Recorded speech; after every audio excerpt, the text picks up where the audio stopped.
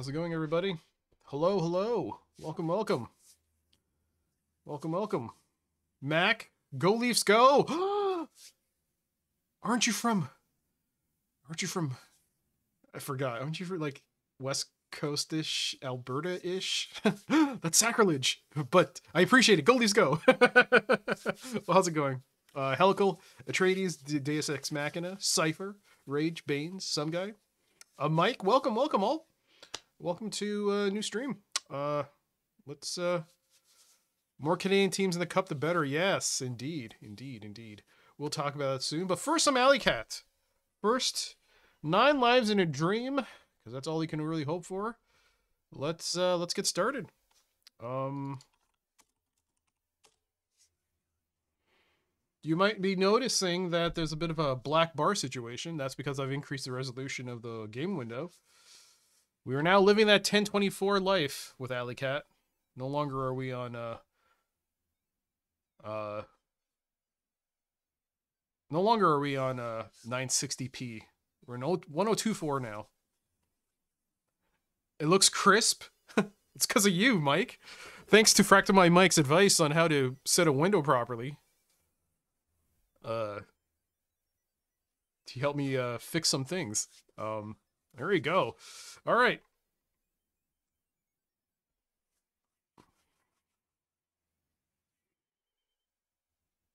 All right. No joystick because unfortunately it's still not connected. None of it's really, not everything is back to normal. Um, hang on. Was the music not playing? Damn. I guess I turned off the desktop audio by accident. Whoopsie. Alley Cat difficulty. Nine lives in a dream. In three, two, one, go. Nine lives. Just gotta get that win. Ooh, okay, got that window. That's a good start. That's one. Oh, oh, oh no! Oh, oh. Hey! Oh! Whoa, oh. Uh oh. Uh oh. Maybe stuck.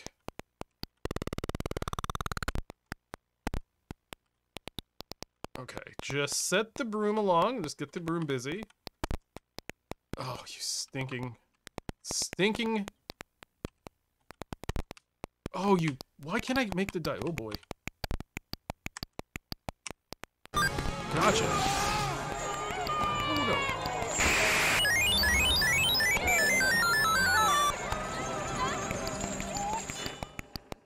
C jam C docacat jam C docacat jam. Jumi Yumi, thank you so much for the 17 month resub. As I get hit by the phone. I'm gonna sneeze. Oh god. Pause. Damn it! No! Oh! no! Ah! Darn it! Six lives. It's fine. It's fine. You guys can hear me, right? Music's playing. Great. Oh, damn it. Five lives. We're fine. We're fine. We're perfectly fine. Perfectly fine. Perfectly fine. Perfectly fine. Ooh.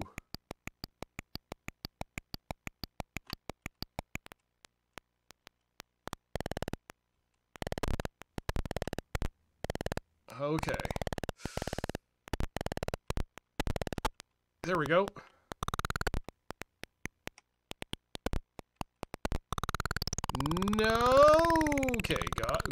Okay, okay. All right. Also, enough to distract the broom.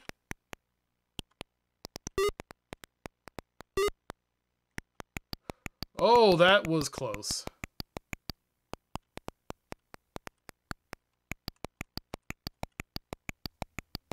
Okay. Distract the broom. Oh, god damn it, dog. Get out of the way. Come on.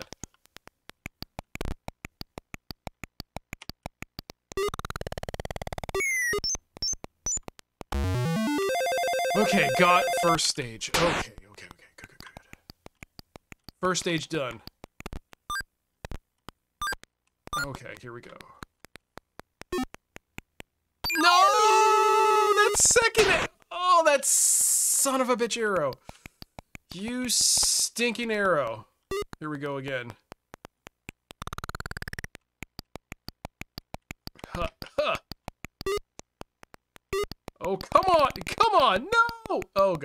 Was close. Ugh. No! What?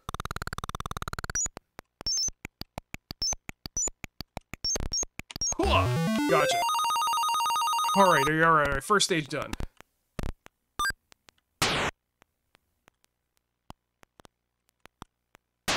I can't believe it.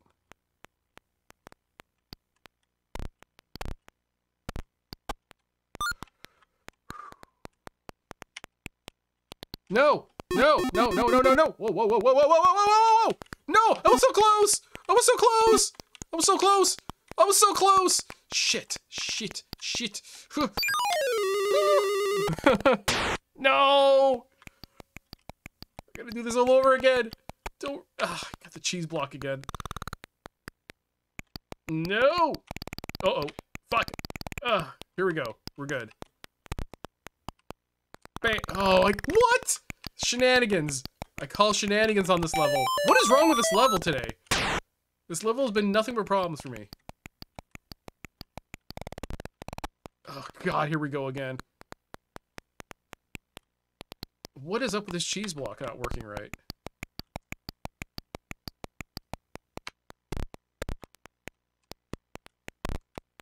Oh, what is up with this? I can't freaking... Ah, it's supposed to go diagonal. What just keeps going limp? Freddy, you can't be going limp.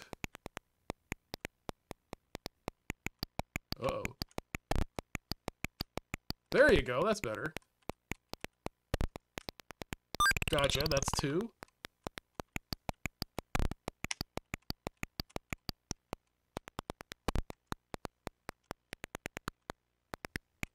Oh boy.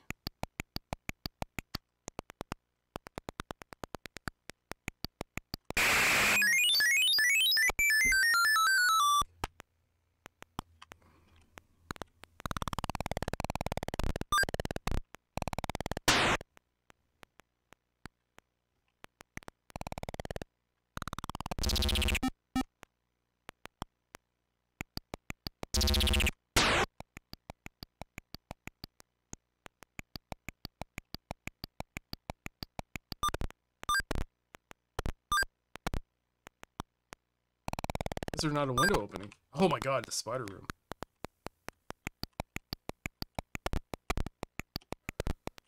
No! Oh god, I got it. Woo! Thought I made a mistake. Oh, I thought I screwed up there. Okay.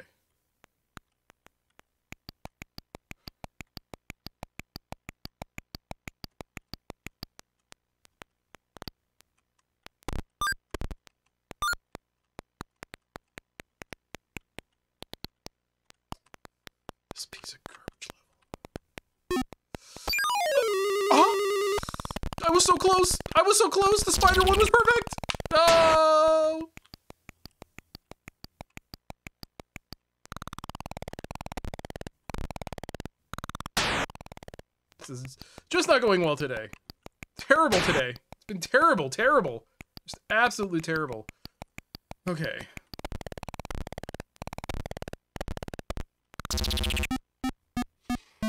There was a second chance. There is a second chance, so I've been given an extension of three li lives. Three lives. Three live extension. Let's do this. Come on. Do it for Chelnov. Do it for everyone. Do it for Freddy. Do it. Just do it. Two lives. Come on, you can do this.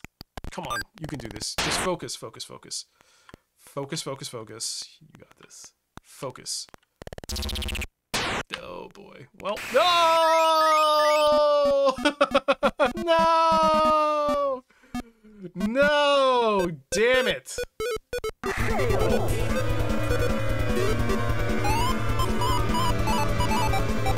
My goodness!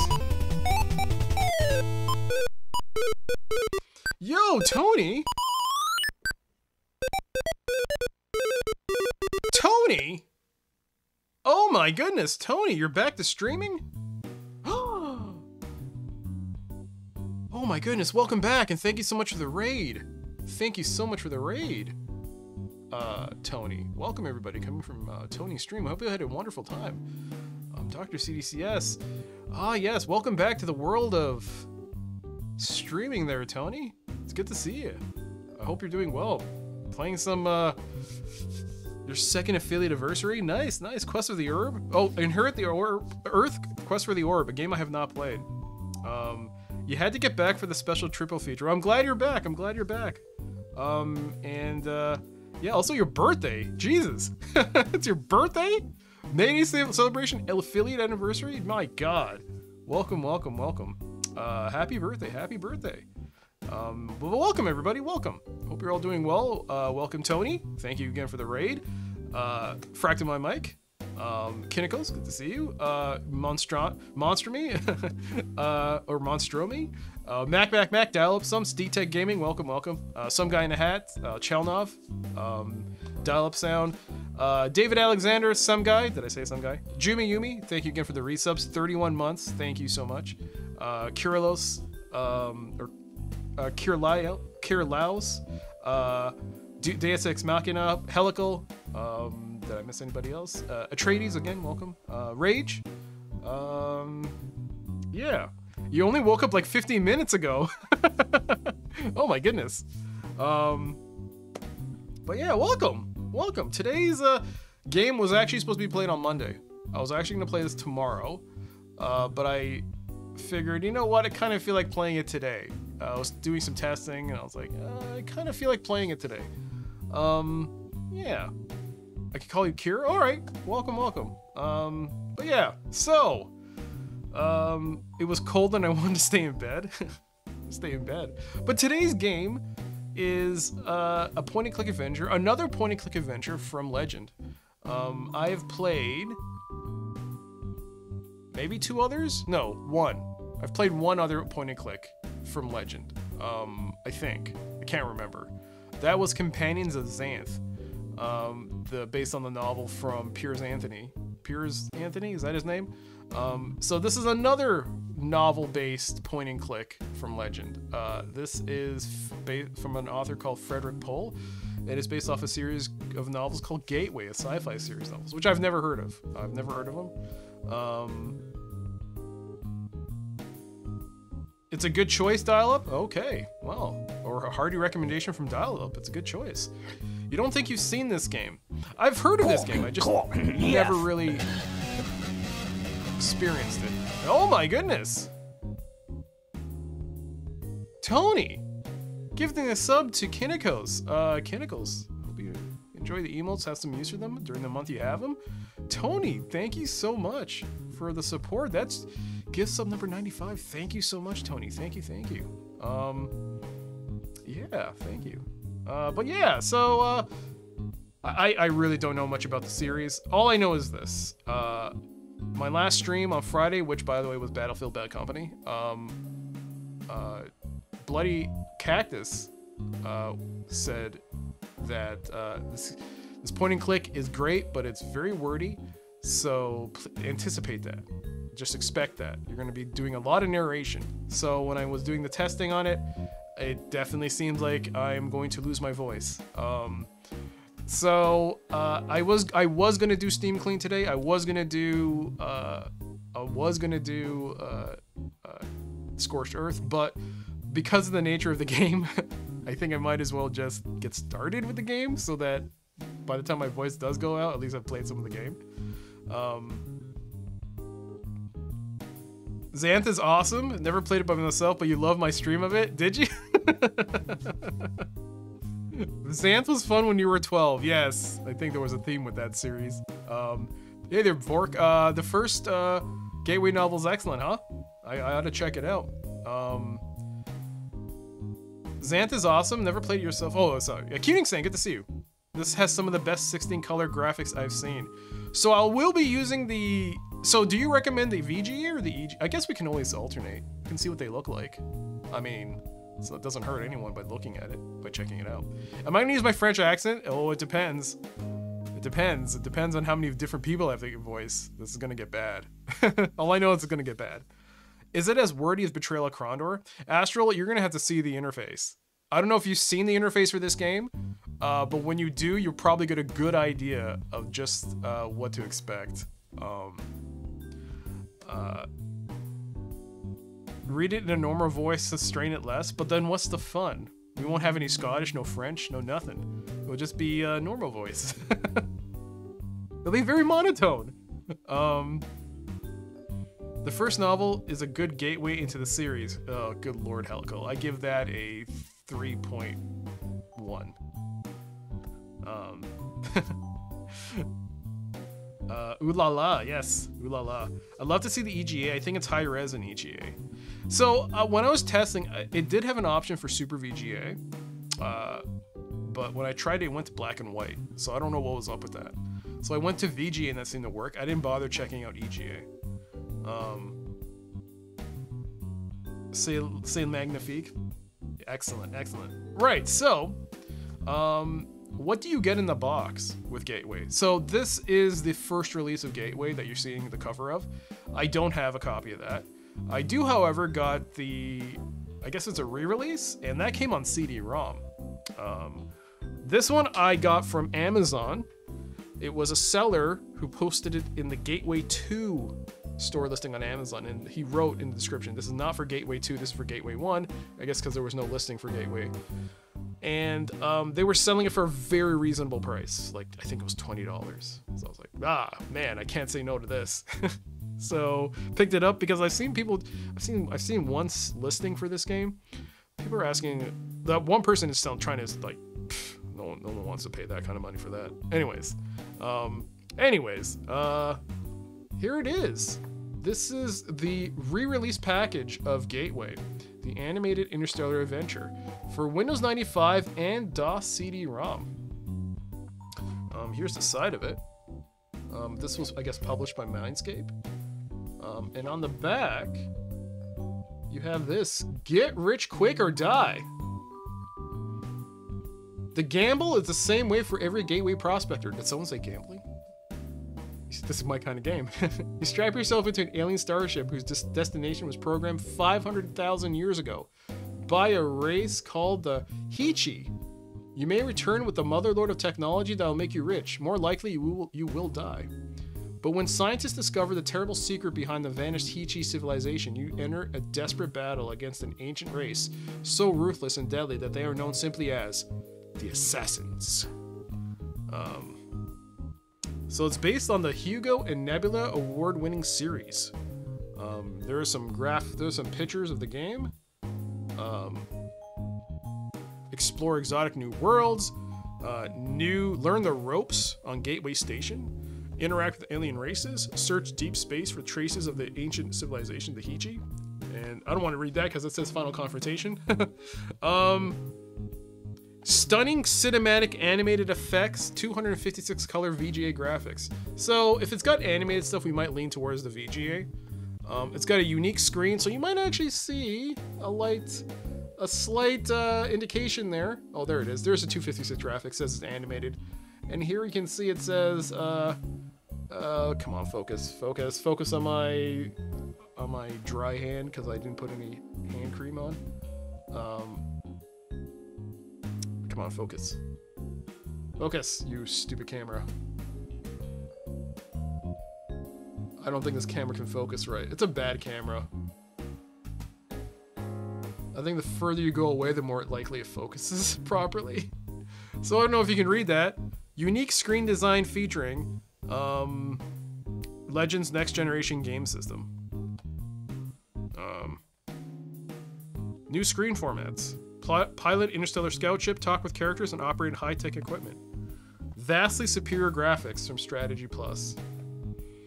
Um, what are the system requirements?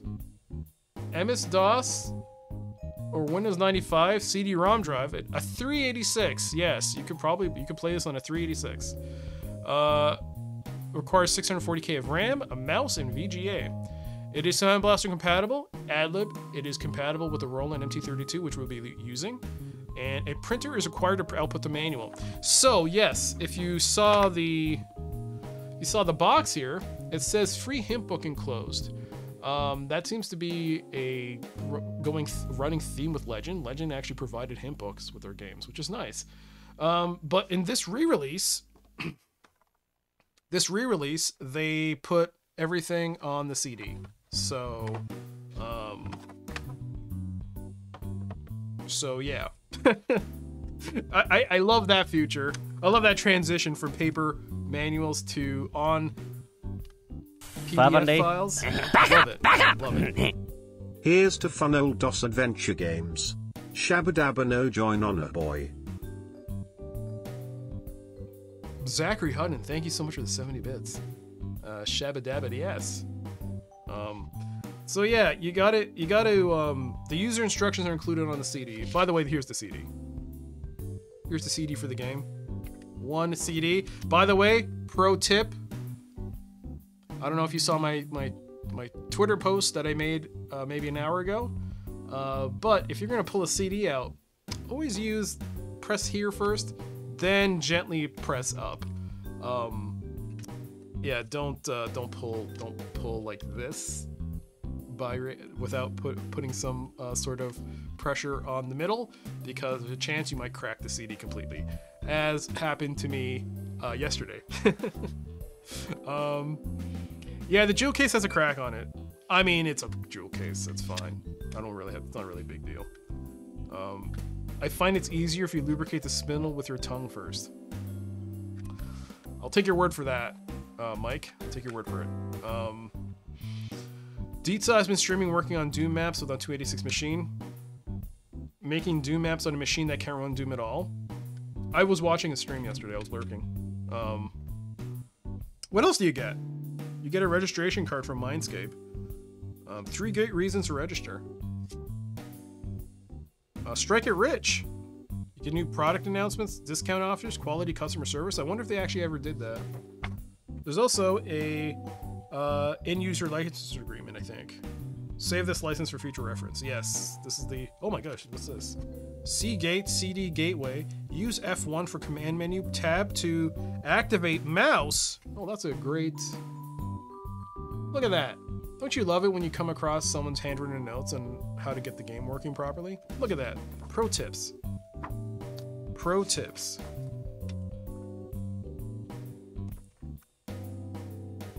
Your Worms Armageddon CD broke. I was sad. Yeah, so the game that it broke on was uh, a game from published by LucasArts. Uh, it was called it's called Armed and, Armed and Dangerous. It's a third-person shooter. It's actually really funny. It's a really funny shooter. It's really good. Um, uh, so it's not expensive by any means. It's not an expensive game, but uh, that particular copy of the game I actually bought while I was on vacation in Singapore. Um, so it's the Asia Pacific region release, and it was it held it holds some special memories for me because I was on that was a nice part. It was a nice vacation, um, and it was nice to explore some video game stores. This was the first time I went to an internet cafe. It was the first time I went like just a full day of computer shopping, computer game shopping. It was a great day. Um, yeah, so I kind of I kind of bummed out it broke. uh, but yeah, um, that's the box. That's all you get in the box. Well, this particular box. I also want to note that the seller for this box so packaged it really well. They they just they took out the CDs, they took out the the stuff, they put that in a separate bubble wrap. They took this, they flattened it, put this in bubble wrap, and then they put it in a nice little plastic bag, and then they shipped it in a nice box. It was very it was very considerate the fact that uh, they shipped it. It was it was it was much cheaper than uh, uh, was, the shipping was not worth the price. um, but yeah, there's the box. Hope you enjoyed looking at that quick unboxing. Singapore is exotic. You have to go wash your dishes, even though it's past midnight. Uh, all right, Tony. Thanks again. Lurk away, lurk away, lurk away. Alrighty. What was? Pretty dusty. Um, there you go. So that's what you get in the box. Uh, and yeah, like I said, um, I was inspired to uh, play the game because I had just picked up the second box, which we will look at further when I actually get to this game. This is the sequel, Gateway 2 Homeworld. I wonder what that's about. Um, but yeah, I got this uh, last week. So that's what I was like, oh, you know what? kind of feel like playing uh, the first one now. So yeah, we'll look at this box when we get to Gateway 2. Um, free hymn book and clothes. Yeah, we'll talk about that later. uh, when we get to it. Uh, but yeah, Gateway 2. There it is. Um, but today we're going to look at Gateway 1, and I think the box, we'll put that right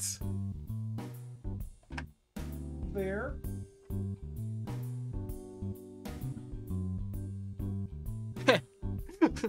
you can't see you can't see it anyways over my head, but whatever. It's right there. Um wish all this disposable income collect this stuff because it's so cool. Well, it was 20 bucks, so it was definitely not. I think I saw someone listed for 500, which no one was biting on. I think it's, it's been there for years. I mean, no one's gonna pay $500 for that, but you know, um, I'll pay 20. All right, so uh, yeah, uh, I think I should probably get started with the game because I was gonna do Steam Clean, I was gonna do uh, Scorched Earth, but we should probably save my voice because it is a very verbose game. You'll see what I mean when we start the game. Uh, the interface is something I want to say. I can't remember Xanth's interface. I feel like they're similar games. I feel like they had kind of similar interfaces, but it's I don't exactly remember.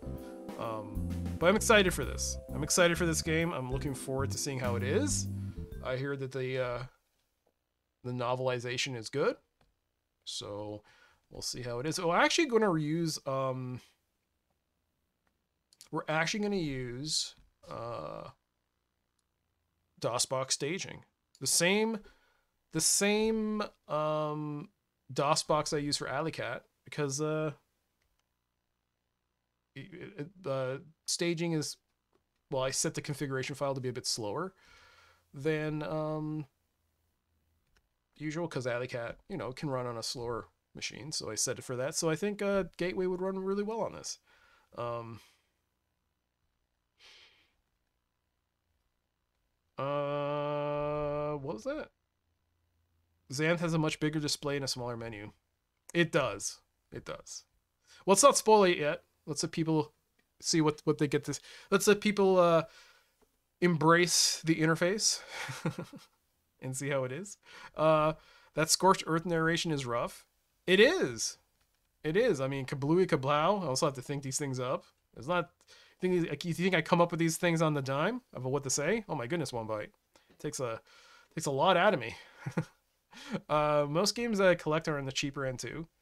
Most collectors can't afford to go spending hundreds or thousands on games. People are dreaming of those kinds of prices. Yes. Uh, speaking of, I have to return something. Um, I bought a game recently from the UK. The game was cheap. The shipping getting extortionate. How are ANZ people finding international shipping costs? I think ever since like Brexit became like a reality, especially for me, like prices, it's shipping used to be like five pounds, maybe ten pounds of shipping, which when you convert it to Canadian dollars was a bit thing, but now it's like forty pounds shipping. It's gotten just bad. It's bad and yeah, it's just I've really cut down what I've picked up from the UK. But I would like to pick up stuff from the UK. There's some UK releases of games I would like to pick up. Um,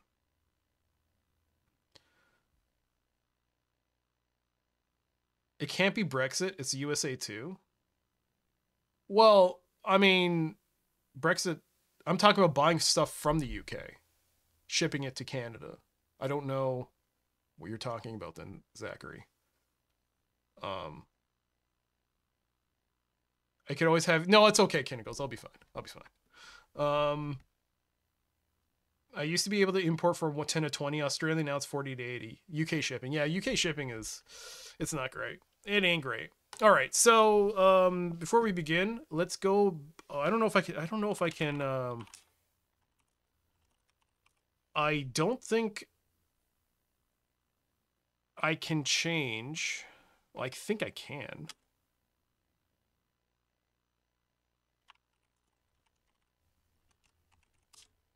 Nope. It's not edit? Oh, no, it's type.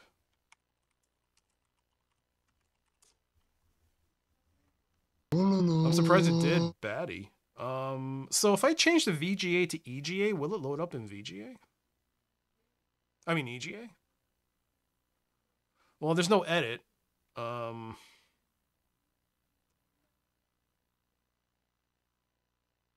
change the color. Can I get a solid color for the keyboard? A solid color.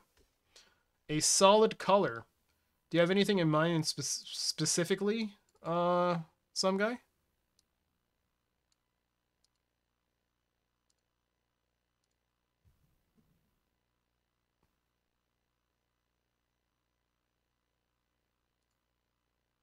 I don't know how to do that.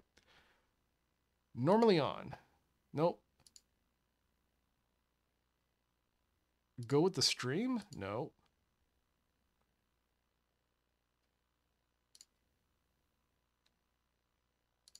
Ah, there we go. Let's see. Um...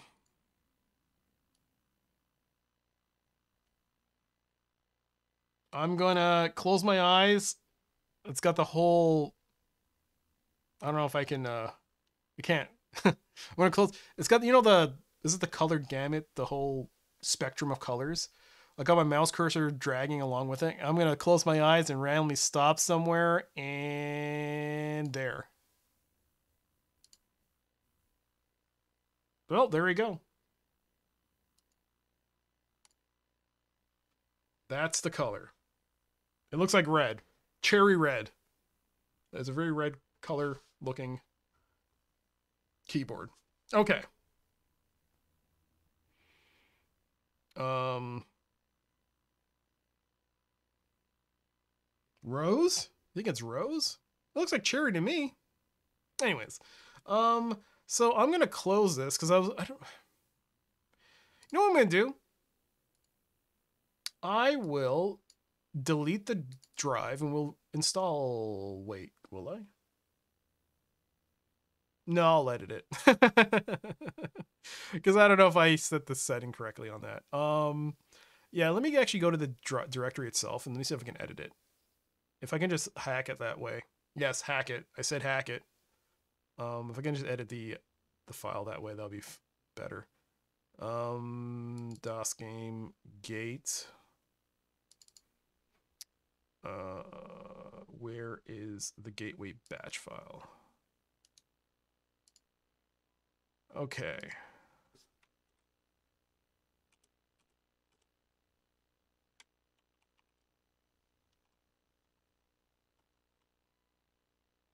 All right, so I changed the batch file to EGA. Let's see how this let's see how this goes.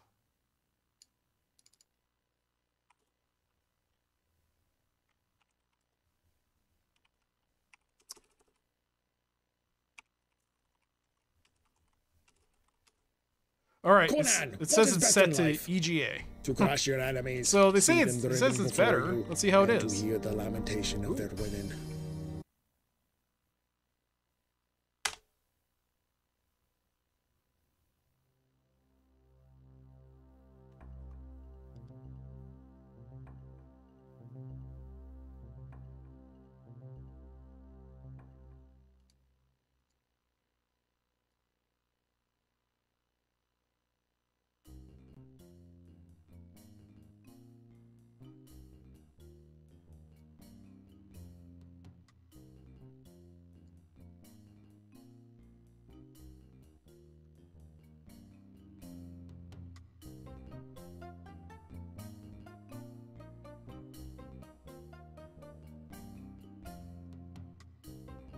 Okay, so this is EGA.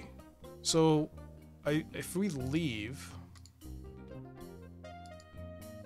it looks like this. Well, go, I think there's if I, I clicked here, I think it goes into a bar.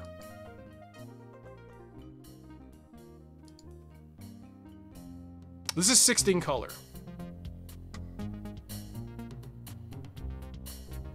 We're not there yet. Let's let's let's go back. Okay, fine, fine, fine. Um, how do I quit?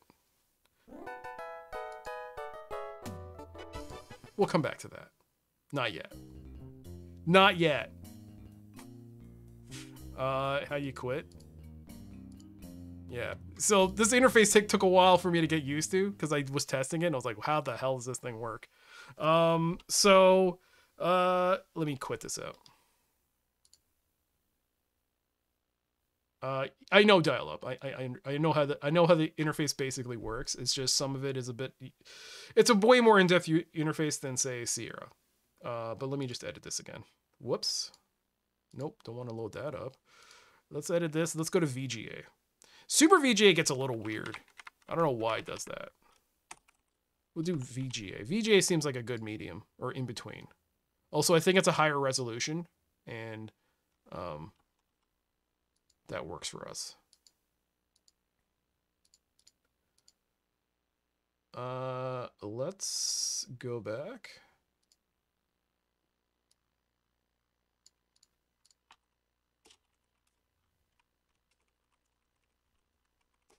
Yeah, it's VGA.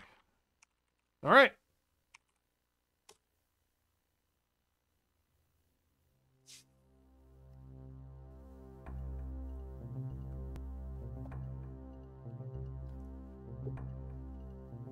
It's very crisp, isn't it? Or so we'll um let this play out. This is the introduction. Hopefully, please let me know if you can hear the game.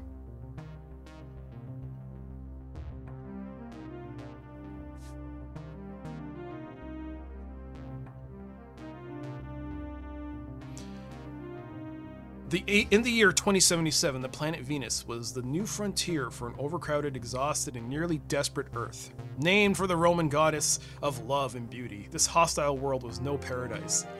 Colonists and explorers had to adapt to average temperatures of 900 degrees, a surface pressure of 94 atmospheres, and a dense population of shoot!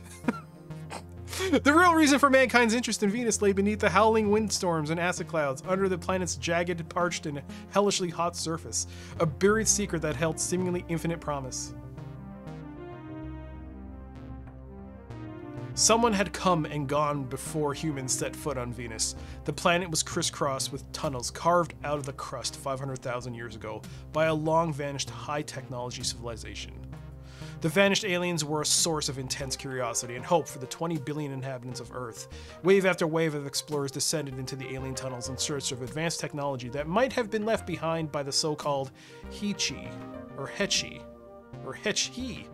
Oh, good look at that guy! Most of the artifacts discovered on Venus had no practical use and were little more than curiosity. It's, it's rig! It's rigged before he shaved his head. The Heechee had cleaned out most of their t- useful technology. Oh, so it seemed, until the crotchety old tunnel explorer named Sylvester Macklin Hi, found a Andrew fully functional. I see oh the shit! command that's part of my Twitch streams. Thank you for using it. If you'd like to hear it Instead in of reporting- please head over to twitch.tv slash retro island Is this the fine tooth oh, guys, you shouldn't have done that. Thank you. Ah, you shouldn't have done that. Then you interrupted me. I gotta restart this whole thing again. I shouldn't have said it was rig. that was my fault. oh gosh. All right. now I can't unsee that. All right, we'll re- we'll restart. We'll restart. We'll restart. Let's restart that. It's fine. It hasn't been ruined, Kira. It's fine. It's fine. Here's SVGA though. what is best in life? To crush your enemies, see them driven before you, and to hear the lamentation of their women. I like how I have to quit with do. All right. this also gives me an opportunity to catch up to the text I missed. So it's a bit of a fast read. Let's try this again.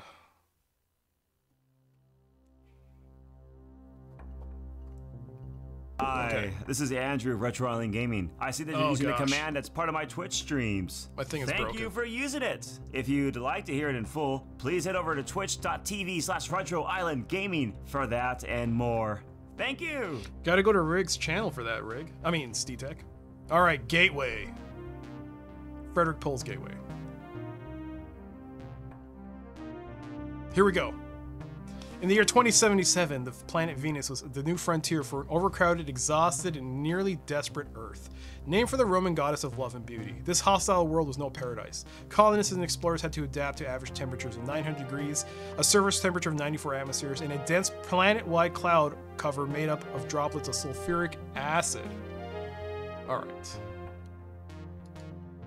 The real reason for mankind's interest in Venus lay beneath the howling windstorms and the and clouds, under the planet's jagged, parched, and hellishly hot surface, a buried secret that seemingly that held seemingly infinite promise. Someone had come and gone before humans had set foot on Venus. The planet was crisscrossed with tunnels carved out of the crust 500,000 years ago by a long vanished high technology civilization. The vanished aliens were a source of intense curiosity and hope for the 20 billion inhabitants of Earth. Wave after wave of explorers descended into the alien tunnels in search of advanced technology that might have been left by the so called Heechee. Hich- Heechee. Most of the artifacts discovered on Venus had pra- no practical use and were little more than curiosities. The Heechee had cleaned out most of their useful technology, or so it seemed, until a crotchety old tunnel explorer named Sylvester Macklin found a fully functional Heechee spacecraft in a sealed off tunnel. Sylvester Macklin. Instead of reporting his find to the authorities, Macklin decided to try and figure out how to make the strange ship work. He climbed inside and began fiddling with the controls. Eventually, Macklin found the right button. Rocket engines ignited, and the ancient ship climbed out of the boiling atmosphere of Venus on a plume of white fire. As soon as the ship was clear of the planet, the thruster stopped and the ship disappeared into what we now know is Tau space.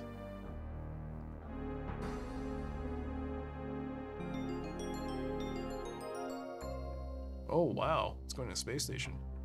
When the ship returned to normal space, Macklin was delighted to find that he was still in Earth's solar system. He was even more delighted to find himself docking with an immense Heechee artifact, a huge space station circling the sun between Venus and Mercury. Macklin's ship parked itself inside a hangar filled with other ships of similar construction. Macklin left his ship and explored this, his sensational new find with a sense of awe and anticipation. The bad news was that Macklin couldn't resist the guidance system, reset the guidance system of his ship and get it to go anywhere. He was stuck without food or water. He wrestled desperately with controls as he became more and more hungry and thirsty. Towards the end, Macklin knew he wasn't going to go home. He directed his efforts to a new goal. Macklin decided that if he couldn't go back, he could at least signal his discovery to humanity. His death wouldn't be in vain. Macklin figured out how to detonate the fuel cells in his ship. The resulting flash was sighted by NASA, and a mission was sent out to explore. The NASA, the NASA mission arrived at Heechee at the Heechee artifact and found hundreds of working faster than light Heechee starships, a priceless treasure trove that made the Heechee space station humanity's gateway to the stars. Thus, the alien starship parking garage earned its name Gateway. After a series of military confrontations and a narrowly averted war, the government of the major powers of Earth realized that Gateway was too valuable to be given to any one government. The government agreed to establish a multinational corporation called Gateway Enterprises, often referred to as the corporation, that would occupy Gateway and exploit the technology of the Heechee. The faster than light starships on Gateway are now used for a new form of high tech prospecting. Human volunteers ride the alien ships in the hope that they will, vi- will visit other worlds and bring back Heechee machines, tools, and other potentially useful items. Because human scientists still don't know how the ship's guidance systems work, the destinations of these prospecting missions are unknown. I will put that back. Thank you so much for the resub, whoever that was. Thank you, thank you. Oh, there it goes.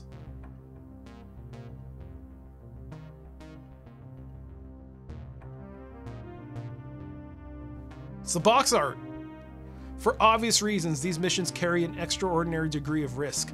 15% of prospector missions don't come back, and 80% return with little or nothing. The remaining 5% make the risks worthwhile and can turn ordinary people into instant millionaires. You won the local lottery on December 23rd, 2101. The prize was a one-way ticket to Gateway worth 238,575, including a limited partnership in Gateway Enterprises, transportation to Gateway, 10 days worth of life support on Gateway itself, a class in Heechee ship handling, and an invitation to go on the first available mission after graduation.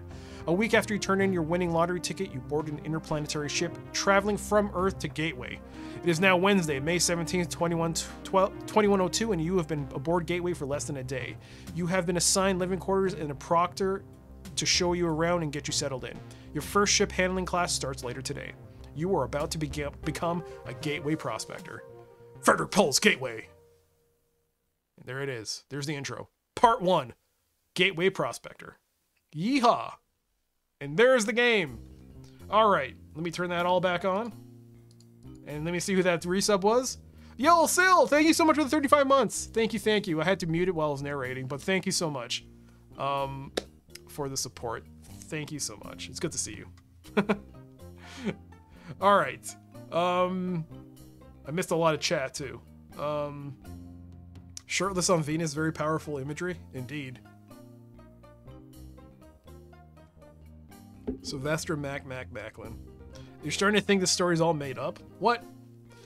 So one thing I do know is that if you stay on this screen too long enough, uh, the music will stop. I don't know if that works with Sound Blaster, it probably keeps going, but on the MT32 it stops. Um, which is fine. I just leave and come back and I'll restart. The music is good though. I hope we got lots of water. Yeah, I do.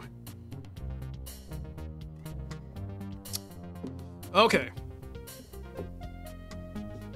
So, May 17th, 1200 hours, your quarters. Your room is a Spartan cubicle furnished with a desk, a chair, a wall locker, and a fold down bed. The only decorative touches are a sickly looking plant sitting next to the desk and a lonely picture of Earth adorning the far wall. A PV com set is set into the south wall. Above the PV is a vent. To the east is a door that leads outside. You notice that the desk has one drawer which is closed. On the desk you see a debit card. The desk the message light on the PV com set is blinking. Okay, so you might be looking at this interface and going, what the what? Yes, so from what I can gather, so this is what I've learned so far. And once again, the same same rules apply for any game I play. No hints, tips, spoilers in the chat. Um, I don't think I have that thing anymore. Did I make that? No, I didn't. I guess I didn't. But yeah, no hints, tips, or spoilers in the chat, please. Let me try and figure out games on my own. There are options in the chat in the channel points kind of take a guess and uh, hint gate. But keep in mind that you should only really use those if I'm like if I'm lost. Um, right. So, um, this is what I've learned so far. So we got this little compass here. You can see my was my mouse, and the music stop. Yeah, music stop. Where's my mouse? Hello, mouse. Oh, was it? Yeah. Nope. There's my mouse. Okay. Uh, this is a compass. You can actually click on it, and you can actually go different places. Uh, you can actually press F1. You can actually get the full button commands. Um,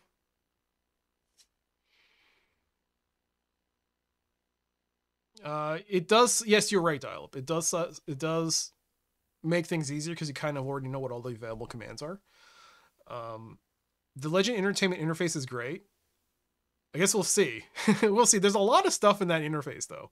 I didn't really take a good look at it. Um, is it just me or did the stream freeze? Uh, I don't think it did. Did it? I got no drop frames, but I'm not sure. Uh, Legend Entertainment made Eric the Unready. I haven't played that one. Uh, I like to turn off the sidebar and set them to verbose instead of brief. Verbose is good once you have to enter a location more than once. Oh, is it? All right. Well, let's take a look. Let's first introduce the interface to everyone before we start making changes to it. Um, so yeah, there's a bunch of stuff you can do. Um, uh, but yeah, uh, so half it gets rid of all of it. You just have the text. You can just type in stuff like a regular um, parser game. Um, but you can have the menu if you want. Text is text mode, and I don't know how to get out of that, so I'm just gonna leave that there. Erase, I assume just erases stuff. I haven't looked at the manual, even though it's on the disc. I was like, I can't read this manual because it's not like the regular manual. I think I think they just took a text file and just left it there, and I was like, ah, I'm not interested in that. Picturing, I think you can turn it off. No, this is to show status. So you have a score of thousand six hundred. That's your total score in the game. Uh, I've done zero turns. I have an account balance of fifteen hundred. Um, you can turn back on the picture if you want. This is your inventory. So you have some boots, a white badge, and a blue coverall. Uh, you can look if you want to like use this as your description area. But I like the pictures. I like having pictures. I mean, at least I hope.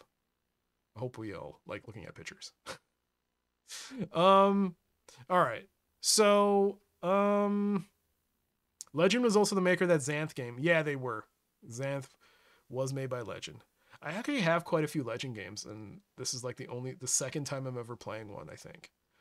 Um. Right. So. I think I want to get the music back. So we're gonna go back out. We're gonna ignore that. Let some music play. Ignore that. We'll come back to that. Good. We'll come back to that.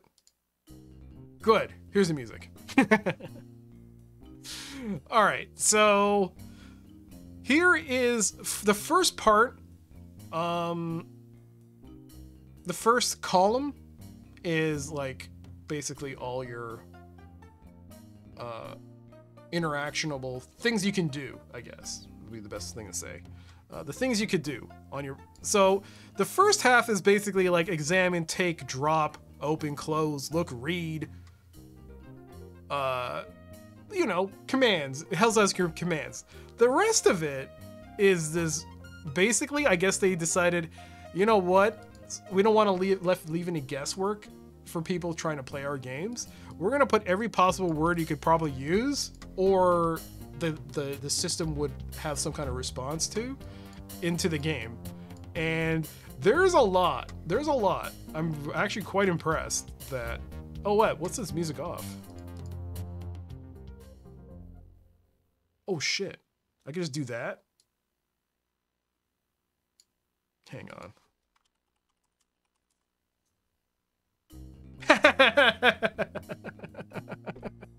ah i can do that every time music on that's awesome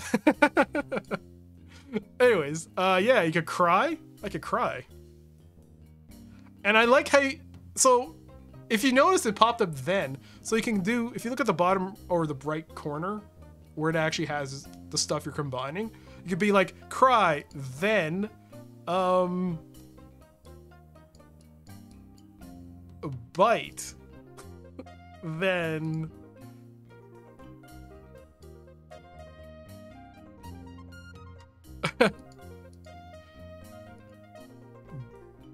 buy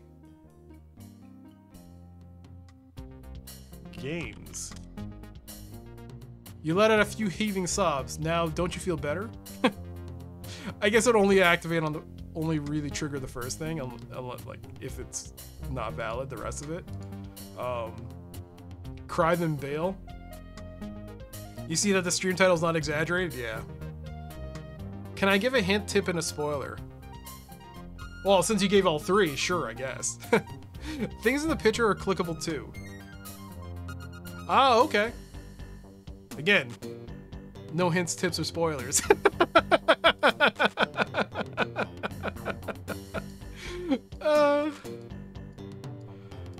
we got fix, fold, follow, free, give, greet, hint, hint. Well, what? Oh shit! No! Wait. Oh. There is a Hintway Gatebook in your game package. If you've lost it, you can get hints by dialing our automated hint line. Oh, all right. Oh my god. Undress. Do it. You take off your boots, you take off your badge. You start to remove your coverall, but stop when you remember Gateway's prohibition against public nudity. Earth is currently going through one of its regressive social periods, and regrettably, the corporation enforces the taboo. All right. So I've taken off my shoes and badge. Wear boots. You put on the boots. Wear badge. Okay, I put on my badge and boots. Okay, okay. So I'm not naked. Well, I have everything back. But let's see what Bloody, uh, Bloody Cactus said you can actually click on stuff. So on the far wall is a page torn out of a magazine. And it says, look at picture. It is a full color reproduction of an oil painting depicting the Earth as seen from one of the high Pentagon defense satellites. The picture is taped to the wall. Oh, cool. What's this? Look at the wall locker. The wall locker is where you would stow your gear if you had any gear to stow. When you left Earth, you were traveling light. Look at the bed. The fold down bed is what you use for sleeping in the climate controlled low G environment of Gateway. Look at the desk chair. The desk chair is a standard office model with the latest in ergonomic backrests. And what about this? Whoa! Taking the debit card first. That was a lot of text. Your score has gone up by two. Note, you can activate and deactivate score change notification using the notify command. Your Gateway Enterprises debit card is a small plastic card about the size and shape of a 20th century card. On the back of the card in small print is the following Gateway Enterprises debit card code 938G 2982. By accepting or using this card, you agree to the rules and regulations that govern cash transactions on Gateway. Account status information can be accessed through your PV com set. All amounts are in US dollars. Jesus Christ. That's a lot of text. The time is moving. Oh shit! Oh god, you can have fail states. If you take too much time, you won't be able to do things. oh, I just realized that. Why did I pick this game? Can you right click? You can look at the drawer. What happens if you left click? Can you double click? Open the drawer. Oh! Oh, bloody cactus. This is actually a really good tip. uh, you open the drawer and discover a book. The light, the okay, the light that's always going to be there until I address that. Can we look at it? Look in the drawer. The desk has a single drawer which is open. In the drawer, you see a book. Can you double click the drawer? Close the drawer. Okay, so it's not totally like. Yeah, you can't. Okay, so look, book look at under okay so yeah the interface is also a bit more wordy so you have to actually be a bit more descriptive so you have to say look at book taking the book first okay so the game actually does that for that's cool your score's gone up by three uh, the book is a hardcover volume entitled everything you know about the heechee all right. If i make mistakes does the time keep passing? Um hold on. Hold on.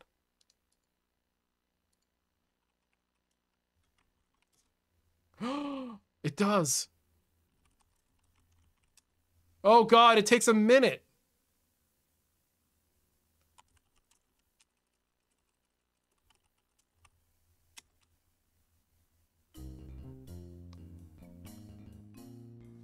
We have to be... Okay, we're gonna have to restart this. I wasted time. Um, Soft locking is indeed a thing with legend games? Yeah. Uh-oh. I want to look at the plant. There are many ways to look at this game. Oh, look at plants, sorry. The plant is a Dramen fern. It is a descendant of a plant brought back, brought back from Euskadel 4 by a lucky prospector named Bellings, who collected 250000 for discovering Euskadel 4 and its nor Earth normal atmosphere and flora. The leaves drop pitifully. Overall, the plant is not looking well. Oh, that sucks. Um, should restart to streamline the timing? I don't know. I mean, this early on, I feel like... I feel like I, it says I have a day to get my things in order. So I will save as soon as we leave this room. We shouldn't, like, spend too much time. I mean, closing the drawer, there you go. We looked at the plant. Um, search plant. Yeah. Can we know if we are soft locked though, or is it like magnetic scrolls where you can be soft locked and never know it? I honestly don't know, Astro Vortex. I have no idea. I don't remember getting soft locked in the first time I played Xanth. Uh, I think I lucked out on it because, well, in, in the case of Xanth, you can have an option, uh, and then it just game overs you. Uh, but I don't remember getting soft locked in that. I don't remember. It's been a while since I played that game. Just click rub for 24 hours. um, take take photo. You don't need to use the photo in this game. If you make mistakes, does it take time? No, it doesn't. Okay. You can the picture is held to the wall with super tack tape. You can't remove the picture without ripping it. All right. Um, inventory. Does this take time? You're holding a book and a credit card. Uh, you're wearing a white badge, some boots, and a blue coverall. All right, so look at the PV com set. The PV com set is a terminal linked into the onboard computer and communication systems. The console has a screen, a card slot, a message light, and a small keypad with 10 numbered keys.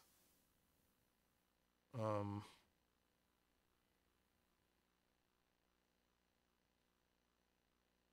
so here, all, oh, I forgot to talk about this. These are all the, I guess, objects in the in this area you can interact with. So we can say uh, examine air duct. Examine the air duct. Set into the wall is a vent for the life support systems on Gateway that provides heating, ventilation, air conditioning. The vent is covered by a metal grate. Um, examine.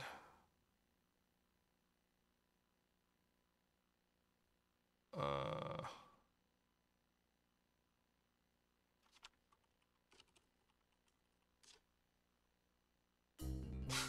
Gotta get that music back. Um, I just found out this supports CGA. Nobody seems to have published screenshots of CGA though. Oh my goodness, really?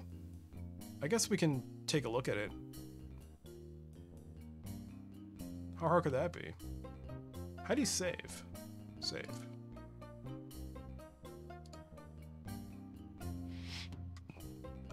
Um, or just do start. One start. Oh my goodness. Yo! Crunchy Snacker, thank you, thank you so much for the raid. Welcome, welcome everybody, coming from Crunchy Stream. Hope you had a wonderful time.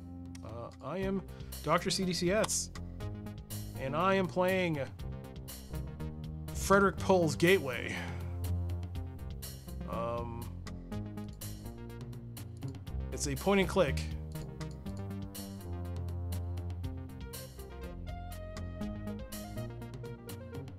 Hey, welcome, Crunchy. Welcome, welcome. You're playing On- Onimusha, eh? Nice game.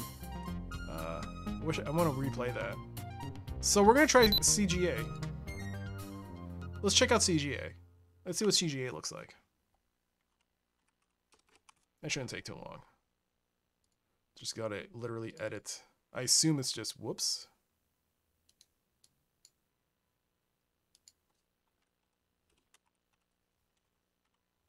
Let's see what four color CGA looks like.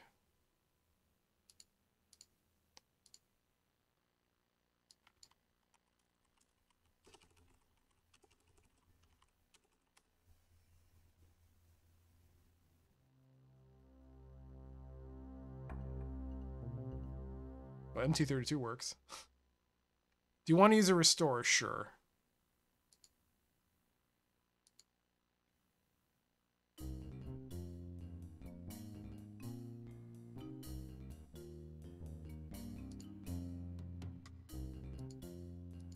There's no picture. It's all text. Ah, boo. boo. All right.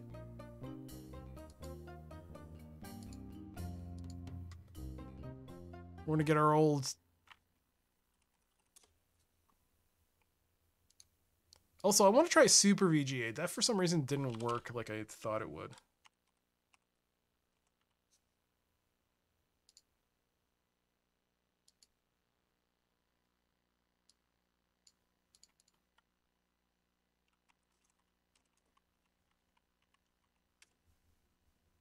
This is Super VGA, and it goes to black and white.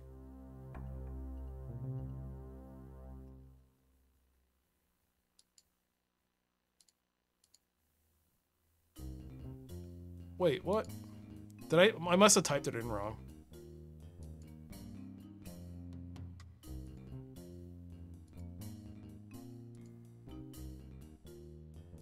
I must have. See, I don't know what the. It might not be correct in the uh, in the text file edit. It may not actually just be CG, SVGA. It might be something else. Did I not save it? I did. I did save it as SVGA. I just don't know what it is. That's fine. We'll just put it back to VGA.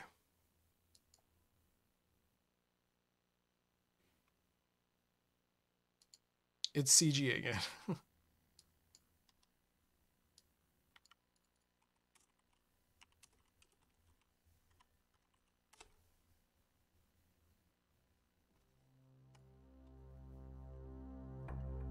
oh, I forgot to turn on the timer. Yeah.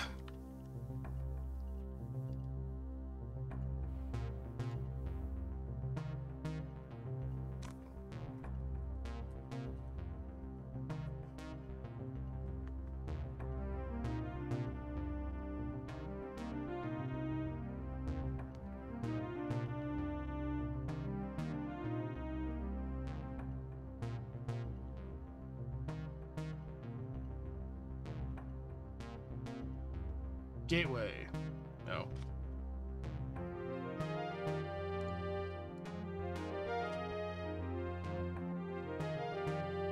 I'm gonna have to reduce the size of that.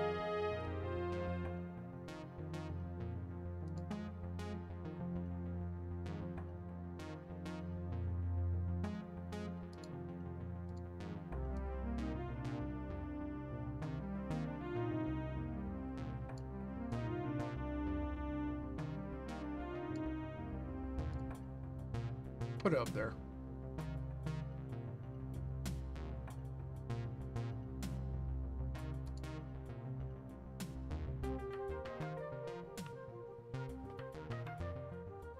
Okay.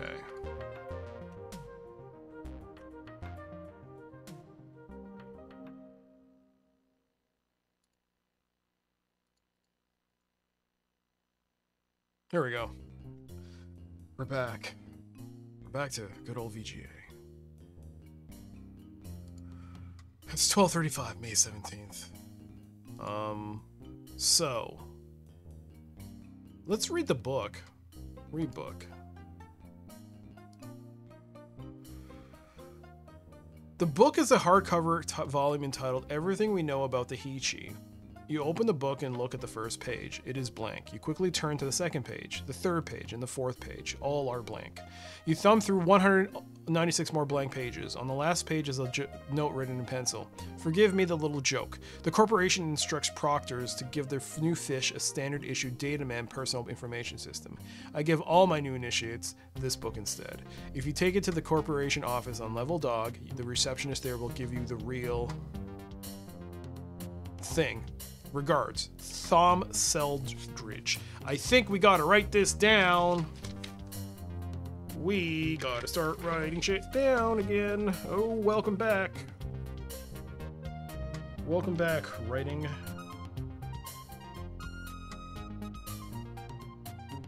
Book. Um. Give book to corporate office. At level dog. Okay. I know SVGA works if you use the E ET4000 DOSBox and VESA driver. Five more rows of text. Do you want me to try that then? See how it looks in SVGA? I mean, this game does support it. SVGA and a VESA driver. So do I have to install a VESA driver, or can I just? Is there an option in uh, DOS boxes to like fake it? I guess. I guess there is. There should be, if I recall. Um, we'll quit. Whoops. What the hell?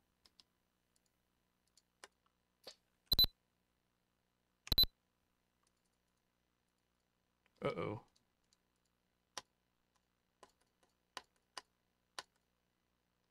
Uh-oh. Well, I had to... I had to kill DOSBox. Would the pictures be small? Oh, would the pictures be small? I think they would be.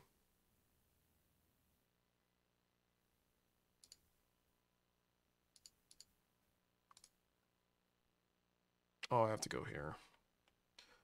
Go here, go staging. Well,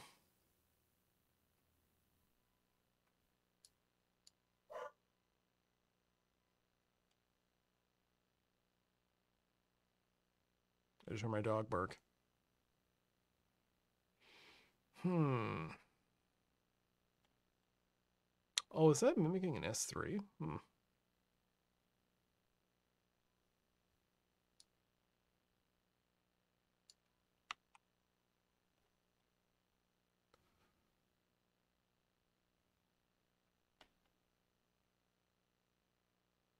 All right.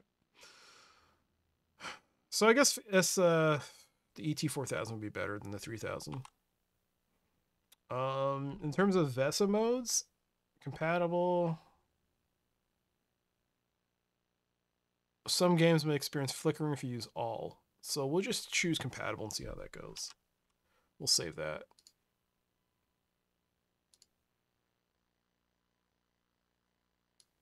Does it tell me something here? What it's using?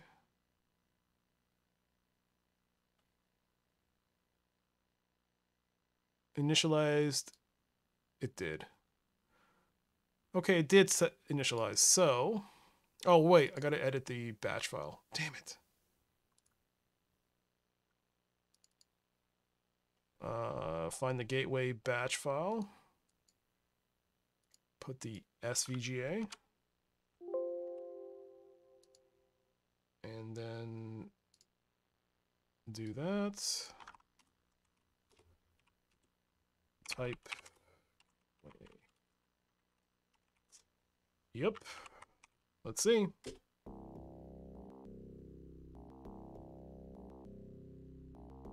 Oh shoot! I take I did gate. I did gate, not gateway. Womp womp.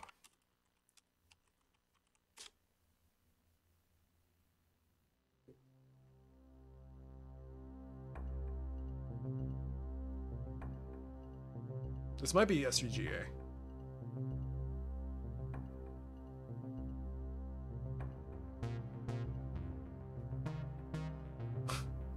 Those red lines really tell me the difference between VG and SVGA.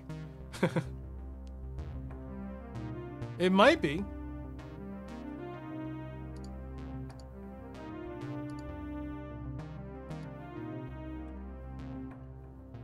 It might be.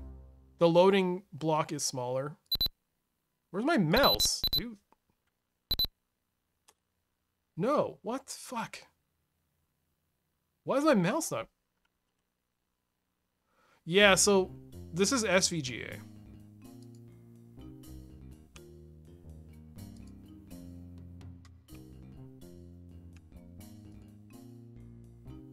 The mouse is not showing.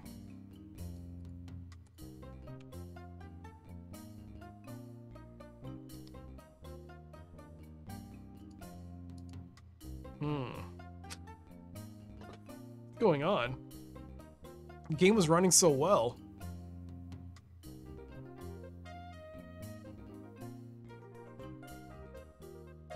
So the interface is much crisper. You can see the upper left corner, the it does look crisper. The picture is a bit smaller. Um, where's my mouse?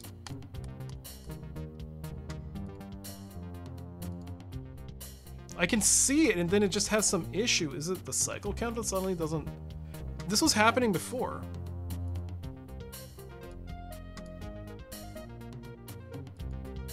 It's like it's disappeared. Oh no.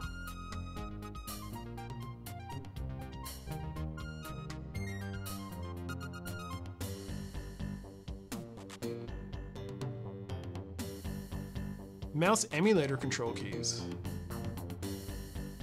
No.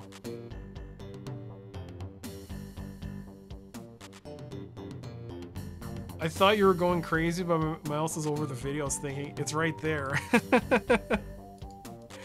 um, I don't know what happened. Suddenly the interface just okay. Uh, I'm gonna set it all back to the way it was. all right, we're gonna set it back to VGA. I don't know if that messed up something. Um, I'm gonna set it all back. Uh, set staging back to uh, S3. I don't think there's anything else I did. Uh, and then I'm to edit the gateway batch file, to go back to VGA because that's weird. Um,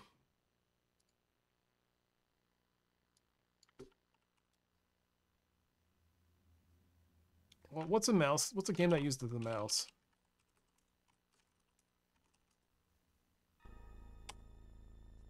We're not playing XCOM. There's the mouse. Yeah, it works. Ignore that. uh,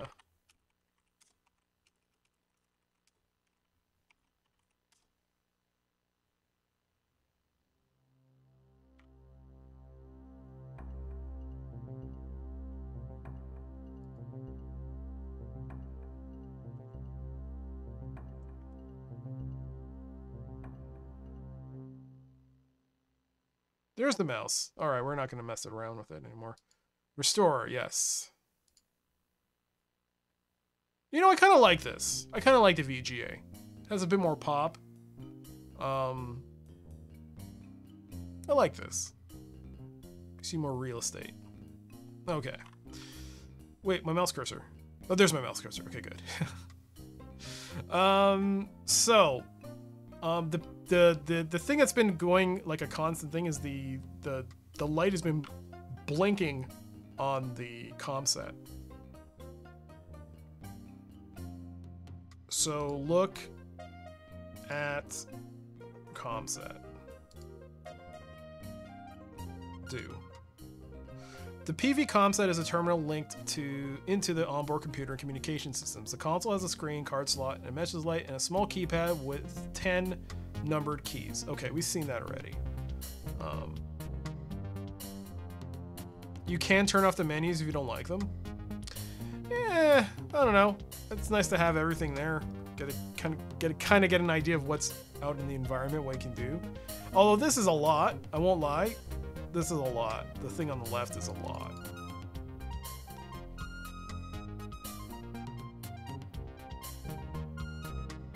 Kiss. Oh my god, I can kiss. I can kill. Alright, so use open, close, read, ask, put, yes, no, wait, activate. Oops, that is not it. Erase. Activate. PV ComSet. You insert your debit card into the slot. Nippon American Telephone and Telegraph Gateway Comnet. 1. Play new messages. 2. Review stored messages. 3. Gateway account status. 4. Current events from Earth Comnet. 5. Bulletin board and classified. 6. Place a call. Place a call. And zeros end the session. Um, let's do. Oh, the music stopped. Uh, let's do our gateway account status. We have 1500. All right. Review stored messages. Hello? Did it crash again? What is going on with this game? Nope. The mouse stopped. No old messages available. I guess I'm not using the mouse. Something's happening with the mouse. I don't know what it is. But, oh, there it is. It's working again. That's weird. What is going on? Is the cycle count too low? We'll put the cycle count to 29,000 cycles. Um, yeah, no new old messages. Play new messages. From Hector Gomez.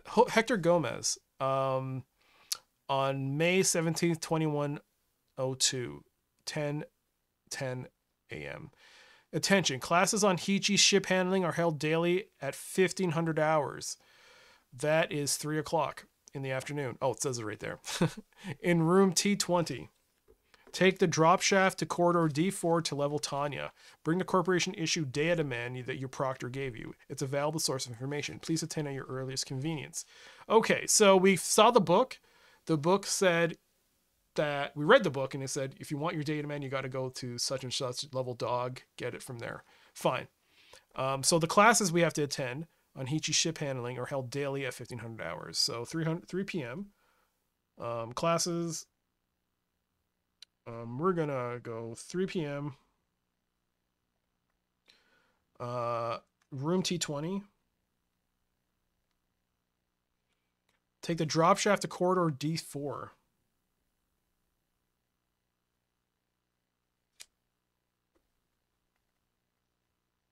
D4. In D4, Jesus Christ. In corridor D4 to level Tanya. All right. Yo, Rhythm Song. Welcome, welcome, welcome to the chat. You're a big fan of this game, eh? Well, I look forward to seeing how this game is. People seem to say it's good. They seem to say it's good. So, uh, next. From Thom Seldridge. 11, uh, 1100 hours on the 15th of May, 2102. Hiya, new fish. I've been assigned to be your proctor. Custom dictates that I buy you a drink at the Blue Hell Bar. I'll see you there at 8 o'clock. Uh, I'll tell you who's who around here and introduce you to some folks. If you happen to miss me, don't worry. I'm there every night around the same time. Later, dude. All right. So, Thom Selridge. Uh, Blue Hell Bar. 8 o'clock. Okay. What's next? From Terry Nielsen, 1123 on the 17th of May. On behalf of Gateway Enterprises, I want to welcome you to Gateway Station. I am your designated corporation representative. You are one of 90 prospectors who fall under my responsibility as Deputy Director, Exploration Program Section. While we will most likely never meet, I am your official point of contact in any legal or contractual issues that may arise. I would like to wish you the best of luck on your prospecting missions. Regards, Terry Nielsen, DD EPS GE. All right. That's it. All right, main menu. Uh, review store messages. Okay, back. Gateway account. We've seen that bulletin board. Let's look at the current events. I mean, um, so that's your first post, man. That's your first post. All right. Well, there you go. Uh, news item: Astra Media Services Keller's Hill fire under control. Uh, the fire, oil fire, yeah, the oil. There is no fart sound effect. Oh well. Guess there wasn't a demand for it until this very moment. Uh, the oil shale fires in the Keller's Hill sector of the Wyoming Petrofood mines are within a day, a few days of being extinguished. Um, the underground inferno consumed several cubic miles of prime petroshale, causing losses in the billions of dollars.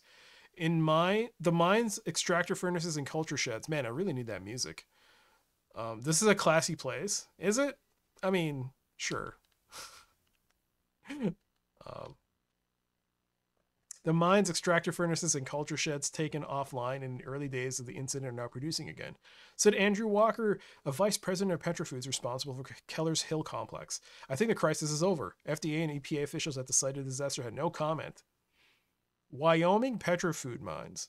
Petrofood mines. Petrofood mines. What does that mean? Are we eating fuel? Are we eating. Is that our food now? Is that our food? We mine for our food? Is that how it works? Oh boy. Oh boy, here's another press release. The L5 Space Lab suffers catastrophe. The NASA ESA L5 Space Lab at the third Langerhans Point was severely damaged when it was struck by a resupply shuttle in a docking maneuver. NASA officials reported that the main cylinder of the L5 lab su- suffered complete atmosphere loss via explosive decompression after an intoxicated shuttle pilot collided with it and opened into, sp- opened into space. Seven lab crewmen and other parts of the lab were injured in the incident. The shuttle was destroyed, although the pilot was rescued by lab personnel.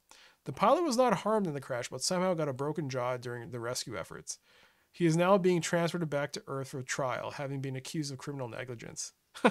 somehow got a broken jaw, eh? Hmm. Somehow. Whoops. Oh my god. New US currency produces smiles in any town, USA. The new US currency that was issued in 2100 is a hit with consumers. The new in new dollars has now been dropped, and the result of the whole exercise has been to peg each US dollar as an adjusted value that is the same as a dollar in 1995. Dropping three zeros off all the prices seems to have had a very positive psychological effect. Consumers everywhere are applauding. It's wonderful that I can buy a loaf of bread for three dollars instead of three thousand. Said a shopper in Greenwood, North Carolina supermarket. This is just like real life now. Dollars just seemed like funny money before. Many economists hailed the Treasury's decision to keep the name dollar for the unit currency instead of the credit or NCU, new currency unit favored by some. $3,000 for bread. Nuclear blast kills 50,000 in Burkina Faso. A nuclear device was detonated in Ouagadougou, the capital of Burkina Faso, in the early morning hours of May 16, 2102. The resulting fireball consumed 50 city blocks and killed over 50,000 people.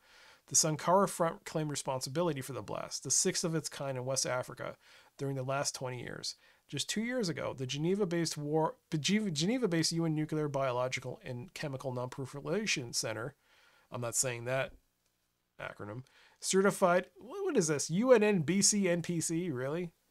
You certified the Sankara Front as a Class 4 insurgency, incapable of mounting any kind of NBC attack within the next five years. UNNB and BC BCNPC officials were unavailable for comment, although a spokesman said that an investigation will get underway as soon as possible. Oh my god, micro machines cripple synth oil refinery. Micro machines? What? Micro machines, really? But they're wonderful toys. Exxon reported that an epidemic of micro machines brought new operations at the Savannah synth oil refinery to a halt. Von Neumann micro machines built to speed chemical reactions. Um, I lost my mutated and escaped containment in a cracking tower. The tiny devices replicated themselves using metals and chemical residues, eating away at equipment and causing malfunctions all over the planet. Refinery workers reported symptoms such as itching skin, burning eyes, and loss of hearing at the as the micro machines swarmed over all their bodies. The refineries quickly evacuated once field supervisors understood what was happening. Plant workers were treated at a nearby hospital. The micro machines were eventually killed when Exxon bombarded the site with high intensity microwave radiation, which erased the micro machine computer memories. Hmm. Nano machines, son? nice. Uh, news item Gateway Corporation press release. Gateway Corporation held a press conference in New York to announce the latest exploration program discovery, a Heechee device unique in the history of Gateway. The strange machine looks like a toaster oven with no door and a reflective coating on the inside. While scientists have not yet determined the exact function of the machine, they are relatively sure that it is some kind of self-powered sensor or recording device. The find was credited to Bjorn Holsten, Holstein, a Norwegian prospector visiting the VAR system, five planets circling a faint 10th magnitude star in the Beloushev cluster. Was no problem, he said, a smiling Bjorn of his mission. Landed, took machine, took off. No problem. the device is on temporary display at the Gateway Onboard Museum on Level Dog. Okay. There's a museum on Level Dog, eh? Toaster. Museum in Level Dog. Holstein was awarded an advance on royalties of 2.5 million. Oh God, is this important? Uh, Trans-Siberian Maglev train crash, 3,000 miles, 25,000. Okay, we'll just skip that. Rainforest park boundaries to be redrawn again. Okay, 27,000 species, blah, blah, blah. Okay. Crazy Dave talks about the epic Tri V production of Star Trek 31 Encounter on Blech. Star Trek 30 was to be the last interactive 3V movie featuring the cast of the ever popular syndicated show Star Trek The Last Generation. Hmm. It wasn't. Encounter on Black is the sequel to the series that won't die, a five hour feast for the senses, which continues to prove that the octogenarian cast can pull crowds into theaters. The $520 million production needs to gross over 2 billion in order to break even, but Parapitra's international executives aren't worried. okay. Um, commodity prices. Uh, shit's expensive. That's the virus damages Mormon databanks in the mountain. Uh, the Hochendall virus, Mormon system, Salt Lake City, Utah. So over 100 million. All right. Gray plague outbreak claims new victims. Uh, Indian Ministry of Health, so-called Gray Plague, so Calcutta. All right. Uh, the seventh Iran-Iraq War. Okay. There's no known cure. Chernobyl site Riley finally reclaimed.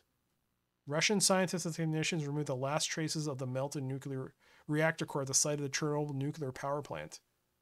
Huh. It was the worst, the world's worst nuclear power disaster until the Meurthe El Mosley core explosion in France. The movie Money Figures are deadly accurate. Octogenarian cast, Patrick Stewart's 82 Picard is still a thing, so there you go. Well, it ended, so that's not happening anymore. Um, prospectors, class action against corporation. A group of gateway prospectors, represented by the famous trial lawyer Douglas the Shark Trent, has filed a suit against the Gateway Corporation for criminal mismanagement, violation of charter, and necessary cruelty, stemming from the f- selective withholding of information related to the mysterious Orion program. Is this something I need to be worried about? Orion program. The corporation is withholding data that could save lives up there, said Trent in a press conference. They are committing the moral equivalent of murder by sending prospectors out without the benefit of Orion program data. Trent claims that the corporation hands out course codes with a high probability of success to an exclusive group of prospectors. Corporation attorneys will not comment on the suit other than to say that they're confident that the charges will be dismissed. Wait, what? Course codes. Huh. Hmm. Another earthquake in San Francisco. Oh boy. And that's it. All right, we're done. Bulletin board and classifieds. Bulletin. I talk to the Heechee. Prospectors, aren't you tired of relying on blind luck? I can help you pick course codes with a guarantee of big payoff through psychic communications with the Heechee. I can also put you in touch with your departed relatives and friends. Only 1000 per session. Contact Tasha Wolf. Next bulletin. Uh, Better Days Company asks you to consider this. You may not come back. Think about it. Record memories, try vids, songs, poetry, stories. Become your family something. Give your family something to remember by. If you shop out, ship out, and become a statistic, do the right thing. Contact Better Days Corp. Damn. Anyone from Syracuse, New York? I'm homesick. Let's talk about home and old times. Call me. The Hunan Boy restaurant is the only onboard Chinese restaurant on Gateway. Uh, it's time for relaxing and unwinding with good food after a week of hard working. Call us now. It is a special week of reasonable prices. Egg roll, $15. Hunan chicken, $57. Mixed lo mein, $37. Soy noodles, $20. Mixed vegetables, 49. These are just sample. Call us now for more selection. Jesus, these prices are getting more like real life every day. Corporation security. Somebody or bodies have been vandalized in the feeder systems. Okay, this is not funny. Uh, okay. uh, hand carved. Uh, okay. Anyone from Peru? So many strange faces. Want to meet someone? Looking train a Gateway. Free catalog. All right. What do the green badges? Oh, Jesus Christ. Am I supposed to. This might be important. What do the green badges know that we don't? Why do they consistently score better than the rest of us? Why does the corporation discriminate us against with the Orion program? We demand representation on the corporation board. We demand access to Orion program data. Show us your support and stage a protest outside the Orion buildings. Daily at 900 hours, room 252, level Tanya. The corporation is trying to screw us over. Box 3942. Is this important? What are green badges?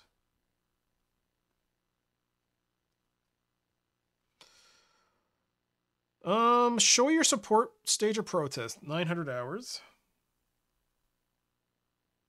Uh, room T52.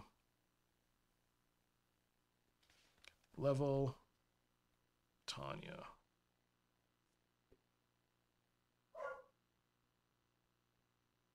Yo, Vivictus, how's it going? Next. Uh, from Essen, Germany. All right. Investor royalties. Okay. Uh, nope. Try evading. Nope. We received messages and memos from prospectors complaining that rats live in the ventilation system. All right. there are no rats on Gateway, and that's it. Uh, did I miss anything? Anyone for Peru, arriving in Lima, so many strange faces. I want to meet someone from home, have a drink, talk about things I don't know, hand carved mahogany, blah, blah, blah. Bisexual, open minded, homesick, want some company, no strings. Uh, level dog, hydroponics. Somebody or someone has been vandalizing the feeder systems on the hydroponics lab. Is this important? I mean, this is on the station. I think is, are these locations we should at least be aware of? Hydroponics level dog. Um. Okay. I think that's it. Place a call.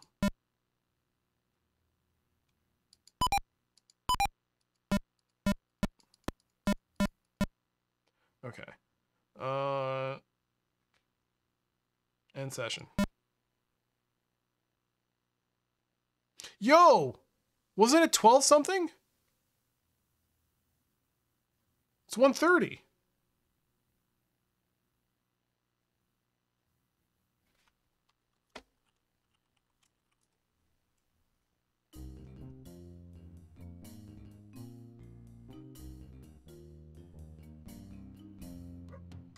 Alright, so I still have time.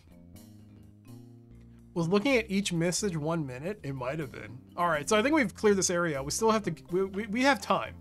We have time. So, let's leave. And let's, let's go outside. You leave the barracks that is your temporary home, walk along the narrow alley for a few moments, and reach the center of Heechee Town. Heechee Town. Examine.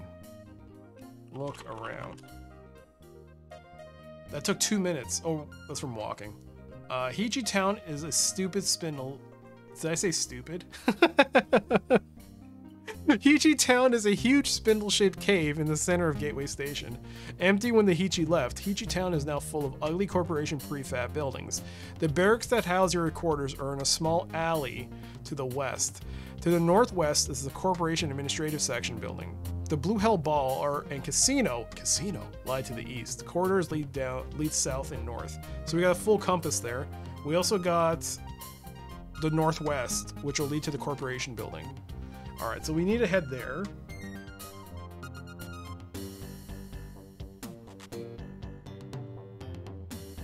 Yeah, so we'll head there.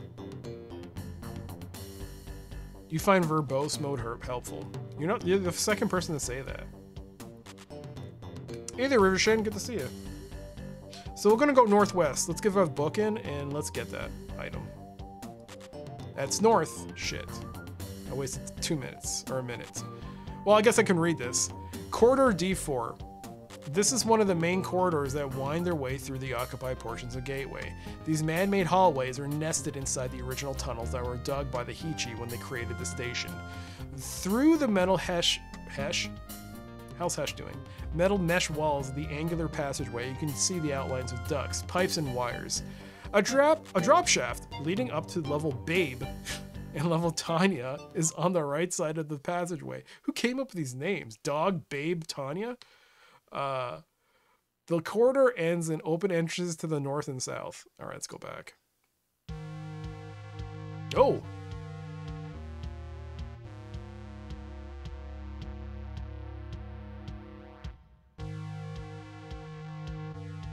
Oh, look at that picture. Gateway Enterprises, you can see people doing stuff in those windows. Are they dancing? I have no idea. Alright, let's go northwest. Here we are. The corporation office lobby. Look at that place. Look at it. That's nice. The lobby of the corporation administration section, administrative section, is one of the.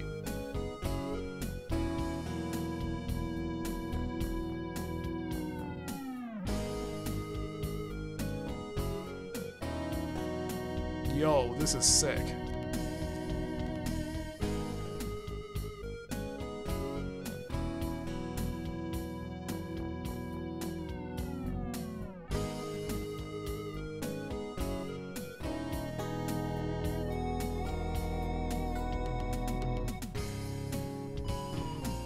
All right.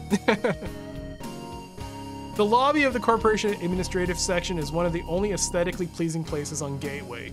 Well placed lights and plants make the room seem bright and open, a welcome contrast to the claustrophobic grays and blues of the rest of the space station. Stairs climb up to the second floor, and a glass door leads west. The metal door leading back into Heechee Town Square lies to the southeast. You see a desk on the reception and a receptionist here. On the desk, you see a magazine and a vase. In the vase, you see a dead rose. All right, so doot doot doo doo. Um, let's see. Examine receptionist. Didn't I say examine?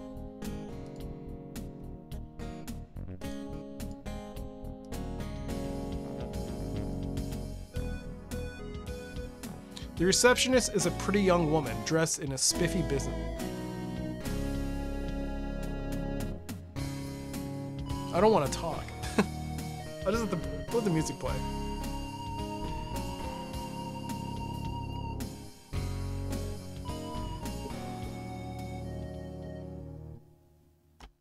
Eh. All right. Fair enough. Restart that. No, I don't want this song. I want the other one. No, whatever. It's fine.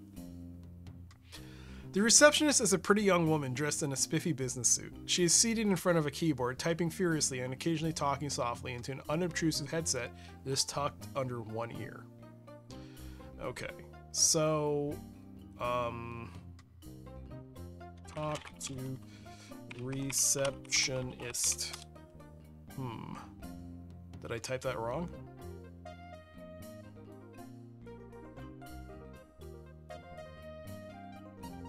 All right. Uh, maybe I just give the book. Give book to receptionist. You hand the book to the receptionist. She looks at the first pa- few, first few pages, laughs, and puts the book away in a drawer. From another drawer, she pulls out a small portable computer. This is the Dataman that you were supposed to get when you arrived, she says as she hands it to you. I think you'll find it a tad more interesting. Your score just went up by five. Boom! There we go. So we got five points. Um, look at Dataman. The Dataman Personal Information System is a small computer that stores huge amounts of, of text. And there it is information about gateway, ship handling notes, and corporation record. Station arrival date, I arrived there. Nothing. Alright, ship handling notes. Holy crap. Let's try information on one. Okay, Gateway Station. How verbose is this going to be? Gateway Station is a large, abandoned alien artifact circling the sun near the orbit of Venus. Gateway was built over half a million years ago by vanished aliens commonly known as the Heechee. The name Gateway comes from the 1,000 operational faster than light starships that were found aboard the derelict station. To humankind, which does not possess the secret of FTL travel, Gateway and its ships hold the bright promise of important new technology, interstellar exploration, and potentially even contact with new civilizations. Um, I don't think I can go through all of this, so let's just see. Gateway Corporation. Um.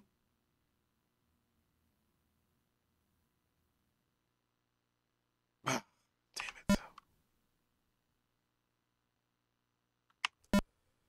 it. Gateway is unique in the history of humanity, and it was quickly realized that it was too valuable a resource to be given to any one government. A multinational corporation known as Gateway Enterprises, often referred to as the corporation, was established to occupy Gateway and exploit the technology of the Heechee.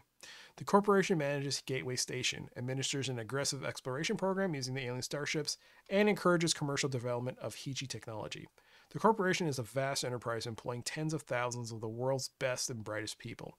Revenues for the last fiscal year exceeded 3.7 trillion in adjusted dollars. Don't we already have trillion dollar companies? I forgot. um, the interface is good. Huge amount of text, exactly what we need in this game. um, a lot of people ask me hey otter if you could only play one game for the rest of your life what would it be? And i think it's pretty obvious you play freddy Pohl's stargate. I mean it's frederik Pohl's gateway but all right. Um i hear gateway corp and i think of the computers from the late 90s and 2000s actually river shen uh my monitor right here is a gateway. It's still it's my old 24 inch monitor that I've had since 2008. It still works, so I use it as a I use it as a monitor. It's my vertical monitor. Um. All right. This is in new dollars. Oh, yes. No, it says adjusted dollars. Astro Vortex. Adjusted dollars. Not new dollars. All right. Gateway Corporation, Gateway Prospectors. The primary means of exploiting Gateway and the Heechee starships. You know, I wouldn't mind this if the music was still playing. I'm part of me is thinking maybe I should play some MIDI music in the background. But then when the music plays, it'll cut into it. Plus, I have to use the, I want to use the MIDI from the SC55 and that's connected to the MT32. There's no way to separate it right now. Anyways, uh, the primary means of exploiting Gateway and the Heechee starships is through prospecting. Gateway prospectors are human volunteers who ride the alien ships in the hope that they will visit other worlds and bring back alien machines, tools, and other potentially useful items. Because the guidance systems of the Heechee starships are beyond the understanding of human scientists, the ships are sent to destinations that are unknown. The, corporation rewards successful prospectors with royalties on their discoveries. For obvious reasons, prospecting missions carry an extraordinary degree of risk. 80% of missions return with little or nothing. 5% produce substantial returns for the prospectors involved, and 15% don't come back at all. All right. So since we know that this takes time, um, I don't want to waste too much of it. Uh, I will look at the four major powers. The four four countries own all of the voting stock in Gateway Enterprises: Brazil, Japan, the United States, and the United States of Europe. Huh? It's called the United States of Europe now. Each of these countries provides capital to the corporation and reaps benefits from the exploitation of Heechee technology. The four major powers provide for the protection of Gateway through the Combined Sentinel Force, a multinational organization that is comprised of Brazilian, Japanese, US, and European military units. These units are stationed in and around corporation facilities in, on Earth and in space. Gateway's defenses include four military interplanetary cruisers the USS Mayaguez, the RB Brasilia, the Avenging Sun, and the Cor- Correr under joint command and detachments of military police and Navy personnel from each of the four countries. Okay. Um, I guess I should look at Level Dog and Tanya. Level Dog is on the center of the station, both physically and administratively. On Level Dog, you'll find Heechee Town, the large cavern. Okay, I should write this down.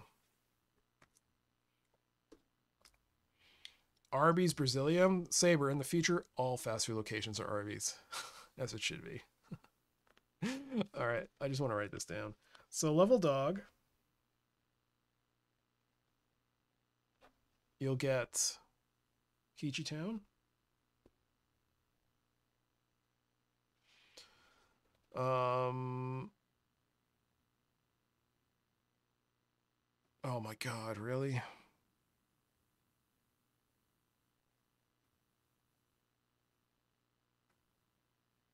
So Heechee Town is the large cavern that houses the corporation administration building. Okay.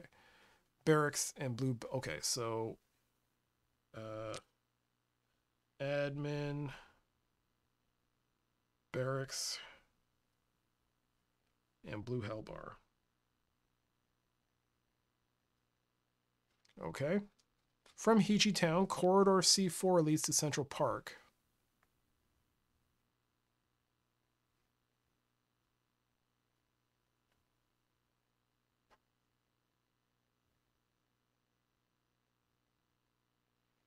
D6.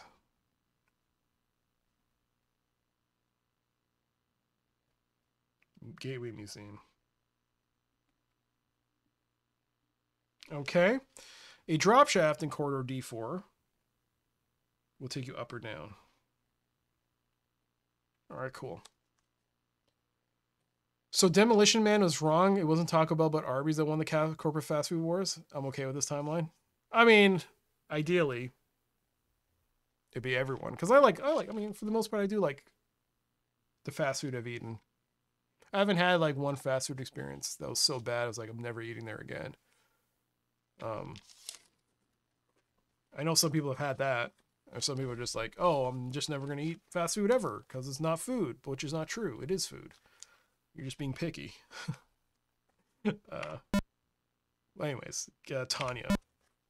Tanya, if you take the drop shift down to Tanya, you'll find yourself in corridor T6. So from level f- D4. Mm. I gotta, oh man. Gotta make that trip to Arby's. I owe like six sandwiches right now for this next session. Six roast beef sandwiches with cheese sauce, please. I'm very hungry. Uh, corridor T6. So to the west will be the conference room.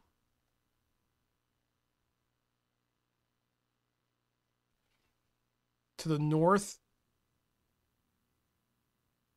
What? Oh. T5. Armory. To the south is corridor T7. Ship hangars.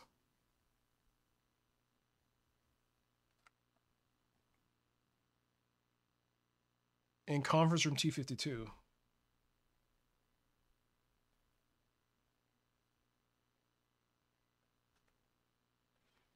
You must be registered as flight crew, crew and be possession of a blue badge in order to get beyond the gate in the ship hangar entrance. This is actually kind of important. This stuff is pretty important.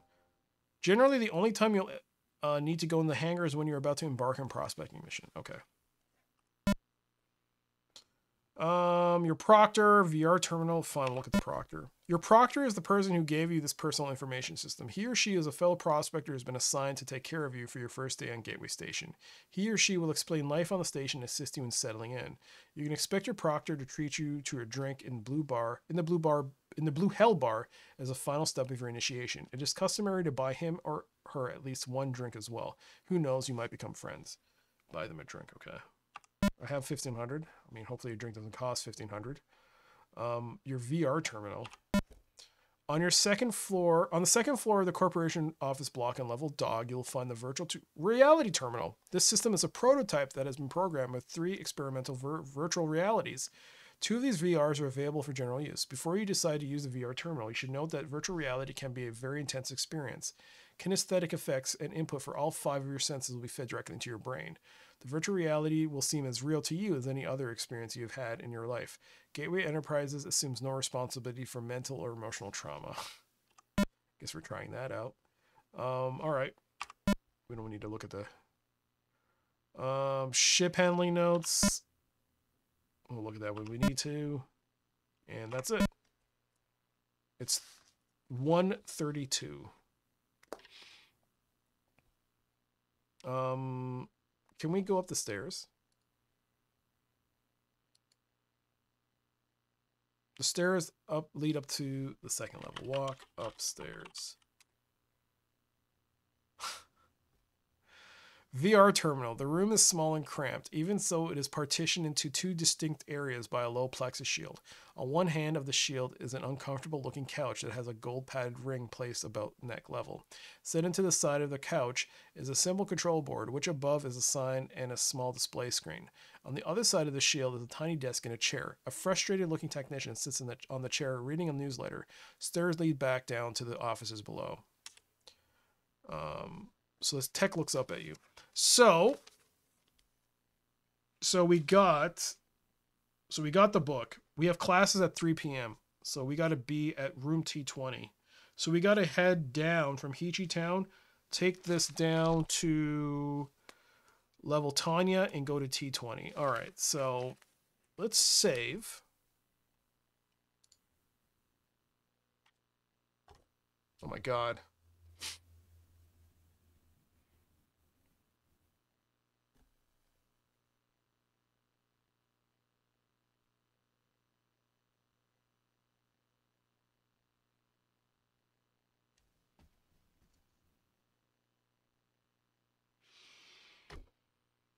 For a second there, I thought it was Mr. Radon.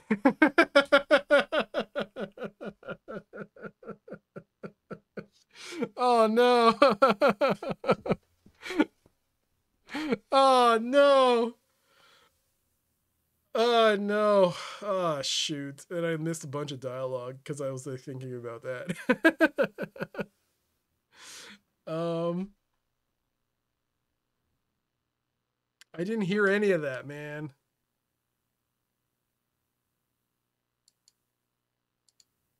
Why did the text Why did the text go, man? Why did the text go automatically? I gotta reload that. Did I miss anything?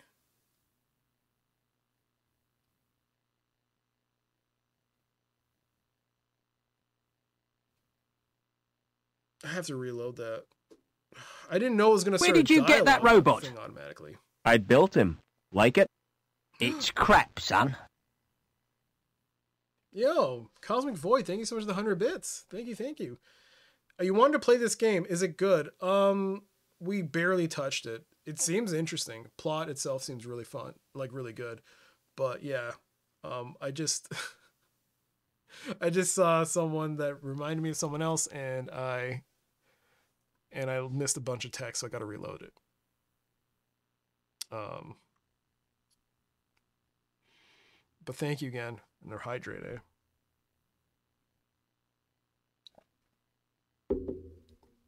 Um. No. Erase. Restore. Oh, damn it. It's, gonna, it's not gonna take that long. All I gotta do is uh, use the card again.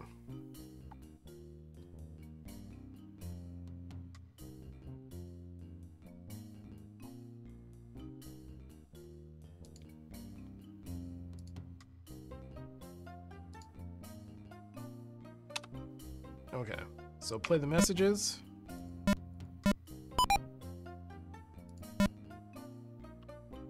Um, I, I don't know if we'll we'll actually play through it. We'll we'll skip through the dial. I mean, we obviously read through this all.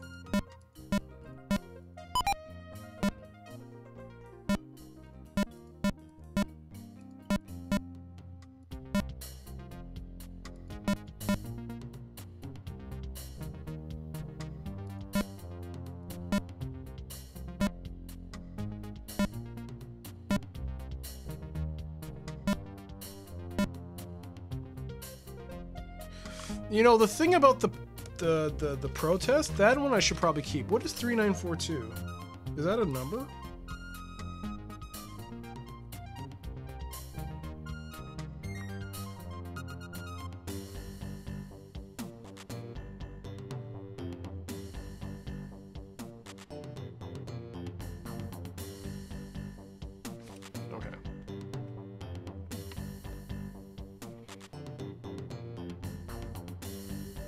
So we're gonna whoops, we're gonna leave.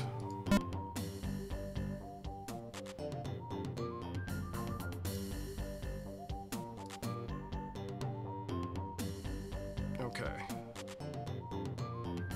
So.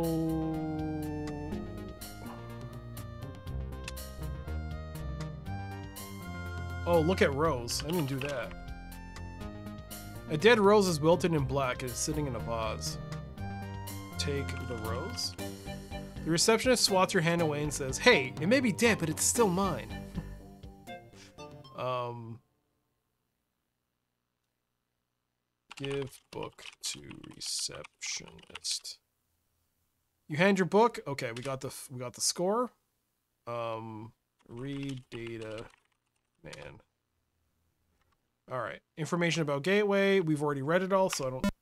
Is that cheating? Maybe. All right, now I'm gonna save. This is where we left off. All right, I can just type save. Um, O2 office. So let us walk up this. Is west mean we just go up? Whoops. No, it does not. So opening the boardroom door first, boardroom. The conference room is one of the most elaborate media centers you've ever seen. Display screens, buttons, and equipment of unknown function surround an impressive conference table. The table is ringed with comfortable looking chairs. A glass door leads east. Um, each option will take a minute, right? kind of. Chair. The conference table chair is looking by sit in chair. You're now in this on the seat. Twirl in chair. You don't need to use twirl. okay, stand, stand up. You get off the seat. All right, we'll leave. Um.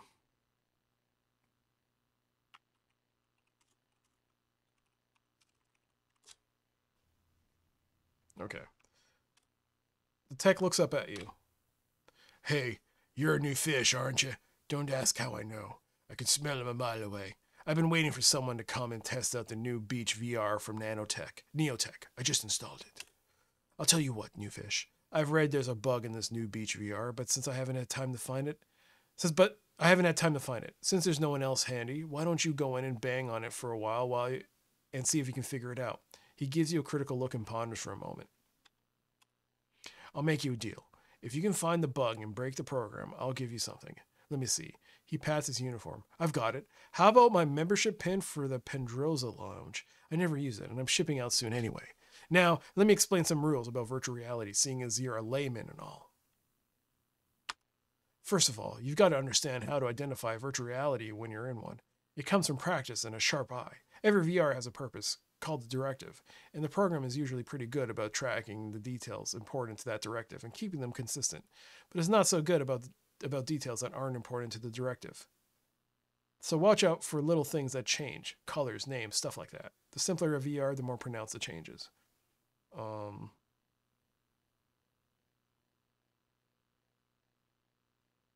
okay, it's not so good about. Okay, the tech continues. Secondly, You've got to know the three ways to break out of a VR. The most straightforward is to halt the program that controls the reality. If the power is cut to the CPU or some backdoor shuts it down, poof, no more unreality. The second method is to do something that contradicts the VR's directive. If you can't stop a VR from achieving its purpose, it'll lock up. I remember a time, I remember one time I was in the early phys and an early phys ed VR. Its directive was to teach jogging techniques that would promote weight loss. But the designers created scenery so people wouldn't get bored. And one of the things they created was a store. I went in to buy a candy bar and the VR practically blew up in my face. Poor design, if you ask me.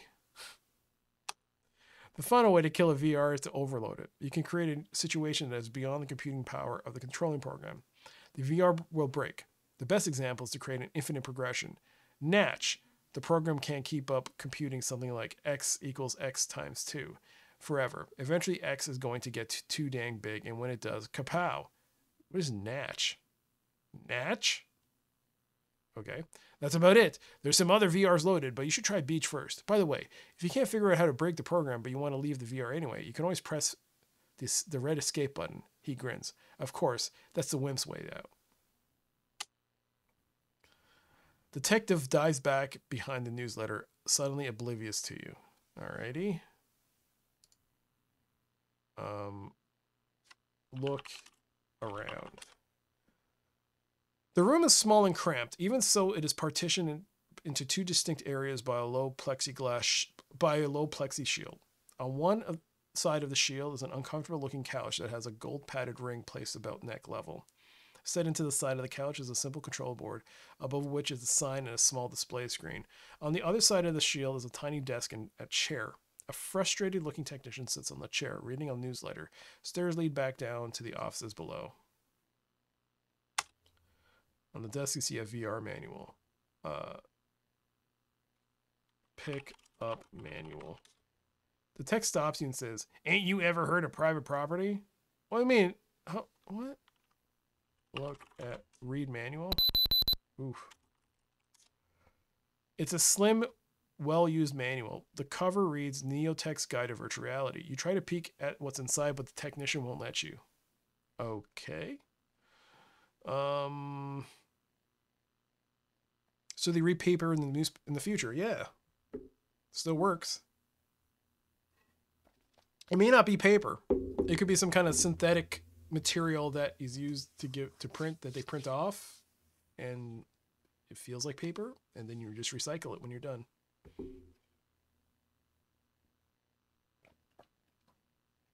Um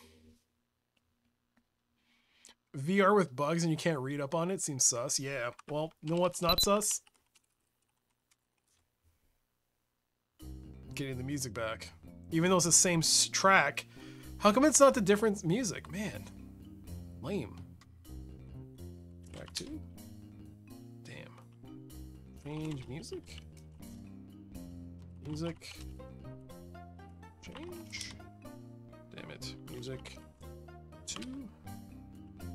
Music. Please. music options. Nope. Oh, uh.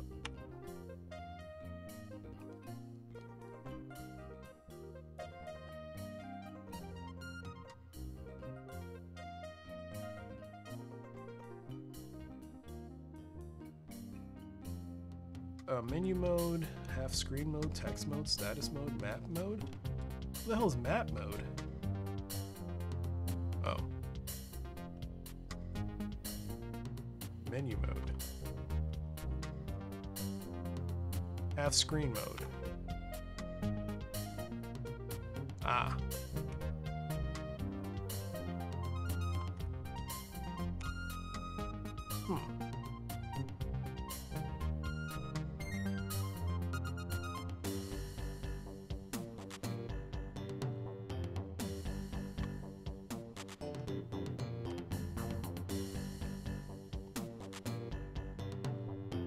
So an easily recyclable biodegradable medium that can be printed on, like paper.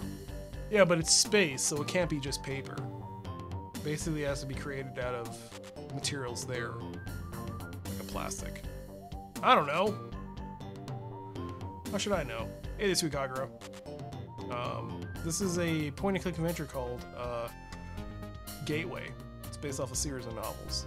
Um, I guess. Do I really want to spend time? It's 1:39. I got to be there by three. Um, he didn't say a time limit. Can I just leave? I can't. I can't leave. Leave. Oh, you can leave. All right. Cool. Um.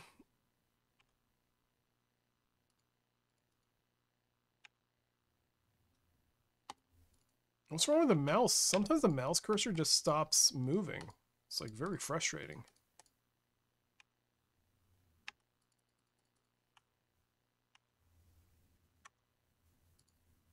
Oh, now I have to keep cycling out of the menu for it to work properly.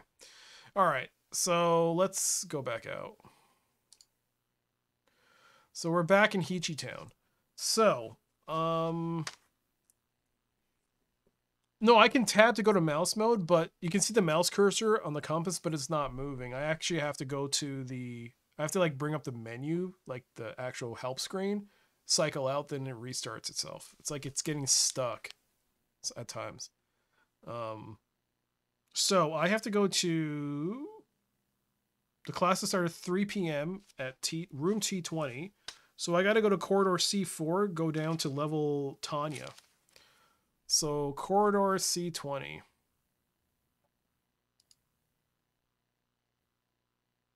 This is corridor D4. A drop shaft leading to the level Babe, uh, up to level Babe, or down to level Tanya on the right side of the passageway. The corridor ends in open entrance to the north and south. So, examine drop shaft. The drop shaft is used to go between levels in the low G environment of Gateway. The entryway you see here leads to a vertical shaft, like an ele- elevator shaft, with moving cables that transport people up or down to other levels of Gateway. All right, so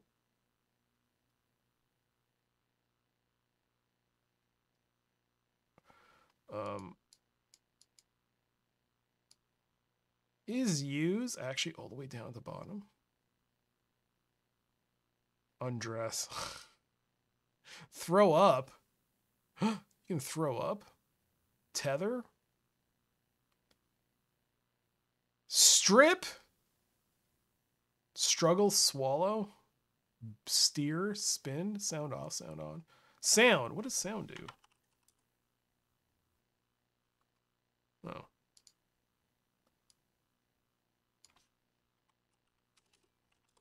It's not a toggle. Okay, good. Sob. You let out a few heaving sobs. Now don't you feel better?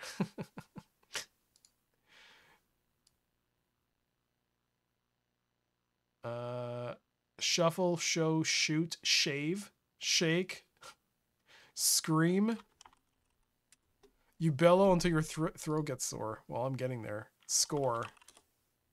You've achieved a score of 10 out of 1600 in 60 turns. You have an account balance of $1,500. Script on, script off.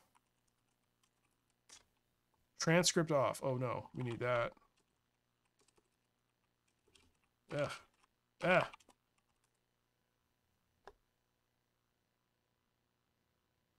Uh oh. What does that mean? Enter transcript file name? I don't know what that. uh oh. I don't know what that means. Um. Was it on by default?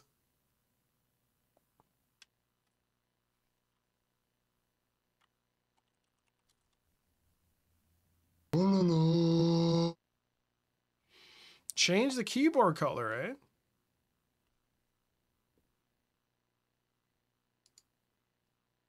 Well, we'll see. Maybe it won't be anything. Scare. Scare myself. You frighten yourself and you get all jittery. I'm sorry, it just seemed very static. Why are you apologizing? Uh, that was requested. It was someone requested a solid color. So what do you want then, Sweet Kagura? Is there anything you want? Or should I just put whatever? Something pretty. Ugh. All right. Um, we'll do that. There we go. Um, all right. So up, down. Oh, there's up, down. All right. So we go down. You step into the drop shaft and are whisked down to level Tanya. We're in quarter T6. A drop shaft leading up to level Dog is on the east side of the passageway. A corridor continues to the south and north. A door leads west. So, we have to go to T20. So, we have to go to the west. Here we are. This is one of the common access conference rooms that are used for construction classes, briefings, and other corporation business. Inside the room is a conference table, chairs, and a view screen. The table and chairs look like are look well used and are made of institution green thermoplastic. The rest of the room lacks any personality at all. The walls and ceiling are made of dull green Milico tiles. The only other feature is a vent in the ceiling over the conference table. A door leads east.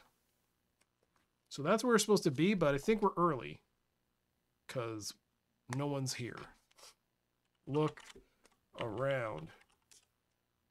Okay, so that wasted a turn. Um, oh, no, no, there's more. The only other feature is events. Oh, no, no, that's everything. Honestly, I can't tell if I'm. I can't tell if my character is sitting at a table looking at empty chairs or we're in this large room with these pillars that look like we're looking at a very fall. I guess we're looking at tables that are empty or chairs that are empty. Yes, we'll use institution green thermoplastic. Okay. Um, the only other look under table because you can look under the table. You crawl under the table and look around, banging your head in the process and seeing nothing of interest. Nice. um, we can go out. A drop shaft leading level dog. Okay, so we got time, which makes me think that maybe I should reload and try that VR stuff and see how that goes. There's nothing else to do. I could explore, but yeah, I guess I can explore. What's around here? If we go north from corridor T6, we should go the. We will end up in the armory. Looks like an armory. The corridor ends in a bulkhead to the north. An armored door to the west is guarded by a bored looking European space military policeman who is staring at nothing. The corridor continues to the south. You see a guard here. Examine the guard. The guard is dressed in the uniform of a European Space Navy MP, which is not surprising because he is a European Space Navy MP. He looks very bored. Talk to guard. Piss off! The MP snarls at you. Well, that's a fine howdy do. Yo, Nukem, how you doing? West? Why does he go west? Ooh. This is where the onboard military forces that is the music not on? Kind of this is where the onboard military forces that protect gateways store their weapons. Seal cases running the length of the room hide an arsenal of American, European, Brazilian, and Japanese laser and projectile weaponry. Red and yellow signs outline procedures for handling and storing guns, grenades, lasers, rocket launchers, and other lethal devices. Above a low storage cabinet, you see a vent cover. You see a storage cabinet here. On the storage cabinet, you see a gun. Hmm. A gun gun. A gun. There we go.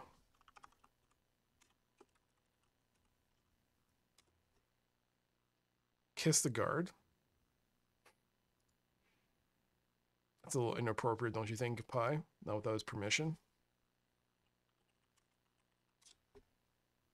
Kiss guard. That does it, mate. The previously bored MP takes a sudden interest in making sure that you assume a horizontal position on the deck plates as quickly as possible. He wrestles you down, putting an elbow into your ribs, a fist into your solar plexus, and a foot into your gut.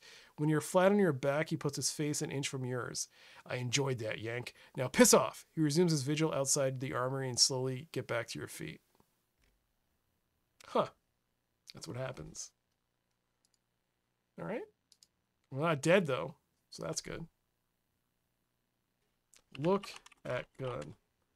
The gun is a sleek, lethal looking weapon made of gray metal and plastic. From your childhood days of endless Trivi watching, you recognize it as an H&K M- P-15 Mark II energy weapon, a standard European military sidearm made during the late 21st century.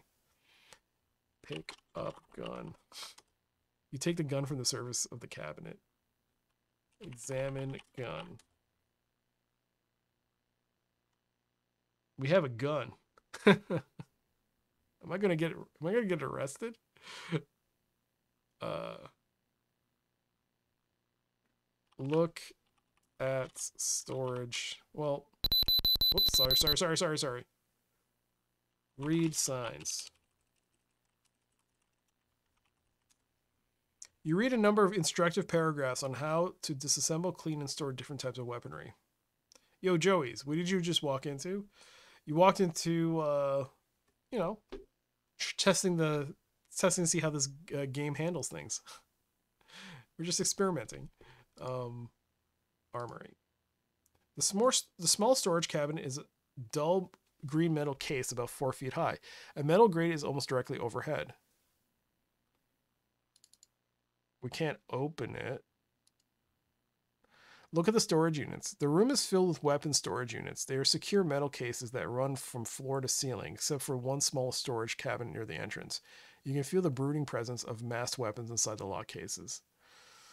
Um, getting the gun might be like a game over. I have a feeling that the gun is like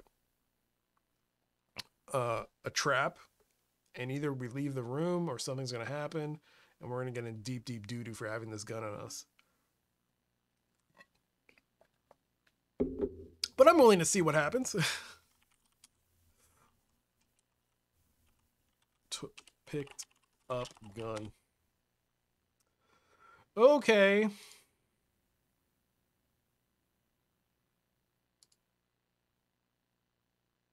You see, the guard says, sorry, only authorized personnel are allowed to remove weapons from the armory. He takes the gun and returns it to the armory.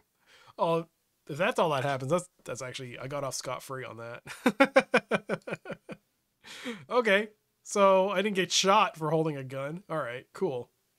Um, let's go south.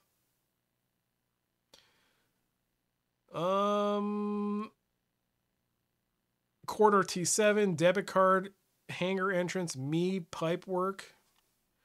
Examine pipe work. The corridor structure is made up of metal mesh. Uh, through the mesh, you can see clusters of pipes, ducts, and wires. These are the arteries for air, water, power, and data that make Gateway habitable for human beings. Where is the music, for God's sakes? Thank you. Why is it me? Room T52. Oops. Look or examine. Uh, oh, man. You see nothing special about room T52. About the room T52, alright. Examine T52 door. So that's a conference room as well. So let's go south. Whoa. The corridor opens up into a large room dominated by a thermoplastic counter and a closed gate. The gate bars access to the busy sh- ship hangars on level Tanya. Behind the gate to the south, you see the, the landing gear for one of the ships in the distance.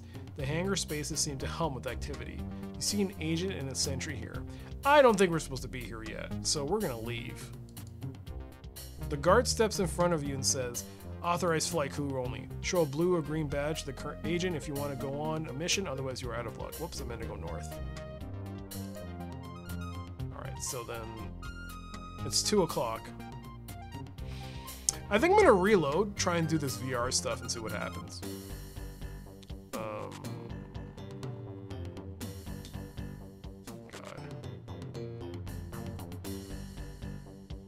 Is that two?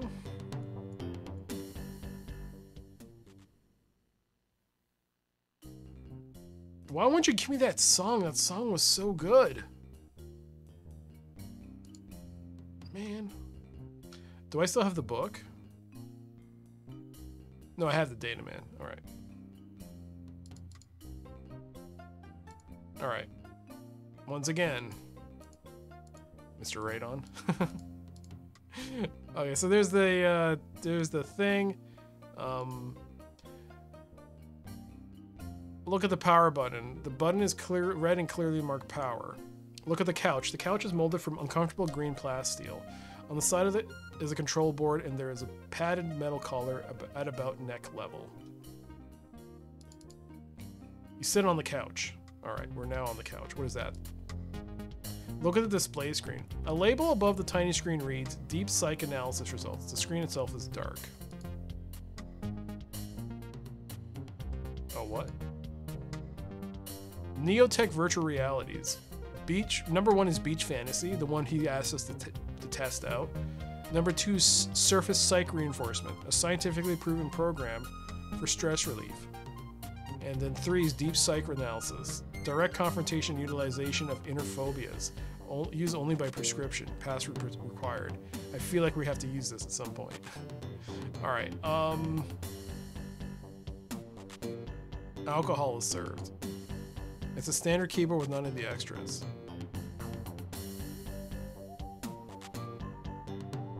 Examine membership pin? What's that? It's a gaudy golden pin with Pedroza Club engraved on it.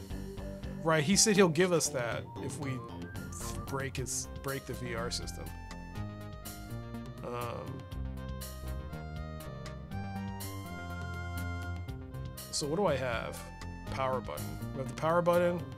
We have the VR manual. We have the uniform, technician, switch, examine switch.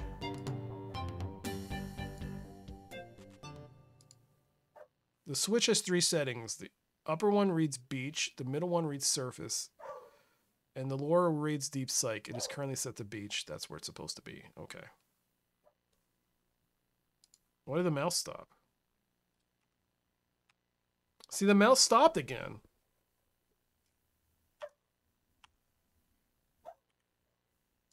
Yeah, now it's working. I have to like keep exiting out. I don't know why that's happening. If I if my if the Pentium was working, I would have installed it on there. Um all right, so press the switch.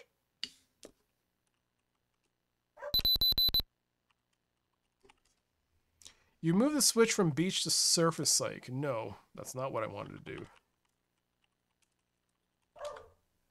Nope. Okay, we're back to beach. Press button. You press the button, the couch starts to hum with power, and the collar begins to glow with dark blue. After a second, however, the collar ceases to glow and the couch powers down. Alright, so I guess I have to equip the collar. Examine collar. The collar is set into the couch at approximately neck level. It opens and closes with a cl- spring clasp. Uh, wear collar. You snap open the collar's spring clasp and settle into it. The pads around your neck keep you from moving your head, and the collar itself seems a little tight. All in all, a very unpleasant experience. Dog in space. Maybe dog wants to go to space. yeah. That's my dog. More likely someone's eating something and she wants it. Um. Okay. Press button. You press the button. The couch stout starts to hum with power and the collar begins to glow with dark blue. Everything around you fades into to milky white. Then a picture begins to form. Grains of yellow fall from nowhere and spread out until they form a sandy beach. Blues appear in ragged streaks above, and then they melt together to become an azure sky. An ocean appears, and then an outdoor bar. You look down and discover you're wearing swimming trunks and lounging on a beach chair. A cheerful bartender pops into existence. He puts a drink on the bar and looks at you expectantly.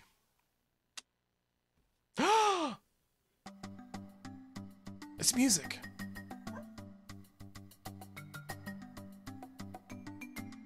Hello, friend. Welcome to the virtual beast. Beast? Welcome to the virtual beach. I'm Sam, your bartender, and I exist solely to serve you. This reality is intended for relaxation, so feel free to lounge around. And if you're a mood, if you're in a mood, partake of my specialty drink. I'll leave one here on the bar for you. He says to break it, so punch bartender. Getting out of the beach chair first, you leap for the bartender, but the last second he dodges out of the way. You look like you need a drink, buddy. Fight bartender. Ah, you can't fight him. Throw drink in bartender's face. There doesn't seem to be a bartender's face here. um, these are extremely good DOS graphics. Yeah. Listen to that MT32 going.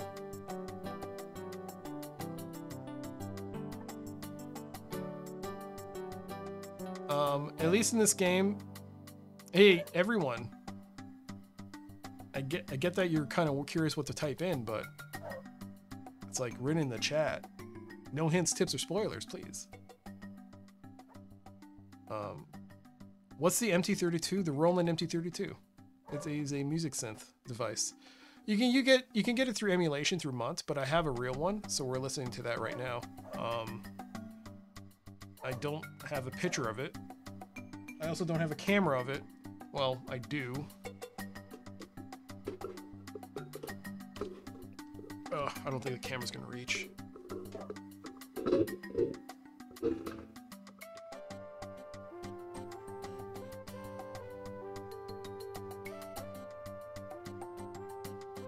There it is. It's the it's it's that one.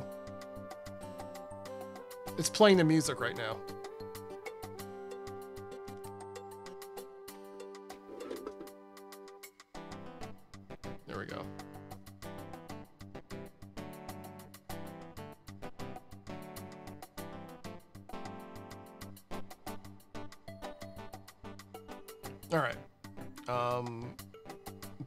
Try your, your examples. Kiss the bartender. Throw me throw it at the bartender. Throw drink at bartender. Taking the frosted glass. The bartender adroitly snatches the glass out of the air. The bartender thankfully accepts the proffered drink. Let me get that for you. Let me get that one for you, too. He waves the drink by the scanner, and another frosted glass fills up with foamy liquid. And another foamy frosted glass filled with foamy liquid appears on the bar. Heads up! He raises the glass in salute and downs in one swing. Man, that was great. Totally unreal. He thinks about thinks about his statement for a second and says with a smile, "Yeah, I guess that's about right." He throws the empty glass behind the bar. Uh,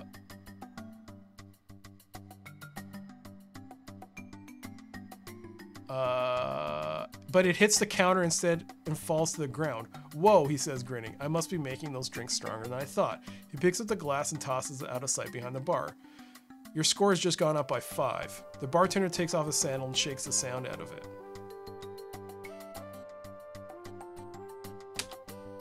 Oh, uh.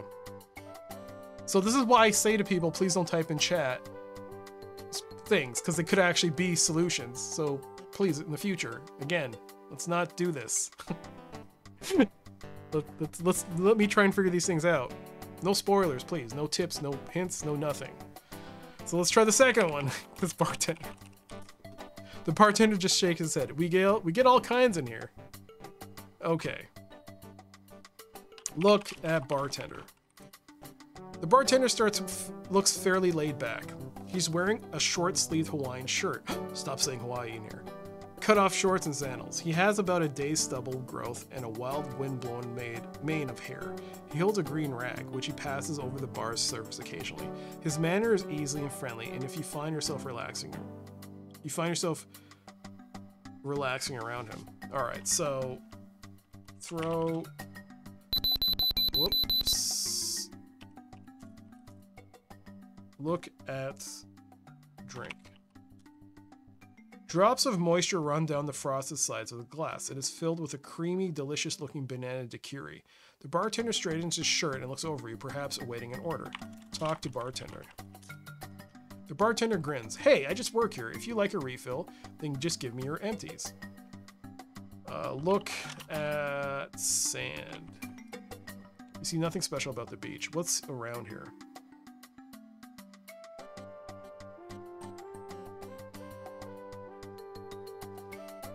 Undress.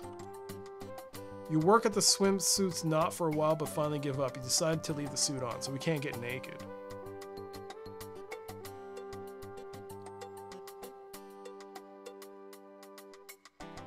Take off shirt.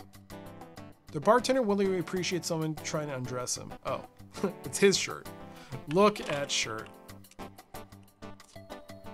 This the shirt is light and airy, but it has the loudest Hawaiian pattern you've ever seen. Suddenly you notice that your swimsuit has changed color.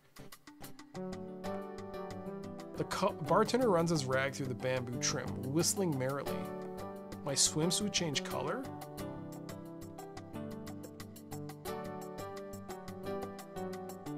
Is that important?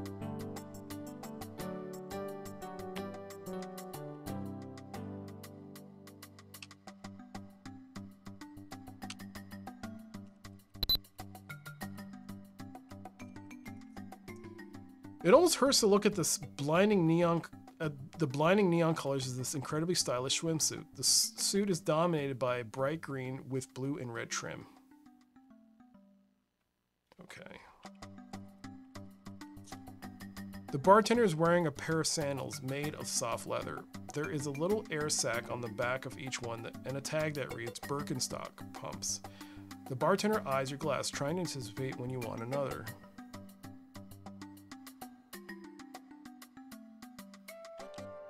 At starfish. You don't need to use starfish.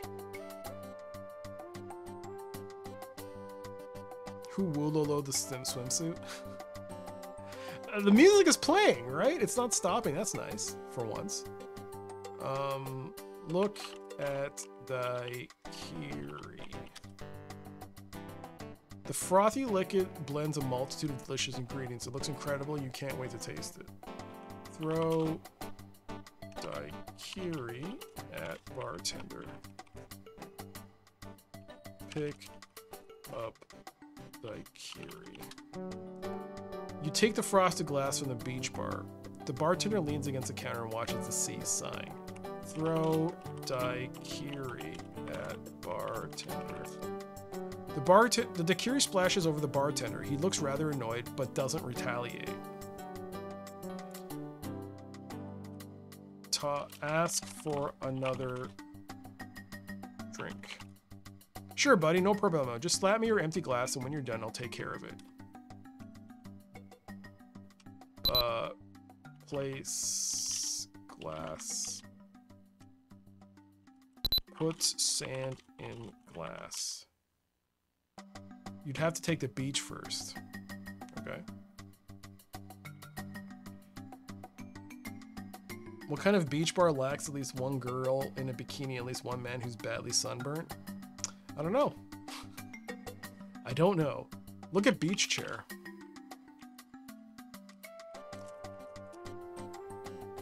Oh, the time changed. Contrary to the nature of beach chairs, this does not look like it would eat you if you attempt to set it up. In fact, it is already assembled and looks rather comfortable. The chair itself has a dull beige floor pattern. Uh, look at glass. Drops of moisture run down the frosted sides of the glass that is empty. Put glass on counter.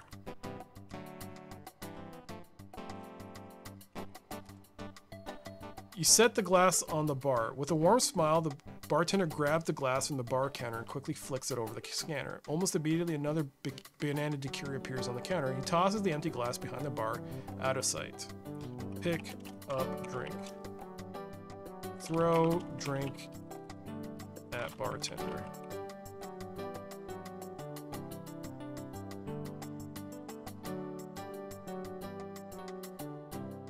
The bartender snatches it. He accepts the drink. Let me get that one for you. He throw he waves the drink by the scanner. Another frosted glass appears. Okay. It does get mighty hot working back here. You might enjoy. Might you're mighty nice to take an interest. He empties the the glass almost faster than the previous drink. The bartender attempts to drop the glass over his back and kick the glass behind the bar. He misses completely. oh, here it begins. um, and looks a little sheepish as he picks it up and carefully picks up the empty glass away. He takes off the sandal and shakes the sand out of it. Can I get soft lock by being time gated? Also, Doc spends hours throwing drinks at bartenders. Well, I still have an hour, so I am being aware of time. But I'm trying to break this thing. Pick up glass. Uh, throw glass at bartender.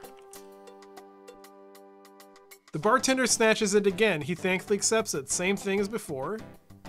I was hoping you'd offer. He sucks down the drink like a man dying of thirst. Hmm, I make him good, don't I? I mean, it. I mean, you know. His gaze starts to get unfocused as he pushes the empty glass slowly behind the bar, very carefully placing it in the correct spot.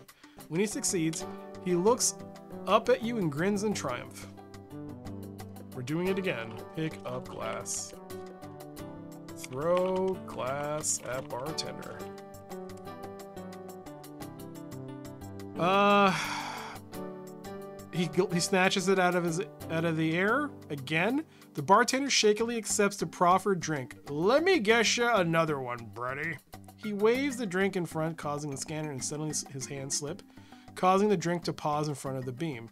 Immediately, three drinks appear on the bar counter. Whoopsie! Now I've done it.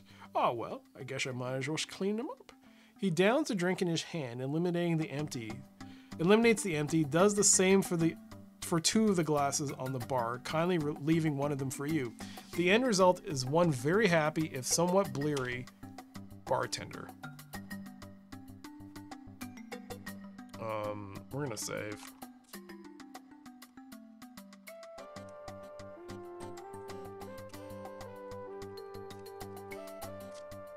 So I'm wondering if I can punch him now. Oh god, erase the. You tap him in the head and he looks dumbfounded. You try it again, he delivers the same expression. You can do this for hours. The bartender attempts to straighten his shirt. He ends up with two sides that will not equal out no matter how hard he tries. On the fifth pull, he just gives up. Punch. What do you mean? What? I didn't tap him in the head. Punch him. Punch the bartender. Pick up glass. Throw glass at bartender. Oh!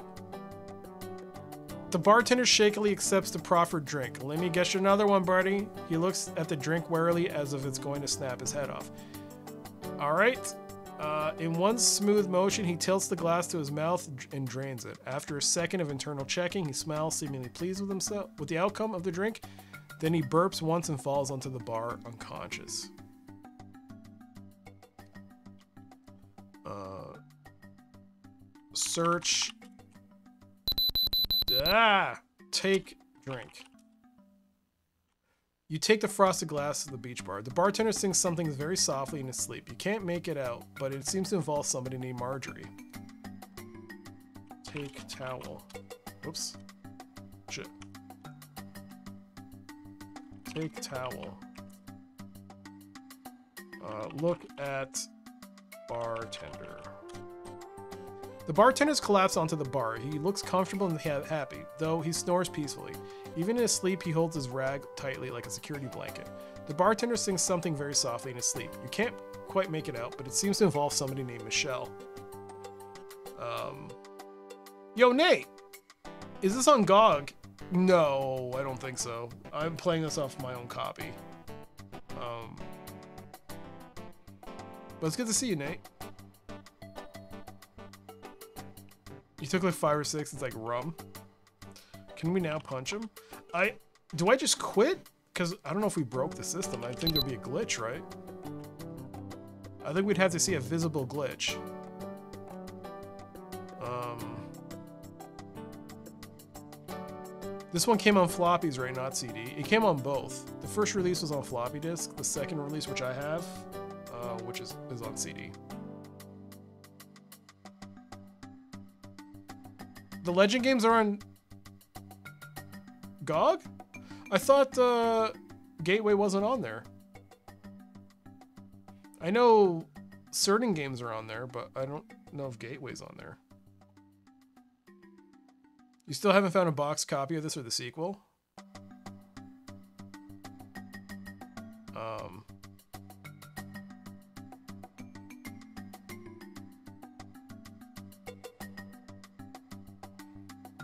yeah, I have a copy of both now. Uh, I had a copy of. Um... Oh, it's right there. There's a re-release. It's the second release. It's CD release. Um, and uh, I've I recently picked up Homeworld or Gateway 2. All right. Um, undress bartender. The bartender really wouldn't appreciate someone trying to undress him. Search bartender.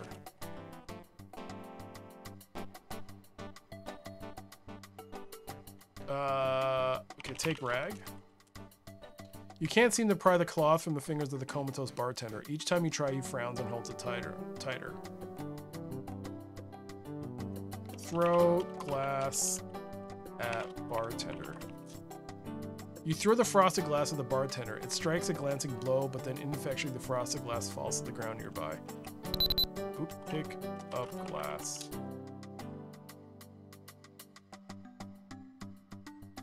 Uh,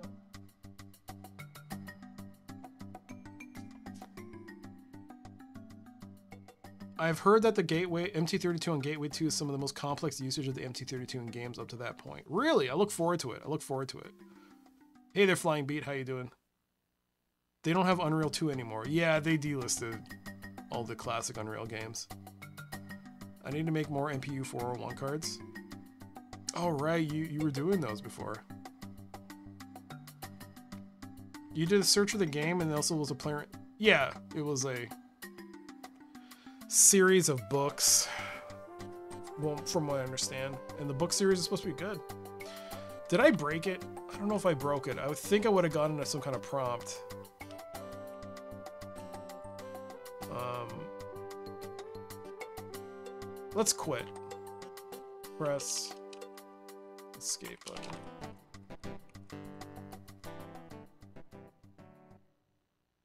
Uh, you touch the red button. Your scene imme- the scene immediately starts to disintegrate before your eyes. The hues and colors of the virtual world swirl in a soft cloud and drift away. Soon you're back in the real world, but after images of the alternate reality linger in the back of your mind. The tech glances over to you from his alcove. Have a nice trip? So I guess it didn't work. I guess I had to do more. Technician ignores. Obviously, reading the newsletter is more important to him than anything you could be talking about. Take pin. Take off collar. Oops. Whoops. I keep using F3 as a on instinct. Uh, take off collar. Take pin. Okay, so we didn't do it. So I have to reload this because I wasted so much time.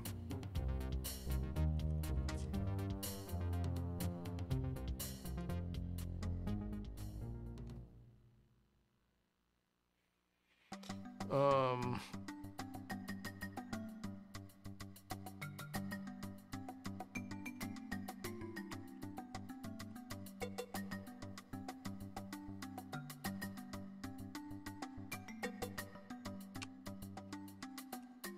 Look at ocean. The ocean is somewhat fuzzy and out of focus. You could swear that it actually changes shades of blue in cycles, or sometimes even shifts to a purple or red.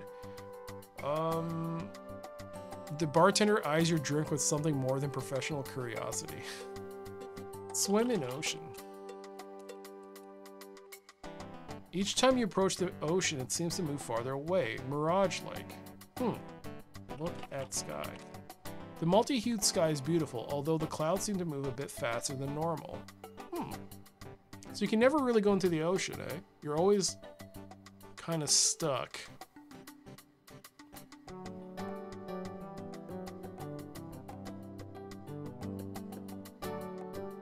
Beach chair. Look under beach chair. What are you looking for, Dust? Kick beach chair. You bang on the beach chair, but it just sits there.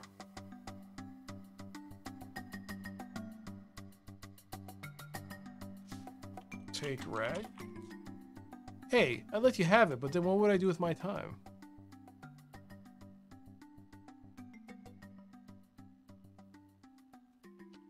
Hit bartender. You tap him in the head and he looks dumbfounded. You try it again, he delivers the same expression. You could do this for hours. um,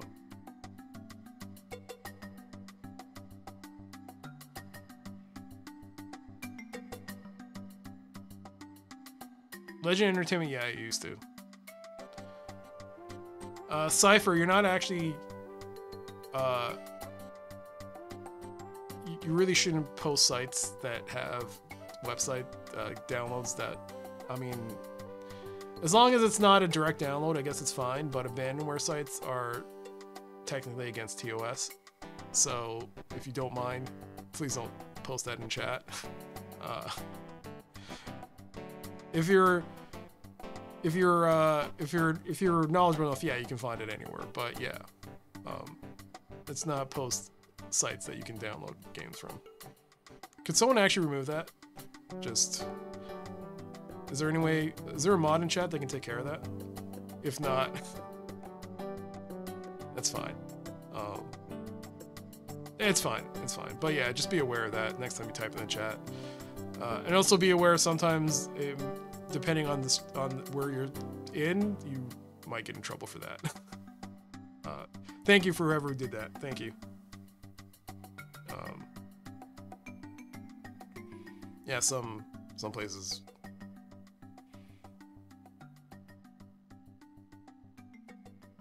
Um.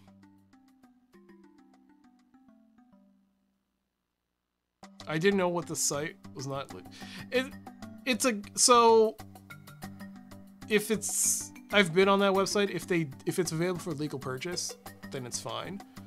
Uh, but if it's not, they'll have a link. But in the end, it is a gray area. It's a very gray area, and uh, I mean, yes, they're no one's really upholding their trademark or thing, but it's.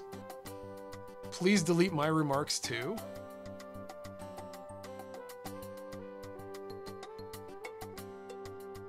Why? What did you write?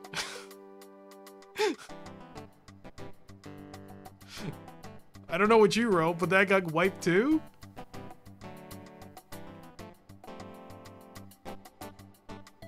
Um. Alright, it's fine. I mean, I don't know what you said, Suikagura, but. It, yeah. I mean, it's not a problem. Cypher, Suikagura, it's not a problem. You can discuss it. And in fact, you didn't post a link, uh, Cypher, so I guess it's okay, but in general, yeah. Um, just to play it safe. Um, let's, let's not tempt fate. uh,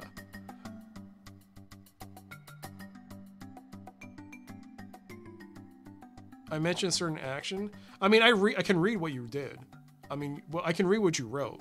I mean, I don't think that's necessary. That's not a whatever. You can say you you downloaded it. I mean, but I mean, just don't post like actual links. I mean, even Cypher didn't do that. So, um, let this be a lesson to us all for getting what you asked for. You yes, that's true. You did ask for it. you got all your comments deleted. So there you go. Um,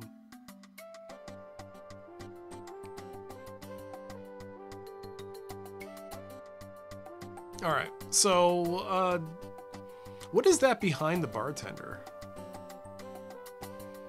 Scanner? Scanner. The scanner is a platform that reaches out from behind the bar. Two arms bend up from opposite sides of the scanner like miniature goalposts, and a beam of light passes between them. The bartender sees you looking at the scanner over and says, It makes my job fairly simple, but only trained professionals can handle it. It's very sensitive. Oh, what if I put the drink in the scanner?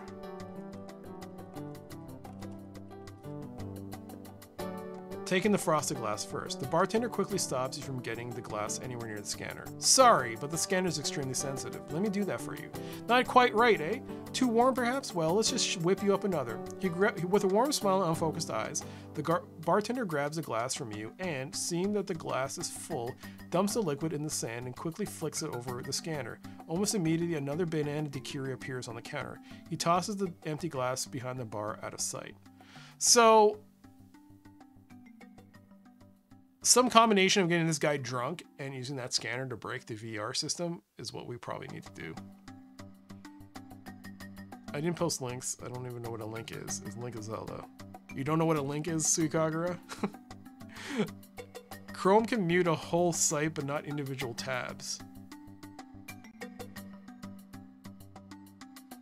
What do you mean, Nukem? You can mute. You can mute a tab in Chrome. Can't you?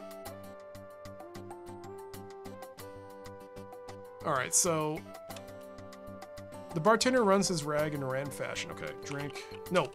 Uh, throw drink at bartender. Oops.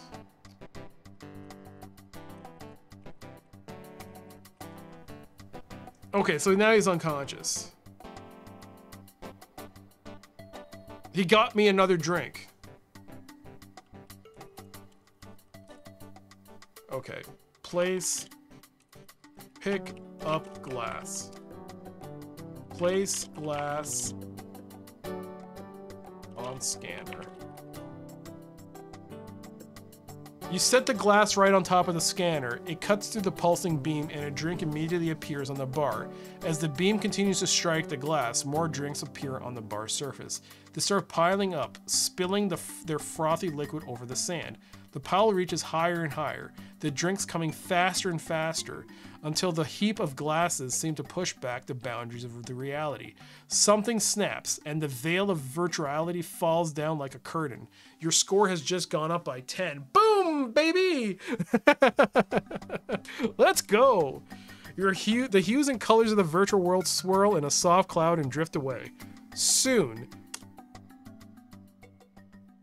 soon, soon, you are back in the real world, but after images of the alternate reality linger in the back of your mind, the tech looks over you with, a, with renewed respect. He flips over the promised golden pin, which lands nearby. Not bad for a rookie. You just might have some VR hacking potential. So we got it. Look at pin. It's a gaudy golden pin with the Pendroza Club engraved upon it. Take pin. You can't do that while take off collar. Whoops. You unsnap the latch and slip out of the collar. Pick up pin. Getting off the couch first, your score has just gone up by 10. You take the membership pin. Pew pew pew pew pew pew pew. Good QA testing? Yes. And with just over half an hour left until our class starts. Cool. Um status. We have a score of 35 out of 1600 and 105 turns. You have an account balance of $1,500. All right. 06. Got.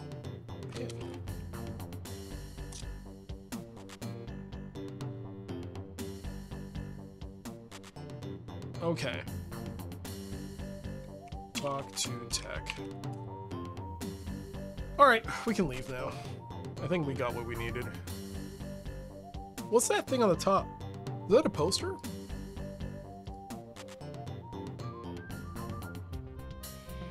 It's a flashy Neotech sales calendar and a triumph of targeted marketing. The picture for May shows a scantily clad woman fawning over someone who looks remarkably like a VR tech.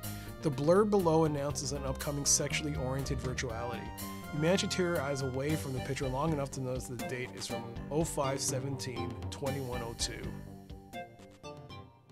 Isn't that today's date?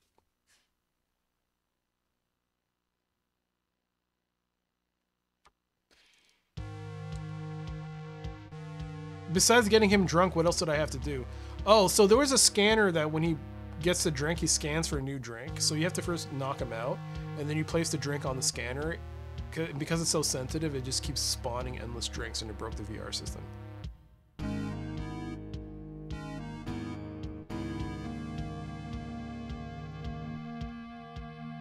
Yo, this is new music.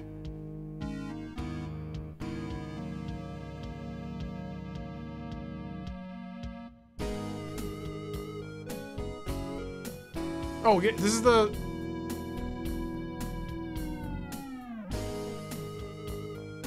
Yo, the music is really good.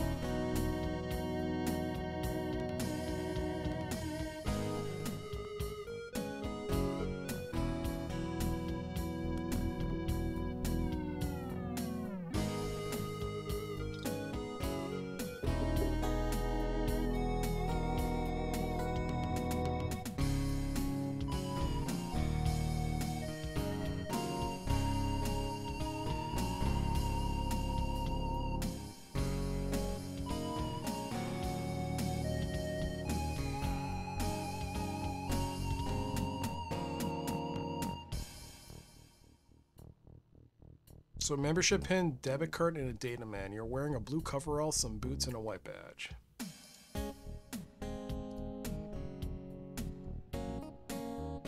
All right, we're back down the lobby. What is in?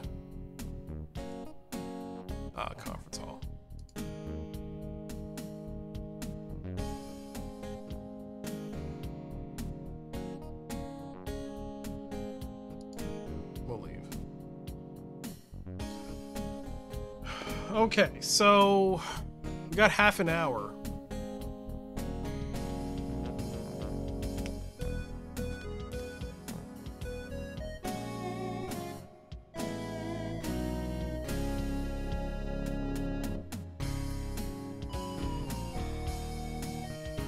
South.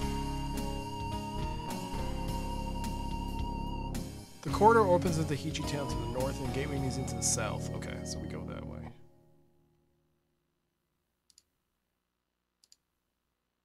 So this is level dog. This will lead us down to the corridor to the south. Um, so we go down. Alright, we're now in level Tanya. So.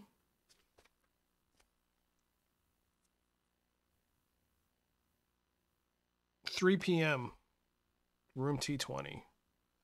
We have to go to the west.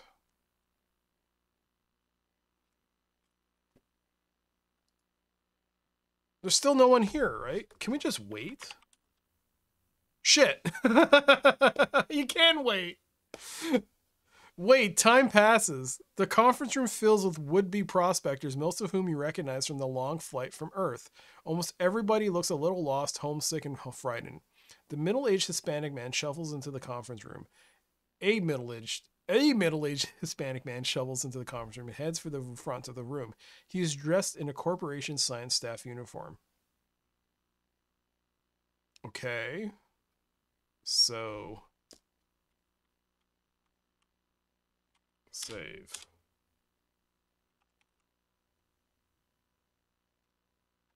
Uh office. No. Uh class. I should probably put the time down as well. Listen to lecture. Listen. You don't hear anything very interesting right now. A few stragglers run down the corridor and rush into the conference room. Good evening, everyone. Welcome to the Heechee ship handling course. My name is Hector Gomez. I work for the Corporation Science section, and I am your instructor. The Dataman personal information systems that were issued by your proctors contain almost all of the material that we will cover today. When you actually sign up for a mission, you will be able to use your Dataman to look up reference information. The good news is that these Heechee ships are not hard to operate. In fact, they are pretty much idiot proof, much easier than driving a car. They steer themselves and require no maintenance. I will now walk you through the information contained in your dataman about the corporation, the ships, and a typical mission profile.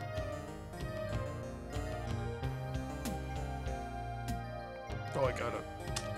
Hector talks about the corporation, the ships, and the guidance systems. Your eyes begin to glaze over as his voice rolls over you, a seemingly en- unending monotone that takes you back to your college days.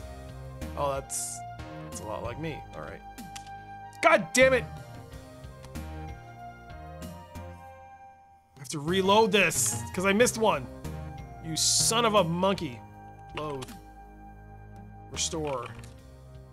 Class. You bought this on eBay. Yo! nice.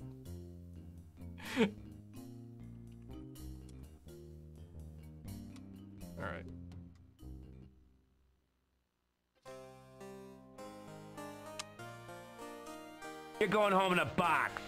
You pathetic descendant of monkeys. All right, there you go. Finally, Hector concludes the the rote repetition of material from the Dataman. You shake your head, yawn, and return your attention to the front of the room. Hector is talking. I will now issue flight crew badges. Don't let these out of your sight. These badges are for much more than just access control. Each, on each badge is a black strip that has co- computer coded information on it. This coded information is actually a list of six courses course codes that the corporation has assigned to you. While you are free to enter any course code that strikes your fancy, I think you'll be better off using the ones that are assigned to you. Why? Because you can avoid the mistakes of prospectors that have gone before you. Course codes have resulted in known fatalities, have been excluded from the base uh, used to select those that were assigned to you. Your odds are better with the corporation codes, new fish, and that is all that counts. Okay. To sign up for a mission, just go down to the hangar entrance on level Tanya with your blue badge. The agent will sign you up and escort you to a prep ship and then help you enter the course codes that have been assigned to you in, on into the onboard computer. Now, give me your white badges and I'll give you blue badges. You're now flight crew. Hector collects white badges and hands out blue badges. You clip on your new flight crew badge. And my score went up by 10. All right, cool. Uh, MS DOS. I, I feel like was Gateway ported to other systems? I don't remember. It might have been on Commodore. I don't know. Uh, but yeah.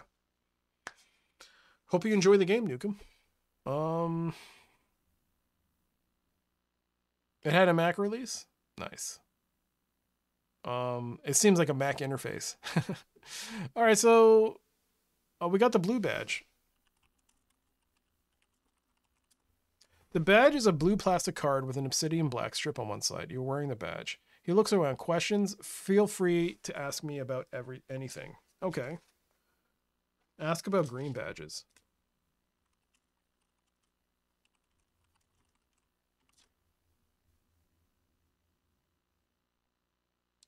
Please specify. Oh, ask Hector about green badges. I can't help you there. What do I want to ask him?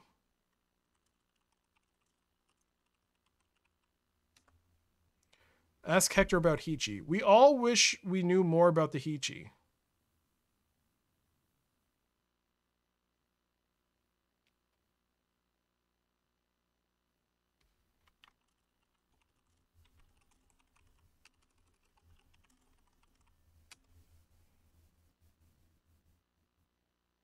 Oh, maybe I should put green badge instead of badges. Okay, let's restore that then. restore.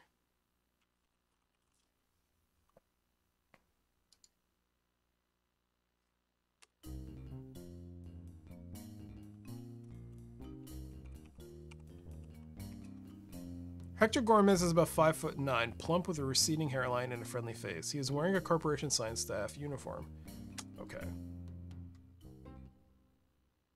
Mac games are all about those scroll bars? Yeah. I wonder if Tony has this game. He probably does. He has like all the box games almost. Um, ask Hector about Blue Badge. Ask Hector ab- about Green Badge. You'll have to talk to someone else about that. That information is sensitive.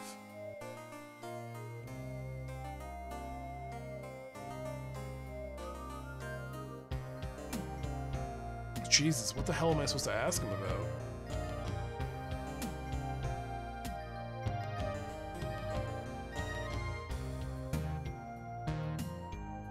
Ask Hector about Orion program.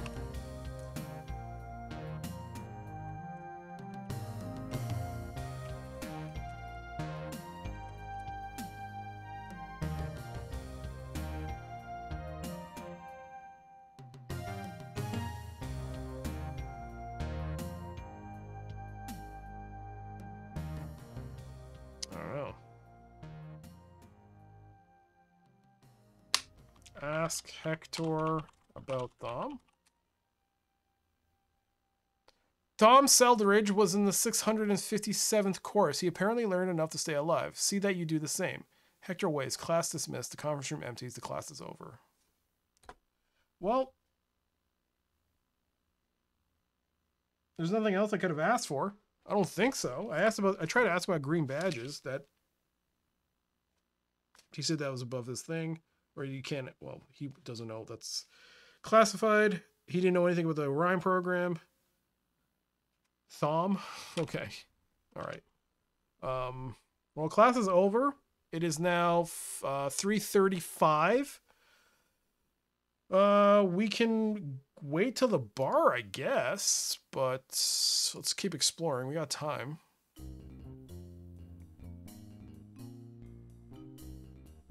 Um, don't want to go check out the museum.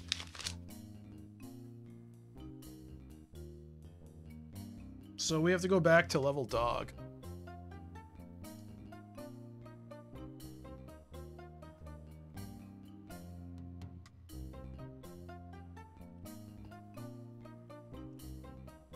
Uh, exploring before bar.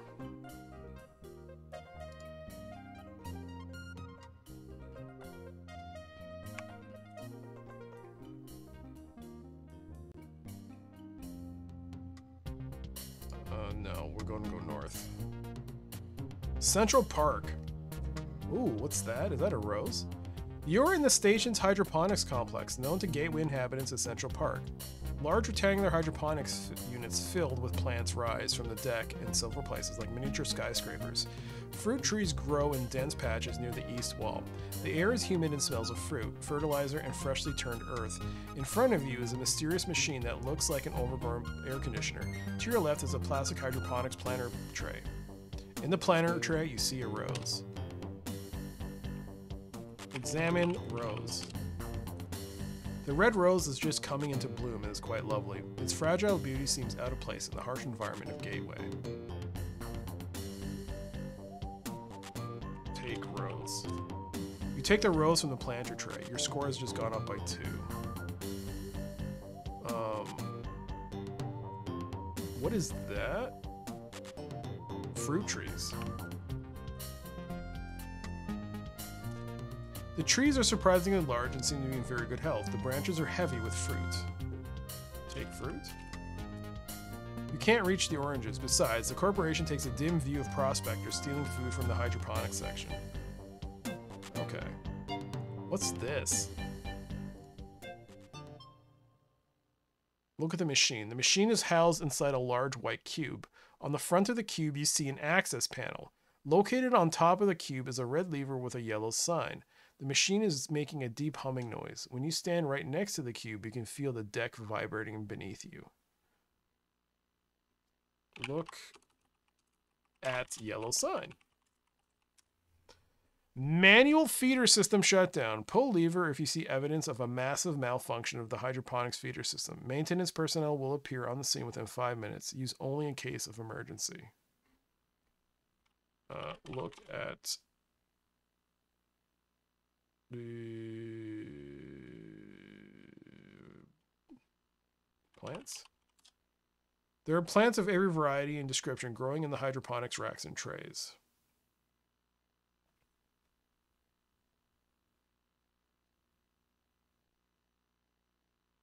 Debit card? No, debit card. Machine, membership pin, plants, racks. Racks? Central Park is filled with hydroponics racks and trays. The racks are large boxy units and with row upon row of shelves filled with plants, light grow lights, sprinklers, and nutrient drip feeders. All right, so I think I've looked at everything here. Look at access panel. The access panel for the control box is a grate about two feet tall and four feet wide. The panel is hinged at the top and has a latch with a distinctive four leaf clover shaped pattern. The panel is latched shut. Mm, you will you thoroughly enjoy Text Adventures? Yeah, yeah, yeah. It seems good so far. I looked this game up a couple of months ago. I was surprised at how long the speedrun takes for this game. 30 minutes, 20 minutes, 10 minutes, 8 minutes, 8 minutes. It's 8 minutes, isn't it? The speedrun is always a surprising number no matter which game. Is it 8 minutes? Um I'm a little off. Two hours in. uh, Salmon Central Park. You are in the station's hydroponics complex, known to Gateway inhabitants as Central Park. Large rectangular hydroponics units filled with plants rise from the deck in silver places, like in miniature sky, like miniature skyscrapers. Oh, I thought these were buildings. Oh my God, those are plants. Few trees, fruit trees grow in dense patches near the east wall. The air is humid and smells of fruit, fertilizer, and freshly turned earth. In front of you is a mysterious machine that looks like an overgrown air conditioner. To your left is a plastic hydroponics planter tray. I thought these were buildings. These are just, oh my God. Oh, yo, can you actually see my mouse when it's like, oh, you can, you can. Yeah, I didn't, re- I didn't notice the plant life there. Oh, okay, cool. I thought these were just buildings. Um, if you finish, that's my personal best. That's true. That's very true. That's very true. Um, no worries, Mister Doc. Doc, I'm always off. Uh, all right. Out. I just means leave. Okay. So let's go south. Let's go back here. All right. So I have the rose. What happens if we give the rose to her?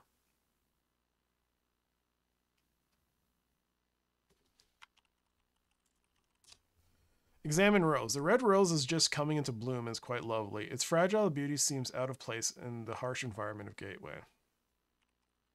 Examine dead rose. The dead rose is wilted and black. It is sitting in a vase. Talk to receptionist. Hmm. Give rose to save.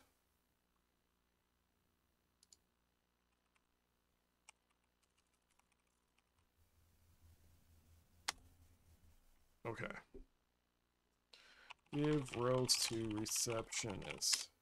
The receptionist disposes of the old rose and puts uh, the new one in the vase. She gives you a big smile. Thanks, you're sweet, but I'm not going out with you, if that was what you were thinking. Why don't you take this magazine? It'll keep you company in towel space. She hands you the magazine. Your score just gone up by five. Score! That's all I wanted was score. Nice. Um, relationship. Phew. magazine, please. Read magazine. You flip to the cover story and begin reading. One year before famed prospector Rolf Becker embarked on his ill fated final mission, he married uh, Adriana Lafour, daughter of corporation VP Edwin Lafour. The marriage was in trouble within six months when Adriana, Adriana announced that she was bored with Rolf. Since Becker's disappearance, however, Adriana has gone through a profound change. I had a lot of growing up to do before Rolf left, said Adriana to IP. I realize now what I had in him. Adriana continues to live on Gateway, and her offer of $1 million for information or action leading to Becker's safe return lead still stands. The article continues for several more pages, but nothing but seems to contain nothing else of interest. Okay, Adriana LaFour.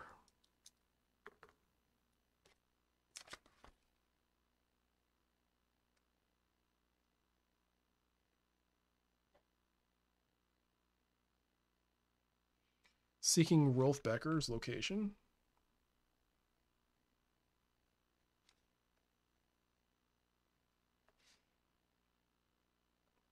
One million dollar reward. Maybe we can find Becker. Is this a side quest or main quest? Or are they going to merge into the stereo quest? I think our main quest is strike rich or die trying.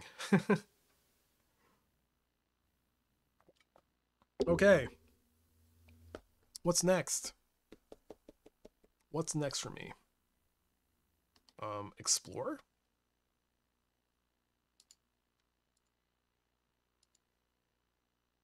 Um, east is the bar, which is where we need to be at what time? Eight o'clock. We have four hours, just over. Mm.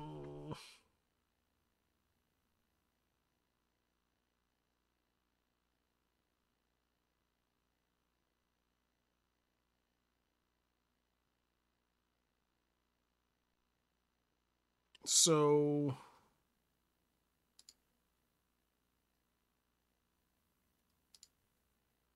the Gateway Museum. The Gateway Museum contains examples of alien artifacts that prospectors have discovered in the years since the exploration program was started. The exhibits consist of things that Heechee hands, tentacles, claws, have made and touched that come from an unimaginable places incredibly far away. You notice a black pedestal and a chrome display stand that are prominently situated in the middle of the room. On the stand, you see a Heechee device. On the pedestal, you see a tuning fork. Uh, I'm in and out. How did we go from the beach in Hawaii to an alien spaceship? Because we started, we were, we've always been on the alien. We've been on a alien base, which is now home. People use it as a, they call it gateways. Humanity found it abandoned. Um, and the the the beach is VR. the beach is VR. We've always been on the station. All right. So the museum. So on the stand, you see a Heechee device. You know, one thing I would have liked is if this sorted. I know it's alphabetical, I think, but it would have been nice if. I know you can look at inventory, but if these are all the objects that you can like interact with, including your inventory, it would have been nice if your inventory was listed first with like a dotted line, kind of like here, with like environmental stuff that you could interact with, like bef- after that. So kind of like how they separate these two with a dotted line, like stuff in your in- inventory you can interact with and stuff down there. That would have been good. That would have been a nice little change. Um, that being said, uh, examine all. Why examine? Oh, sorry, erase. Examine all. Yes. You can't use more than one direct object with the verb examine. Really? Then why'd you offer it? Take all.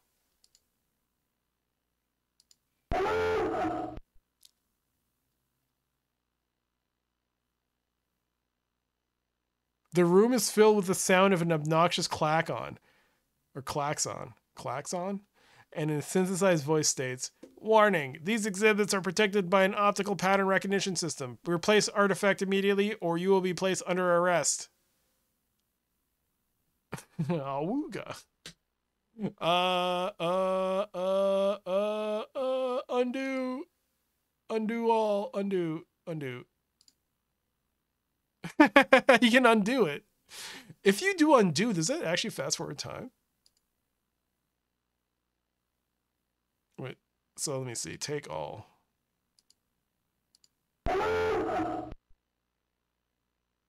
Undo all. It rewound time. Wow. That makes sense, I guess, but still, that's pretty awesome. you can undo stuff. All right. Um, a black pedestal and a chrome display. So we can take both of these items. Uh, at pedestal. The black obsidian pedestal is about four feet high. It has a smooth upper surface and a silver plaque affixed to one side. On the display stand, you see a Heechee artifact that looks like a tuning fork. Examine tuning fork. The artifact looks like a conventional tuning fork, about 10 inches long with a square base and two long tines. It is made of silver blue Heechee metal. Look. Examine. Heechee device.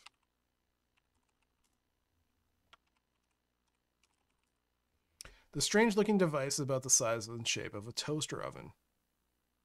An opening on one side reveals mirrored interior surfaces. On top of the device is a circular depression about 10 centimeters across.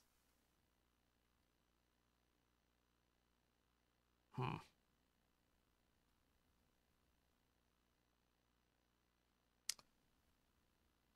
Um, there's no. Oh, we can go north. Is that the? Oh, that's the exit, right? Yeah.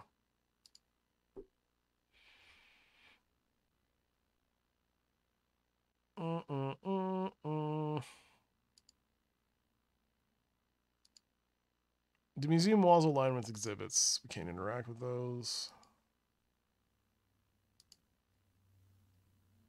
And then what? Double click to pick up. put it back. Put it back. Put it back. Uh, undo. If you do undo all, so it's the last move. Okay.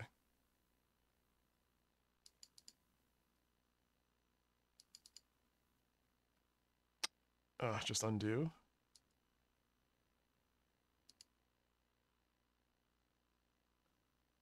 Can you undo? Can you just keep undoing?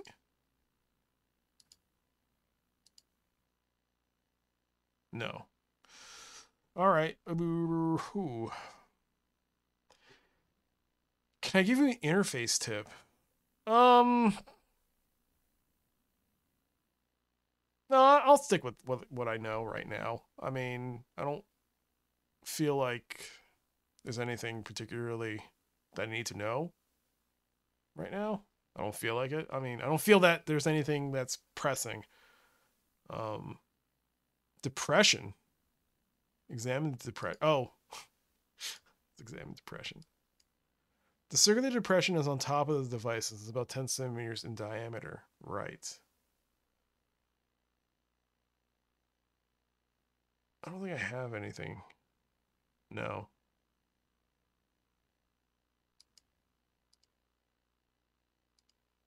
I wish there was music. That's the only thing. Look at the walkway. A walkway connects the second story of the corporation office structure to the Blue Hell bar. Behind the large round windows, you can see the silhouettes of people.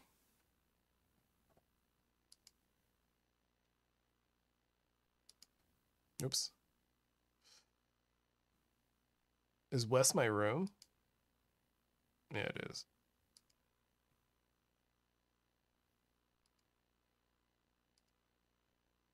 We've been there. Let's go up to Tanya. Oh no. Babe? Babe. East. East. Whoa. Quarter B7. The corridor comes to a dead end before you, with the familiar human construction giving way to the strange, almost melted look of Heechee metal. The Heechee metals emits a blue, a soft blue glow. I guess we can't touch metal. The metal feels warm and tingly to the touch. Can we could touch it, right? Could we touch the um the in the museum the stuff? I wonder I could roll it back and see. Corridor B4. The corridor comes to a dead end before you, with the familiar human construction giving way to the strange, almost melted look of glowing blue Heechee metal. The Heechee metal wall is uniform in appearance. You see a crate here. Examine crate. An empty supply crate sits in the middle of the corridor. It is square, about two meters wide, and a little over a meter tall, made of aluminum and tough hexar plastic. One side of the crate is open. Stamped on another side of the crate is the following Machine parts embarked 1228 2101, shipment AX5062.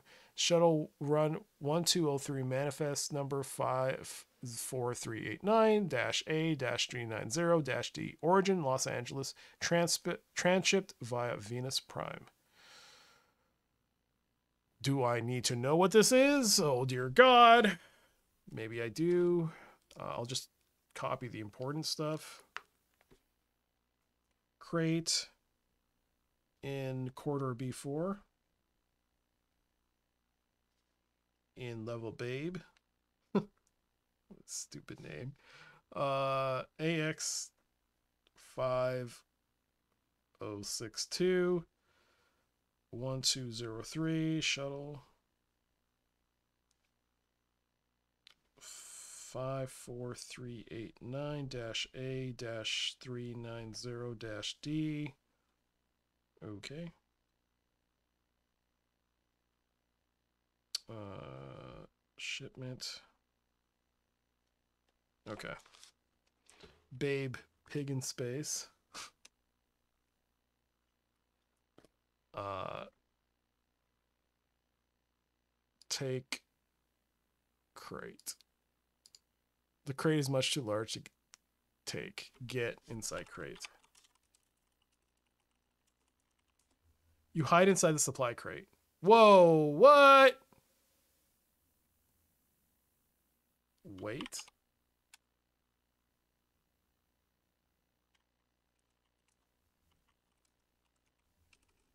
Open. Look. Get. Open crate. Oh, close crate.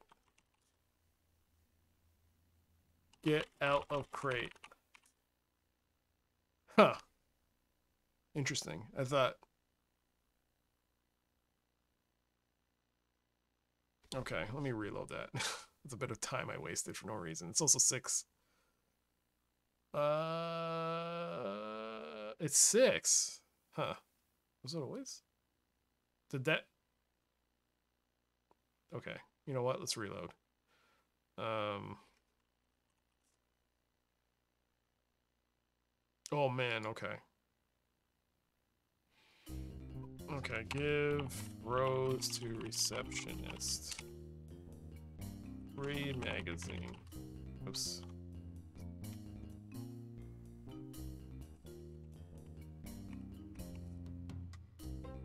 Okay, so we got we gave the rose.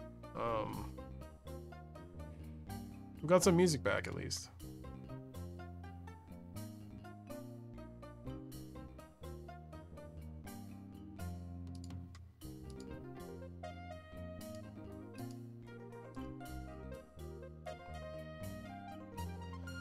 Has the music cut out in other locations like the bar or the beach?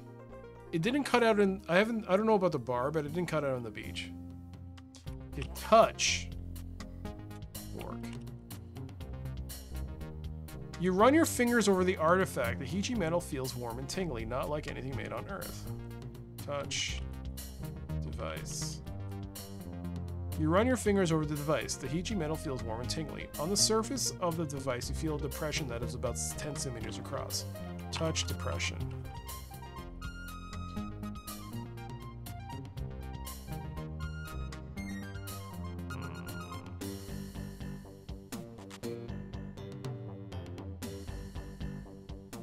Awesome. You had no idea there was a game based on Frederik work. The only similar game I can think of is Rama from Arthur C. Clarke. Hmm. So Frederik Pohl, I guess, is a good author, good sci-fi. Something that you recommend. You might be might be limited to just this track. I think uh, Bloody Cactus was talking about it earlier. He says Legend games seem to be known for the music cutting out. I mean, I, I'll be I'll love to hear constant songs because the music is good.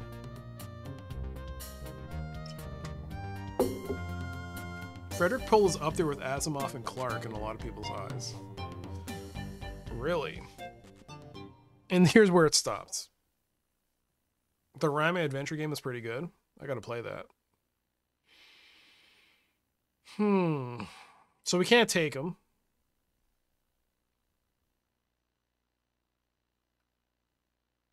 Or can we?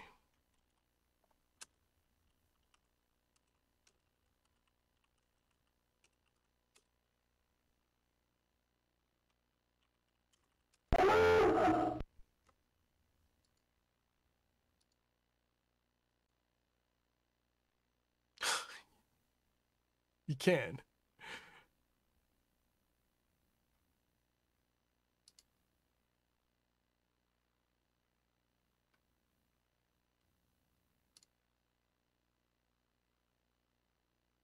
Huh.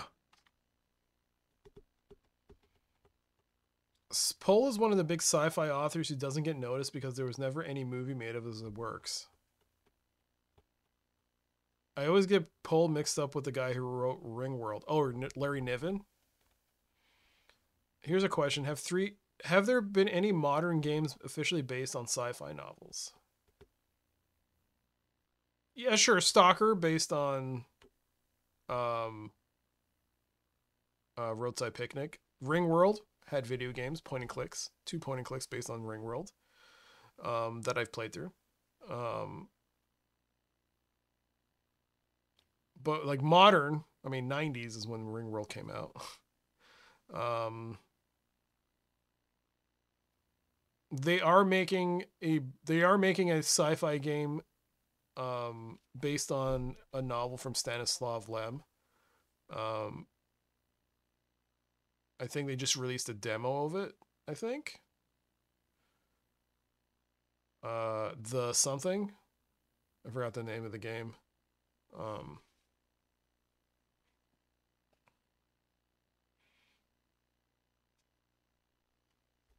the starts with an I, maybe? Um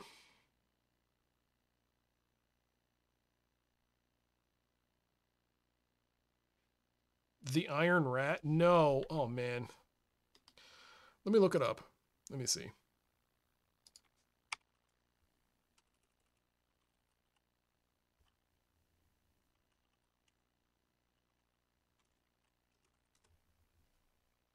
The Invincible. They're making a game based on The Invincible.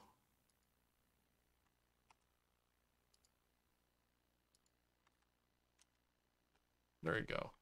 There's a link to the Steam page. I think they put out a demo. I think content creators can request a key for a demo. I should contact them. I'm a content creator. It's made by it's being published by 11-bit studios who did uh, this War of Mine and Frostpunk. But it's being developed by someone else. Um,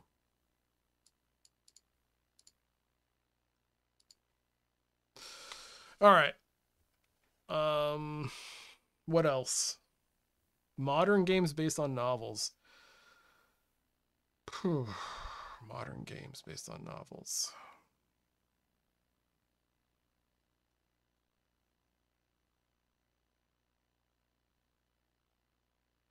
Does Dune count? they're making a modern games. They're they're still making games based on Dune, so I guess. Um,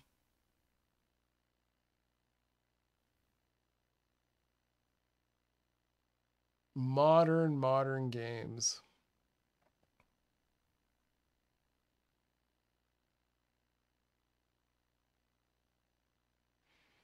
Yo, brother Moody, good to see you.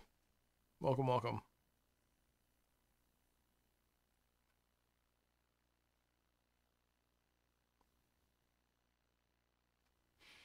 Hmm. Anyways, I just stole items from the museum and I'm probably to get in trouble.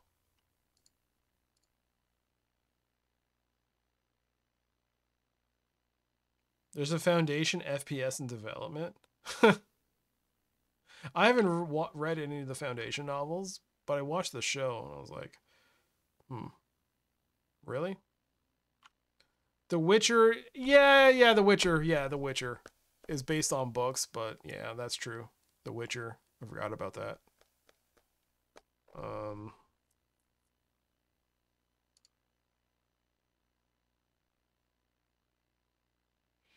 A military policeman arrives and points his weapon at you. Freeze, you're under arrest. The MP returns the missing items and takes you in for processing. He lectures you on the vice of theft, informs you that you've been charged a $1,000 fine, and states that another offense may result in your expulsion from Gateway. He then returns you to your quarters.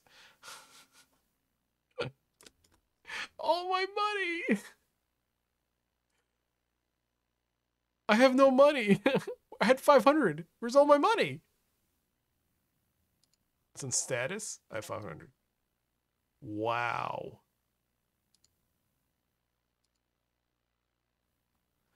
Can we do it again if we could get a game over? Yeah, I saved. So let's just steal it.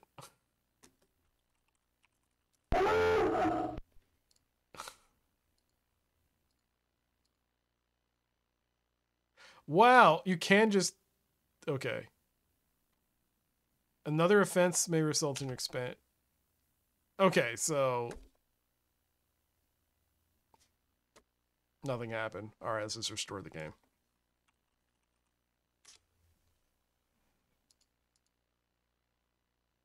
Okay.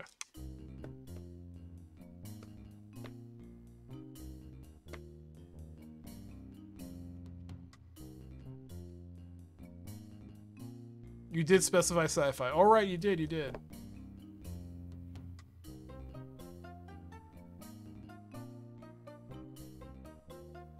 Cyberpunk 2077 is based on a tabletop RPG, which is a book. So the book came out first, then the tabletop RPG? Telltale's doing an expanse game. They are. They are.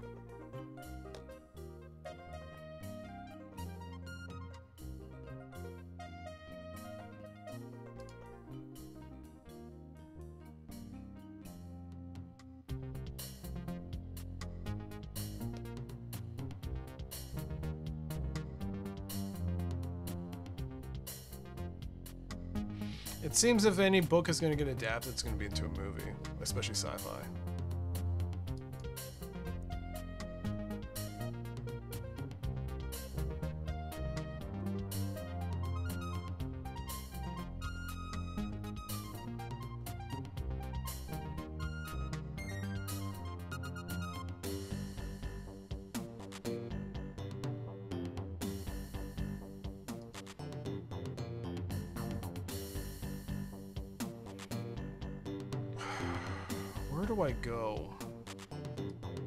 Just wait?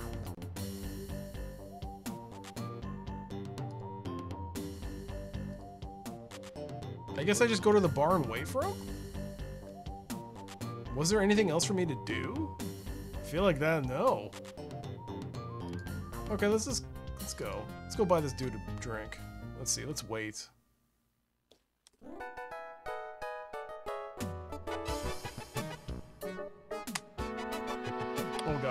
Wait until 20. You can wait until 2000. Okay. Yo, he said you'd be here.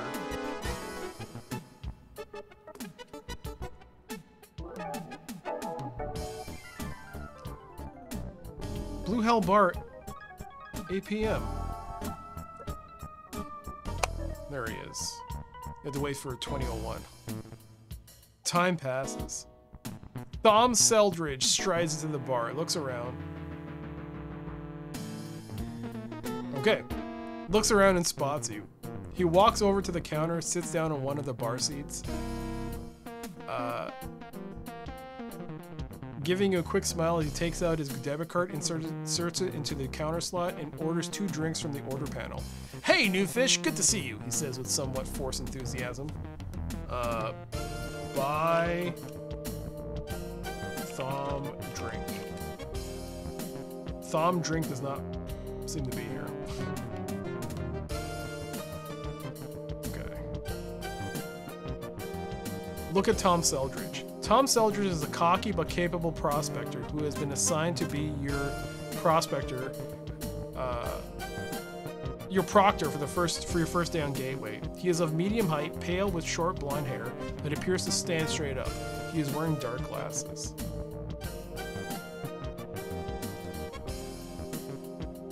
Look at the order panel. Drinks ordered on the way, flashes in red letters. The famous Gateway Robotics bartender trundles over to where you're standing.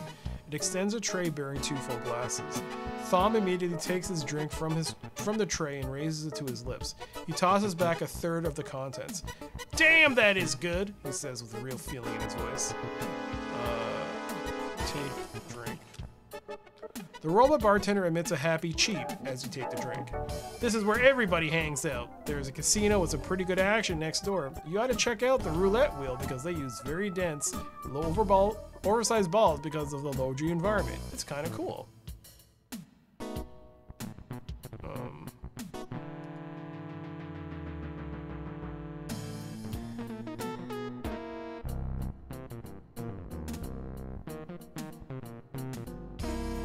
order served. Look at the order panel.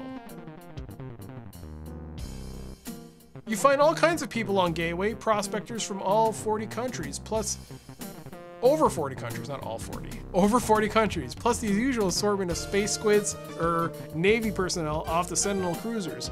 Most folks are American, European, Japanese, and Brazilian, as you expect with those countries owning the corporation, eh? The robotic bartender trundles away. Talk to Thom.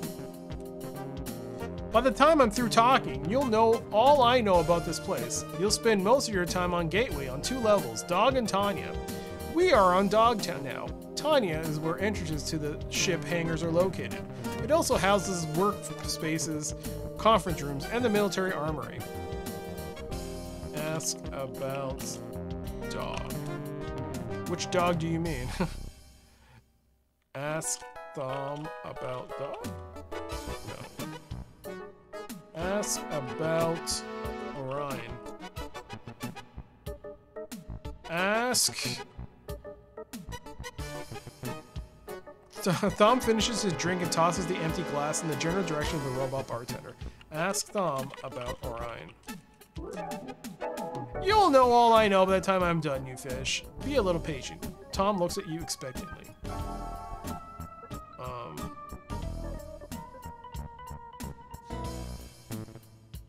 Counter slot. Examine? Can I just do that? Doesn't it strike you that talking to a counter slot is just a little strange? No, examine. Counter slot.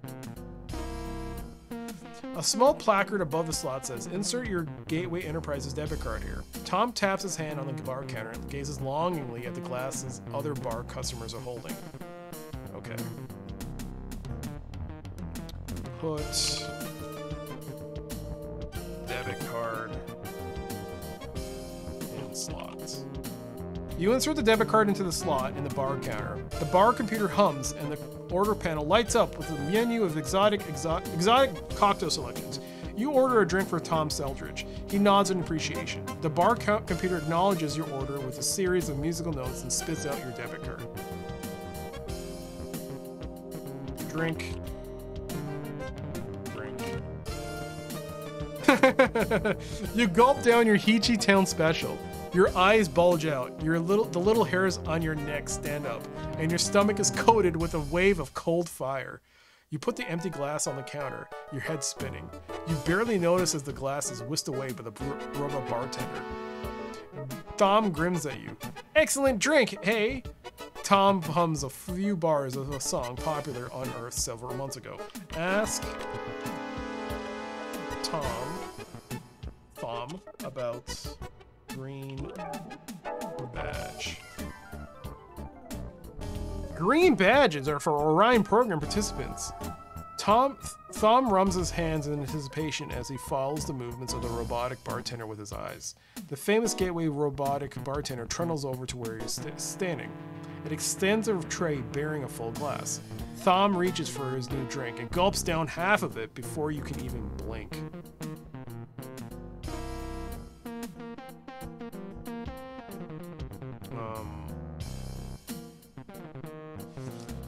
Talk to robot.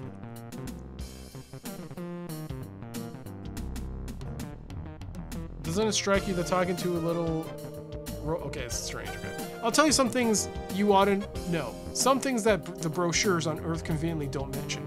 First, you got to realize that not all prospectors are created equal. There are two kinds of prospectors on Gateway: the Suicide Squad and the Green Badges. The robot, the robotic bartender trundles away. So I'm the Suicide Squad.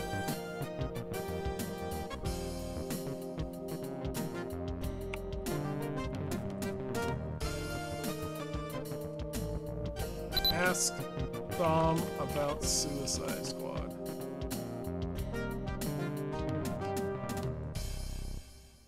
You don't need to use the word suicide in this game. You just brought up the stupid Suicide Squad. You said it, not me. Um.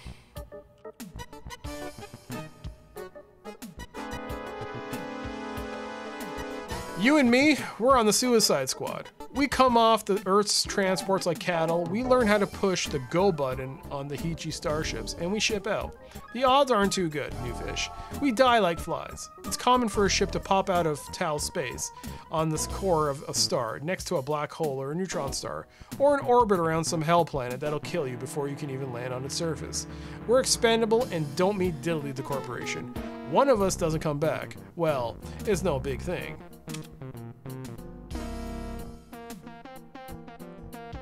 Ask them um, about Tau space. Whoa!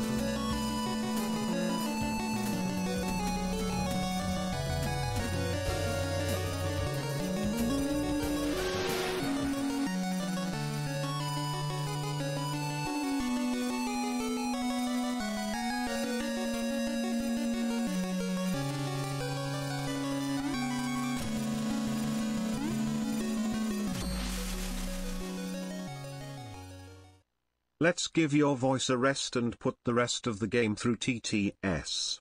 See Doc smile. Rev, thank you so much for the tier two sub. Thank you so much for the tier two sub of five months. I uh, hope you continue to enjoy the emotes and your expanded emote slots, um, your set, emote set. Um, thank you so much, Rev. I actually did Google how to, if there was a way to get a DOS game to output text or read text and output as TTS, but I couldn't find anything. uh, oh, Rev, thank you so much.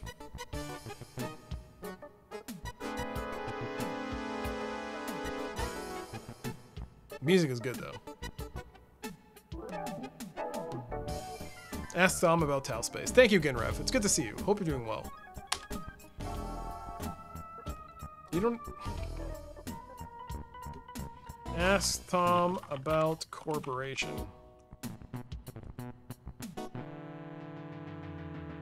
Big, cold, and impersonal. Just what everybody thinks when you think about a heartless multinational corporation. Now, the green badges, they're different. Officially, they're part of the Orion program. That means they're on the corporation's A team, a select group of prospectors who have supposedly proven themselves and earned a place in the program. They get to go to briefings held by the corporation science division, where special primo course codes are handed out by corporation eggheads.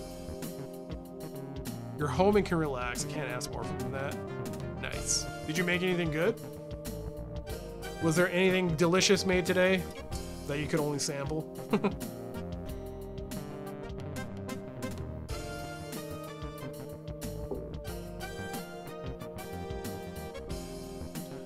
I wonder if you could do TTS with older games that run in console or whatever. Zork TTS? I don't know. I tried looking it up if anything was there.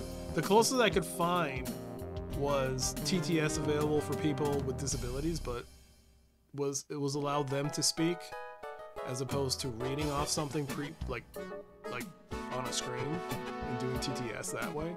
Um, but my my I was on a phone trying to Google it, so I wasn't exactly spending too much time on it. Today sucked. I did no cooking. What?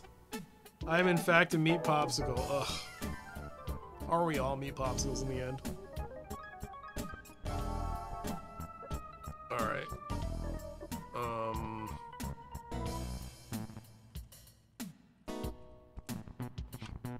Ask Tom about Orion program. You'll know all I know by the time I'm done. Oh, Jesus. Be a little patient. If you haven't figured it out by now, you can tell who they are because the corporation gives them green badges. Suicide Squad gets blue badges.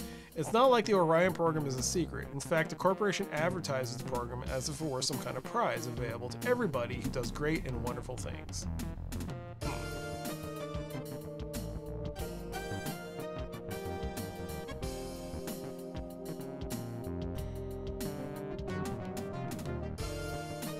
Should I order another drink?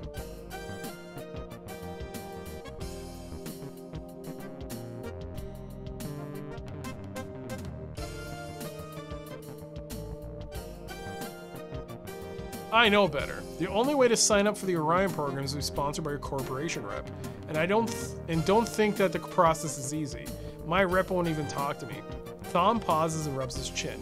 Hmm. Let's see. Who is your rep? He wonders aloud. Nielsen. Terry Nielsen. Oh my god.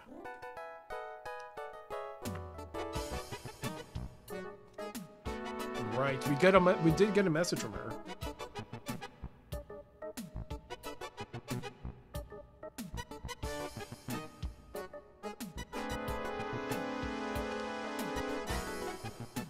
Okay.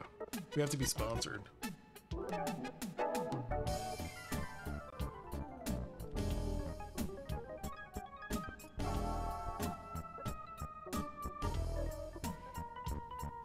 Saw the title pop up while at work. Glad to catch them. You love the soundtrack. Yeah, it's a great soundtrack. The second one's supposed to be even better. Yo, by the way, Echo, good to see you. And Moonlight, good to see you too.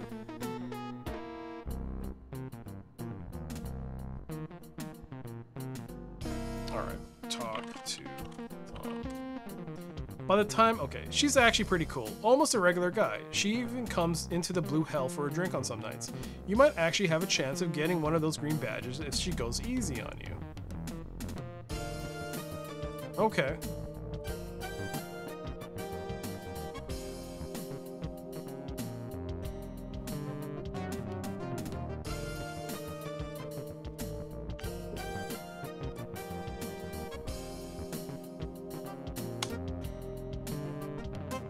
I'll tell you what, new fish. I'll give you my copy of a memo that came out a while back on the Orion program. Give it to Terry when you see her next. She might back you for the program.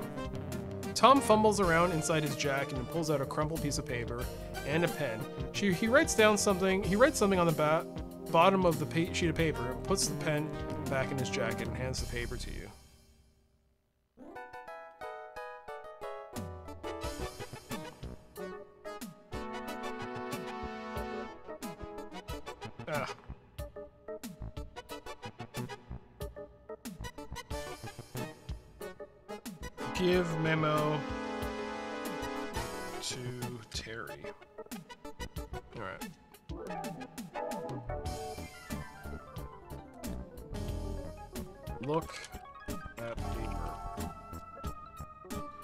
Memo is written on corporation letterhead dated and dated April 23, 2102. The paper is crumpled and creased.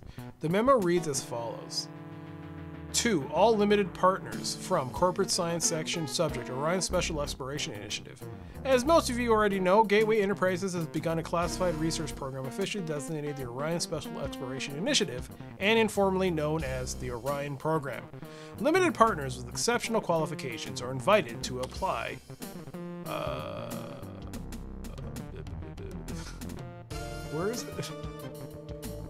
Or apply to designated gateway representatives. No, to designated gateway enterprises representatives for admittance to the program. Those accepted by the Director of Gateway Exploration Programs will be provided with access to research data that may increase the probability of encountering commercially useful Heechee technology during prospecting missions. Scrawled at the bottom in spidery handwritten is the following New fish. Show this to Terry Nielsen. She sometimes hangs out at the Blue Hell Bar around 2200 hours. That's exactly what I needed to know. Thank you.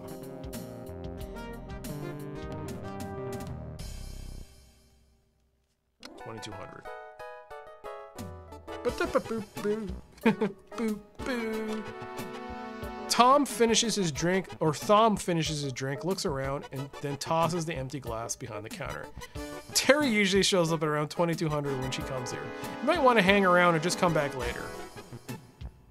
Thank Thom. Talk to Thom. Tom flashes you a wan smile, his face showing regret, hope, and envy all at the same time. Order drink? You insert the debit card into the slot into the bar counter. Alright, so I ordered another drink. You insert the debit card, so Hums. He nods in appreciation and smiles at you with genuine friendliness for the first time since you met him. He sits back in his seat, looking like he might be thinking about enjoying himself. The bar computer acknowledges your order with a series of musical tones and spits out your debit card. Take debit card. You already have it. Tom hums a few bars of a song popular on Earth several months ago.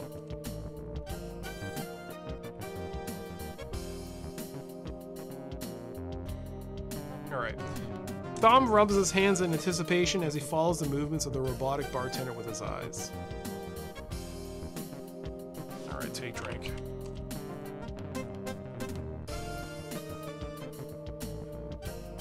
You're not a bad sort, new fish. I'll let you in on some rumors that have been making the rounds. Seems like folks are hooked on the idea that the Heechee left something important on Gateway that hasn't been brought to light yet, besides the ships I mean. Oh, okay. Do we, how do we clink glasses together? Like, cheers. cheers. Thom? No? What can I do here?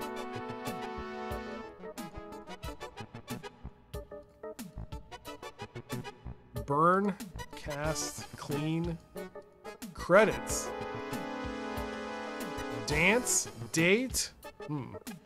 Diffuse, deal, destroy, discharge, discuss.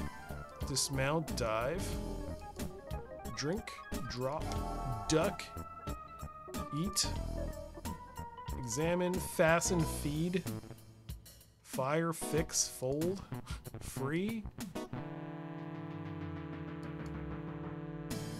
hop, inventory, kick, kill, kiss,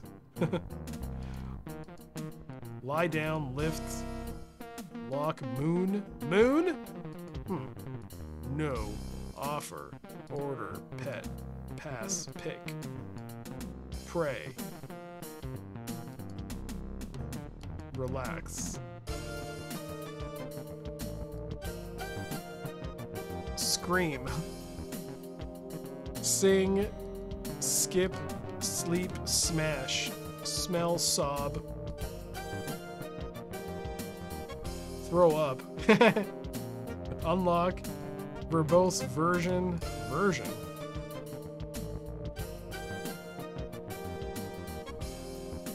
Version 1.1.0. June 26th, 1992. Copyright 1992 by Legend Entertainment Corporation. Or company, whichever. Um, alright, talk to Thumb. When NASA first explored this station, they found it picked clean except for the ship hangars. Really weird. This great, huge artifact, obviously an important facility, and yet almost completely empty. When the corporation pukes took over the station, they put their biggest coneheads on the problem. They searched high and low, even took some sort of station, some of the station apart. They didn't find any. They didn't find squat. People are saying that the con- coneheads didn't look in the right places. That there is something mighty interesting on this station that nobody's found yet. Personally, I think it's a load of horse hockey. I can't believe that the coneheads missed something important while they were exploring, cataloging, and then rebuilding Earth's great new hope. Uh, anyway, that's the hot tip for the month. Listen, I gotta get going. I'll tell you what, new fish. I'll leave you with a gateway legend. I know he's here tonight, after all. He's here every night. I'll try and find him. Hang tight for a minute. Tom gets up and vanishes into the crowd. Wait. Time passes. Tom reappears with a tall, dark man in tow. New fish, this is New Bar Kamalian. He's kind of a fixture in this place. If you're real lucky, New Bar will tell you more about life on Gateway. Now I I have to go. I'll leave you guys to talk. It's been a pleasure, New Fish. Thom leaves. New Bar Chameleon. Kamalian sits next down next to you and nods in your direction. Buy this guy a drink. what else can I do? Uh, use card debit card on slots. On where is it?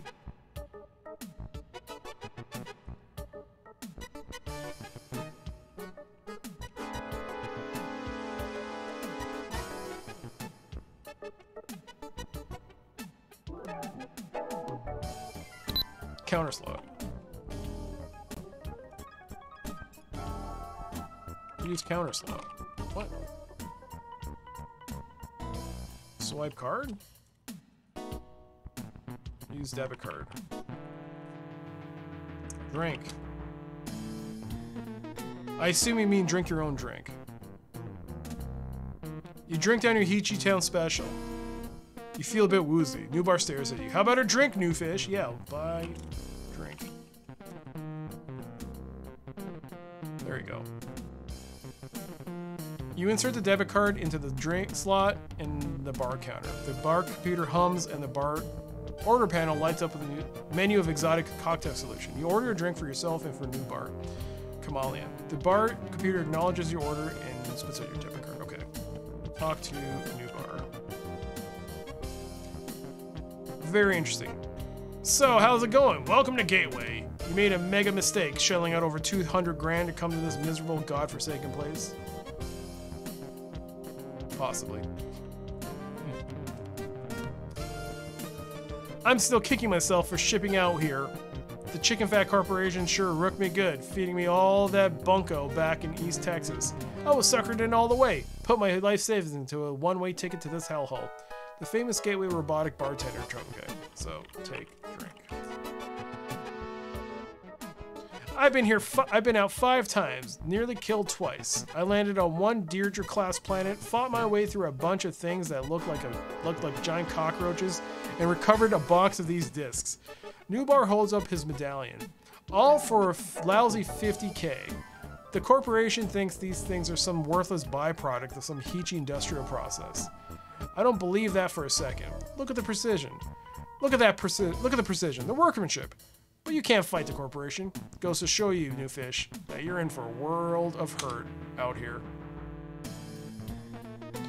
Needed this radio CDC yesterday? Yeah. So far, you spent most of this exciting space game in spa bars. Ex- yep.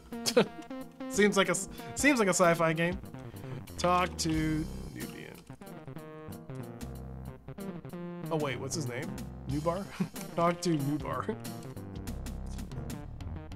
You can't win, especially with the corporation geeks giving preference to those Orion bozos. That really pisses me off. Uh, we're cannon fodder for the corporation.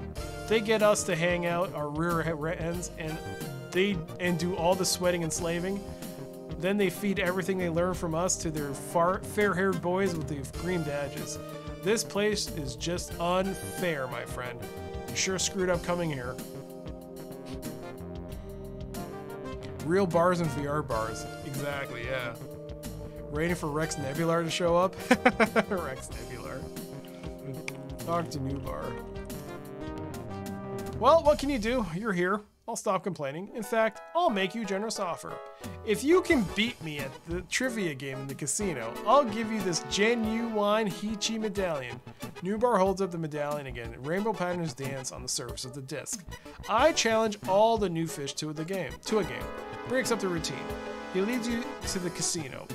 Oh shit! I didn't save, man. As you head for the exit, a man wearing a corporation maintenance staff uniform blocks your way. Hey, you can't leave with a glass. Pinhead, you hand him your drink and he scurries off to give it to the bartender. Casino. We're in the casino now. The casino is surprisingly well equipped, given the cost of shipping any kind of mass from Earth. There are slot machines, blackjack tables, and a low G roulette table. Near their entrance is a tired looking old Earth trivia game. The bar lies to the west. A heavy oak door is to the east. Nubar plays the game and earns a score of 7 points. He turns to you and says, Your turn. Uh, save. Trivia. Look at uh, trivia game. A battered old arcade game sits against one of one wall. From the name Old Earth Trivia and dated pictures on the side of the console, you deduce that it deals with Earthside trivia from the late 20th and 21st centuries. Okay? Use or play trivia game.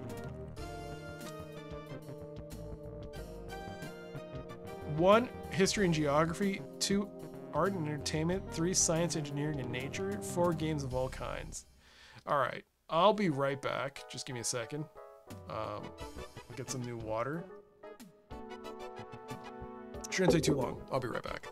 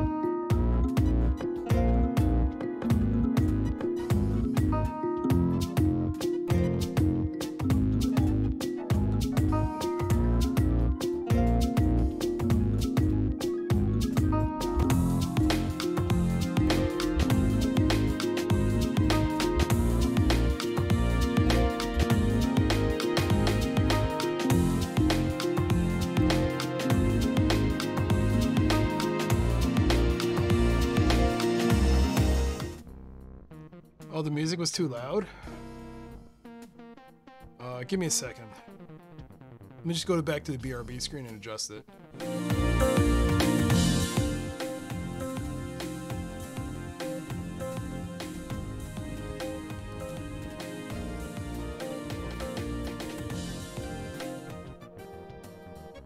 Also, the desktop audio was playing. Let me go back one more time.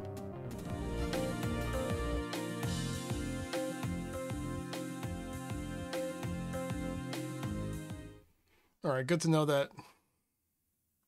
Oh, I gotta mute it. Oh, man. Oh, man, it's gonna play during the BRB music now? Oh, that's gonna suck. So it got both desktop audio running during BRB music. Ooh. I'm gonna have to try and figure that fix that one out later. Okay. Anyways, good to find these things out early. Um, you're trying to find the track? Yeah, sadly, I don't hear it. I don't hear the music on my end. I don't know what track you're speaking of, Rev. Um. All right, so old Earth trivia. eh? I saved. So games of all kinds. What does that mean?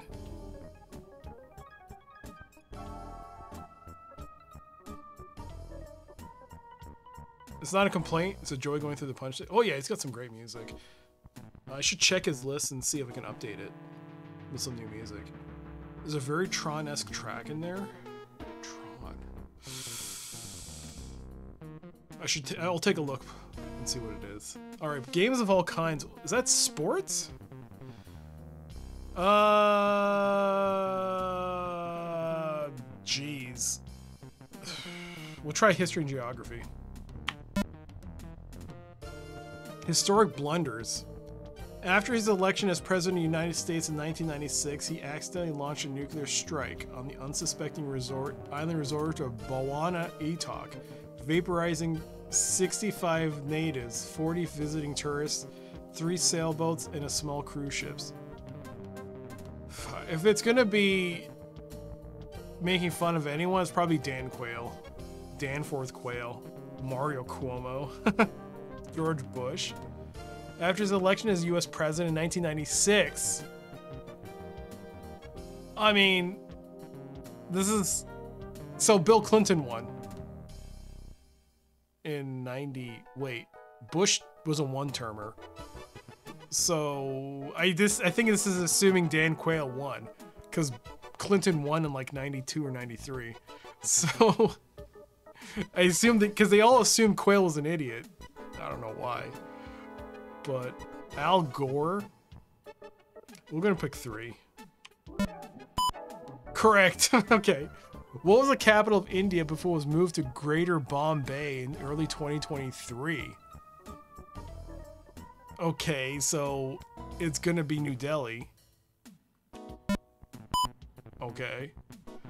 Weapons too terrible to use. The use of tactical nuclear weapons for the first time in 60 years turned this otherwise unremarkable regional conflict into a historical waste watershed. Hint: the weapons were purchased from dis- disaffected Soviet army units soon after the breakup of the USSR. This is like all what? The use of tactical uh, for the first time in 60 years turned this otherwise unremarkable regional conflict into a historical watershed. The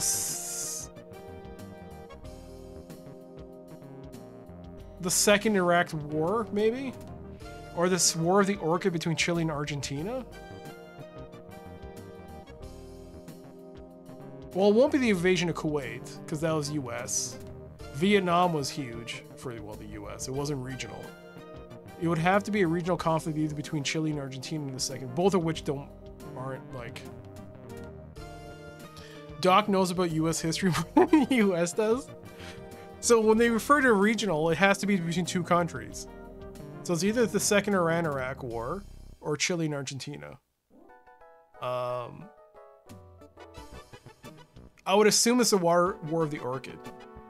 The weapons were purchased from dis- disaffected Soviet army units soon after the breakup of the USSR. The second Iran Iraq War would make sense because it's closer geographically. So let's try four. Shit. what a guess. Okay. Uh, state capital. What is the state capital of the U.S. state of Southern California? Southern California. Hint: the capital of Northern California, is Sacramento. What? I would imagine it's San Diego. Oakland is near San Francisco. Eureka, I don't know where that is. San Jose, I don't know. I feel like San Diego's really close to the Mexico. If I had to guess, it'd be San Diego. Shit. Okay, San Diego. Countries of the world. What was the name of the African People's Republic force bef- before the first elected black government changed the country's name in the last decade of the 20th century?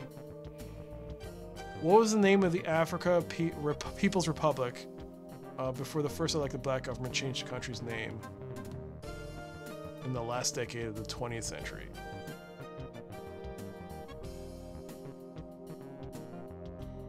Uh, what was the name of the African People's Republic? Changed the country's name in the last decade. South Africa. South Africa was named South Africa even before. I hate apartheid. easy targets.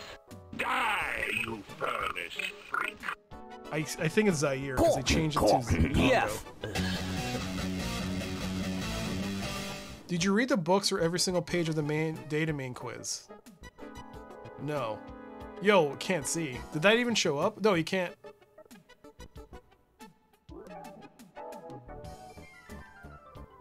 Did not show up.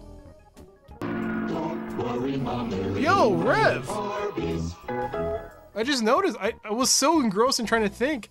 Yo, um, Rev gifting us up to Bitamin. Bitamin, I hope you enjoyed the subs and the uh, emotes. Um, I hope you like them. Uh, Rev, that's your 17th gift sub. Thank you so much, Rev. Thank you so much for the support. Thank you, thank you. Did I read the books or every single page? I did not, Ryu. How would this be in there? No way. um, I would assume it's Zaire. Because they changed their name to Congo. But I don't know when that was. Um, I thought Rhodesia became South Africa.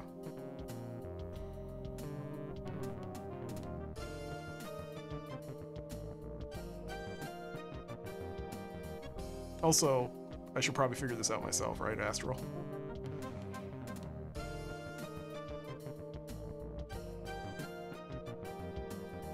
Dock focus should be an emote. I had a focus mode enabled thing for a while, but that was for something else. uh, Zaire? Rhodesia became Zimbabwe? I thought the Rhodesia became South Africa.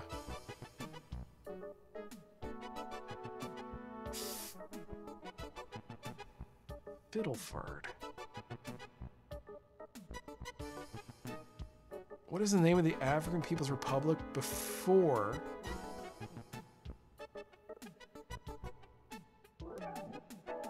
What is the name of the African People's Republic before the first elected black government changed the country's name? So it wouldn't be South Africa.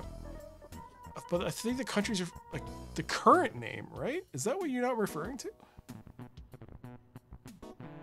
What is the name of the African People's Republic before the first elected black changed the country's name in the last decade?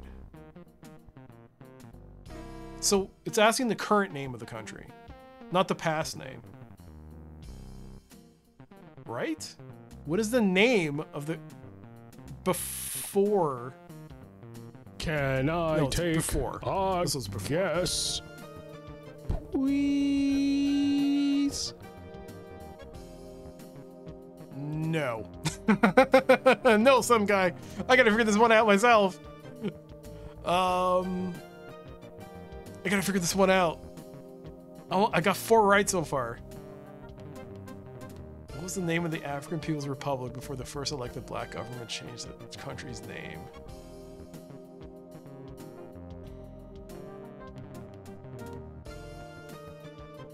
Okay, what was the name before they changed the name? Okay, I read it. Okay, I had to read it. What was the name before they changed the name? Okay, okay, okay. So it's either Zaire, Rhodesia, or Mali. South Africa still exists. Mali still exists. Rhodesia and Zaire, or either one. Now, I could have sworn Rhodesia became South Africa, but Astro Road to Zimbabwe. I thought Zaire became Congo.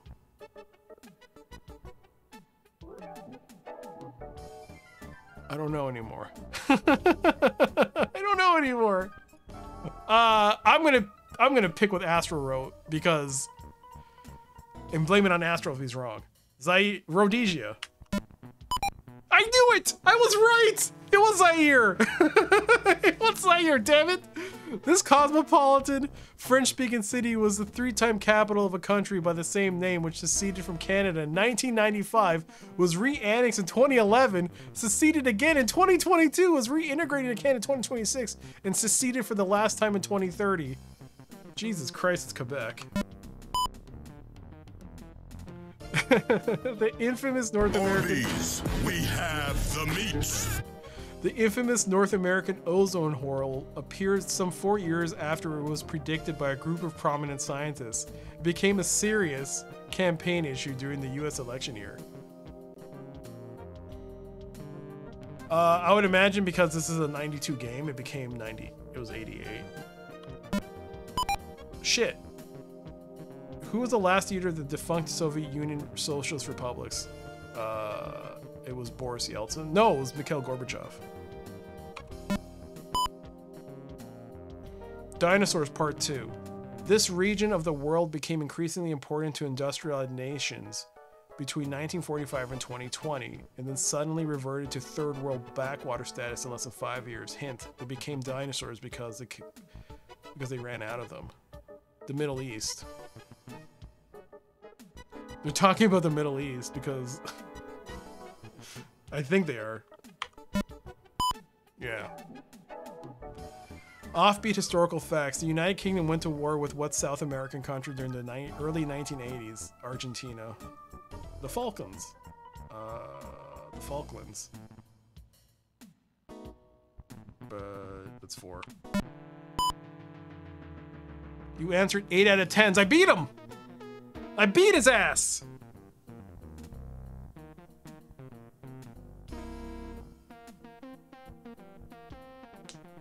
Newbar says, Congratulations, new fish. He hands over the medallion, then grins as he pulls another one out of his pocket. Got hundreds of these things, he says wickedly. The corp goons never took him away because they think they're worthless. He hangs a medallion around his neck. He hang, uh, perhaps I'll see you again, my friend. Newbar disappears. Your score just went up by 15. Nice. Score? You've achieved a score of 67 out of 1600 in 199 turns. You have an account balance of $1,450. You are authorized for flight crew status.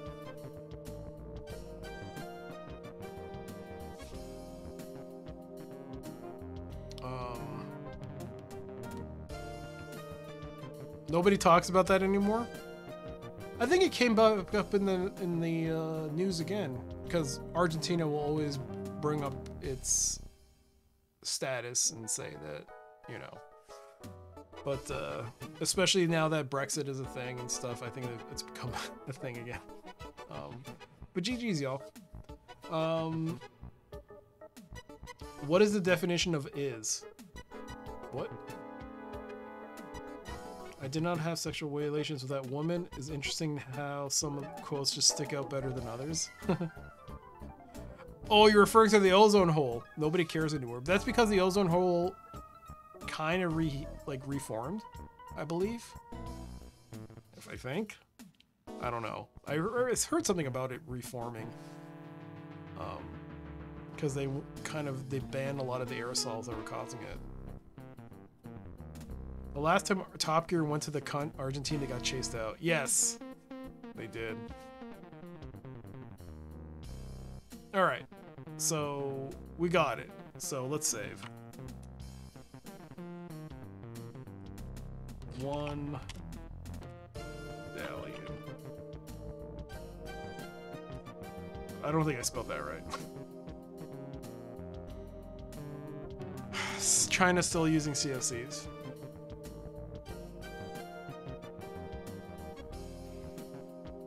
Let's see, we got blackjack table.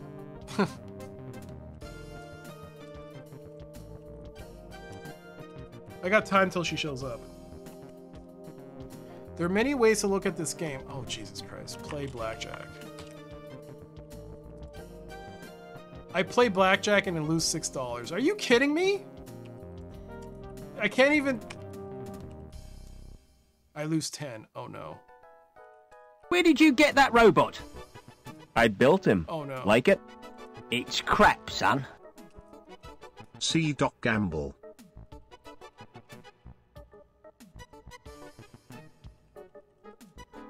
I don't like this game. What is this bullshit, man? What is this? Can you not ever It's win a hand? son. I won 12.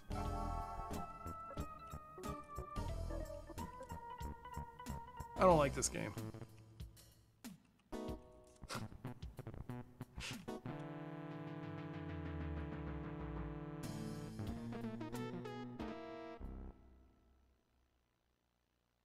Alright. Play roulette. I lose 28. This is stupid. I, I don't think you're supposed to win any at all, ever. Oh, for God's sake, this is terrible.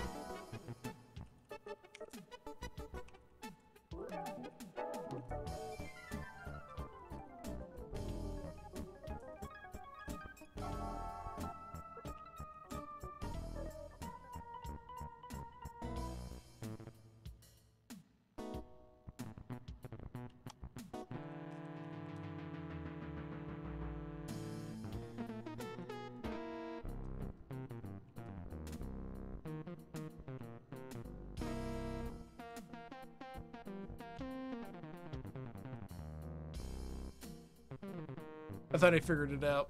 I thought I figured the strat. I was like, wait, why am I winning? Oh man, I lost it all.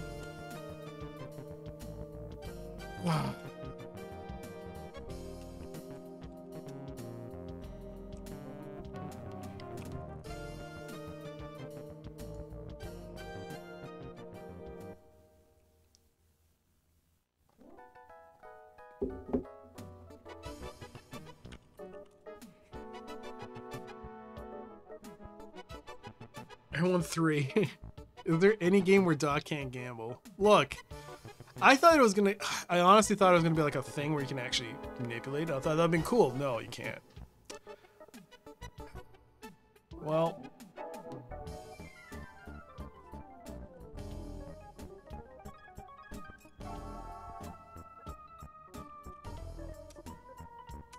I want to see if I can win the first roll and then quit.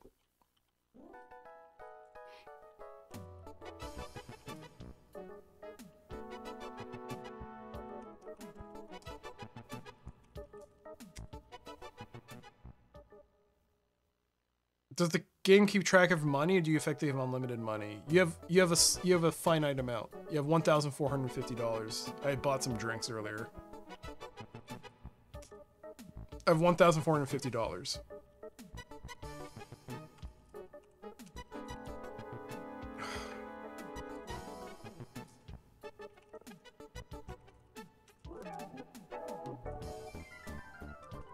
Can we undo and play?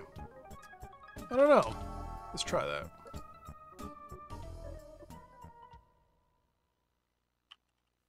Oh. It would probably give you a message you can't do that. Let's see. Oh, you know what I should have done? Let me restore that. It, it did undo with the time, but I want to see if it undo the money loss. Okay, status.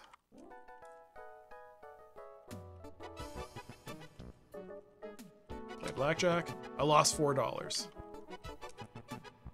Whoa, wait. The status take time? No.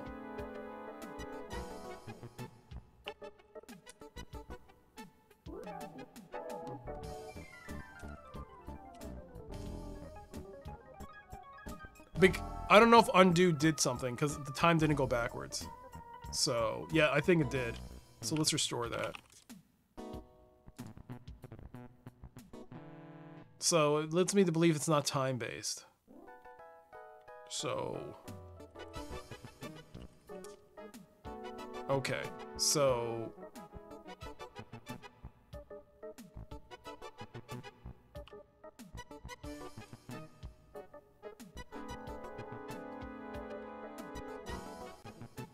Yes, you can undo your money as long as it's like immediately. So status, I'm sorry, undo is just undo turn. Yeah, as opposed to time based. Okay, cool.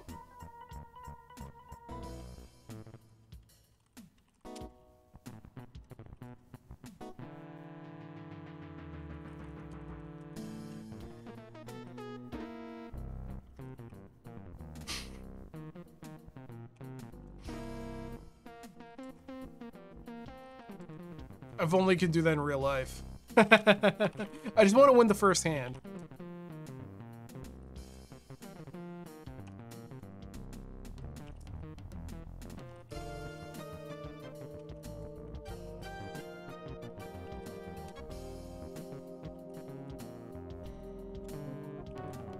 So let me win the first hand.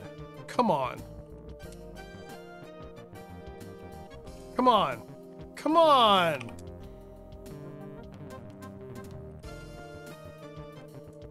Why want to let me win? I just want the first hand and leave.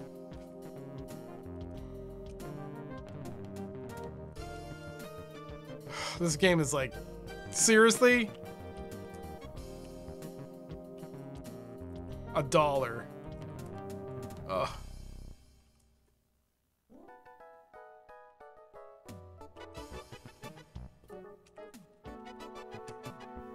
No, I lost 16.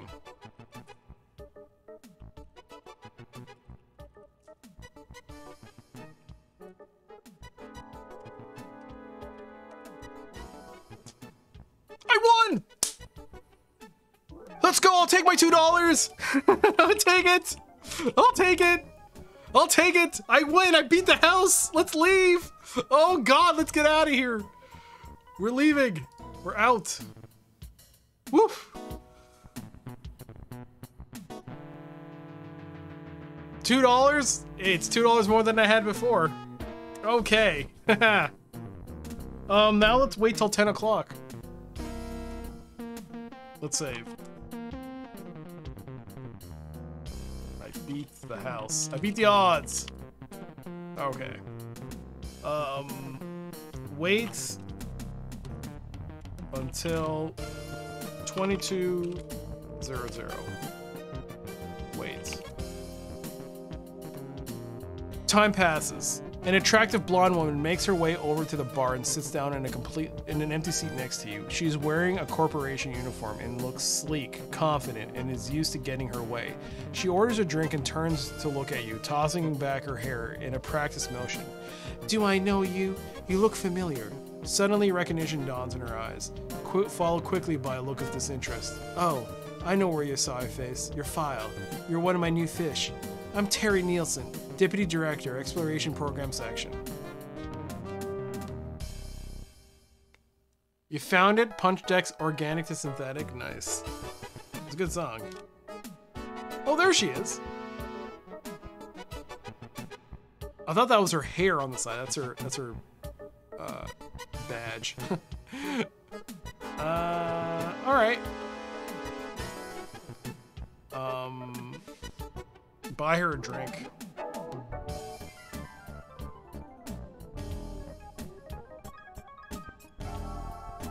She's looking at me. Look at Terry. Terry Nielsen looks sexy, tough, and highly intelligent, a powerful combination that gives her an intimidating presence. She's wearing a corporation uniform. Welcome to Gateway, Terry says somewhat distantly. I hope that your decision to become a prospector pays off for you. If there's anything that the corporation can do for you, let me know. Good luck on your prospecting missions. Give memo to Terry. Terry takes the memo and glances at it. She looks sharply at you, her earlier lack of interest gone completely. Her eyes turn suddenly to ice, and you shiver as she seems to stare right into you.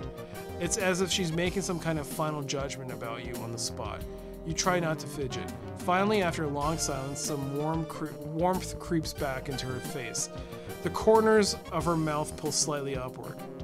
So, Newfish, you are interested in the Orion program.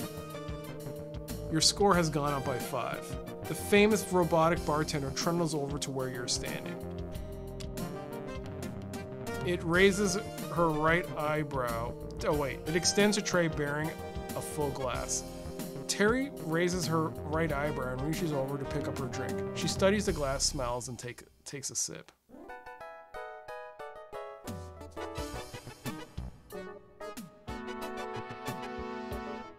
Oh no, she's cute. she looks like a friend of yours. A Galatep.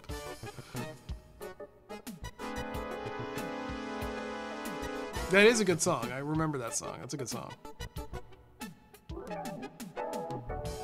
All right. Um talk to Terry. Mm-hmm. The Orion program, otherwise known as the Orion Special Exploration Initiative, is one of the most promising research efforts currently underway in this station. An exclusive group of limited partners has been given a chance to work with the corporation's science section to exploit the first real breakthrough in understanding the gu- ship guidance systems. The robotic bartender trundles away. Look at drink. There's nothing unusual about the other drink. I have sponsored over 25 prospectors for participation in the Orion program since I was promoted to deputy director. To give you some idea of how few that is, consider this. I've been responsible for more than 300 prospectors at one time or another over the last two years.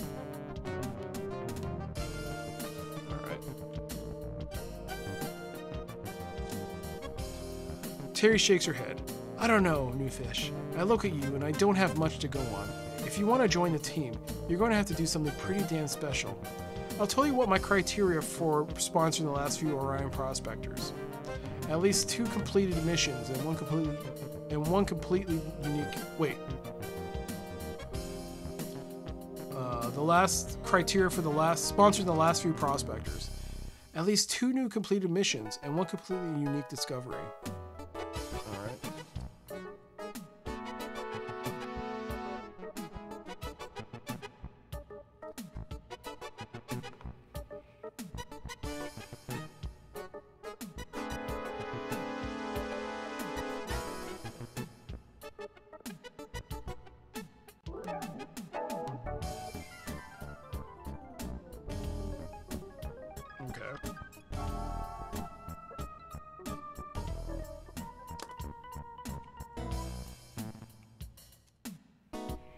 That means for you, new fish, is two trips out and an entry in your dataman logbook that shows you brought back something that nobody else has found.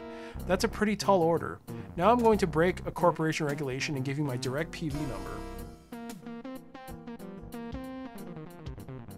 Uh, what's your number?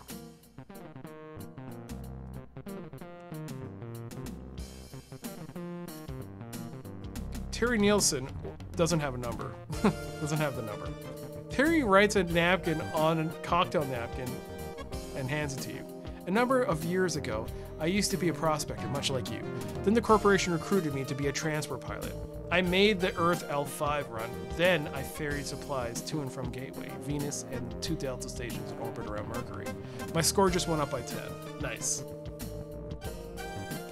Okay, so I got the number. I flew that. I flew the Rockwell MBB medium range shuttles that the corporation uses for most of its resupply missions. Those suckers are huge, 500 feet long, 100 feet in diameter, even bigger than the transport you came out on.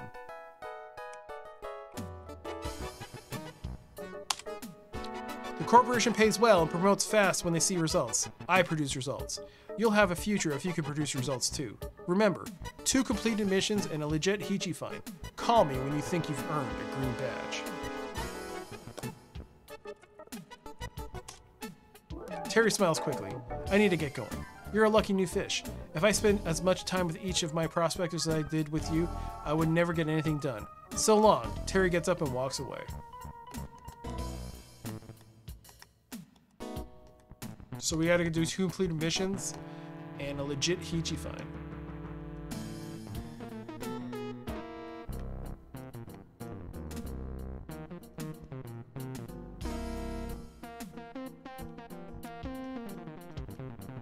So,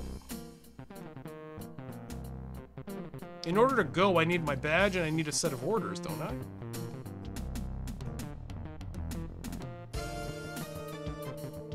Either way, we're done. We can go out.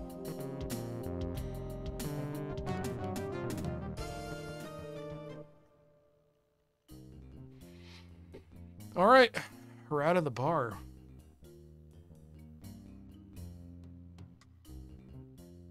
We're gonna save.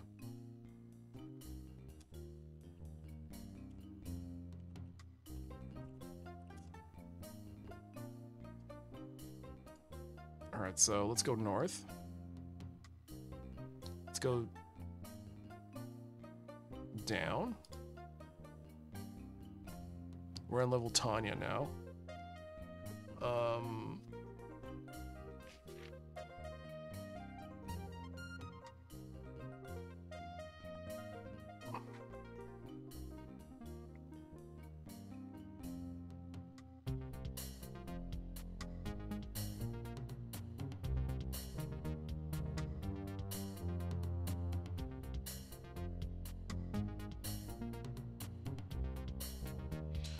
done uh, Tom.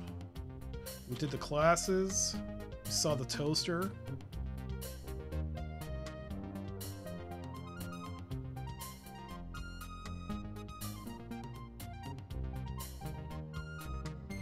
What is the napkin?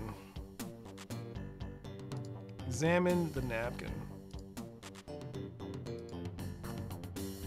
Scrawled on the napkin is the number 4285, 42-85, 73.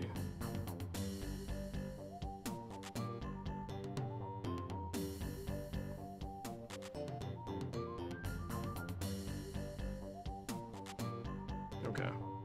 So that's her number.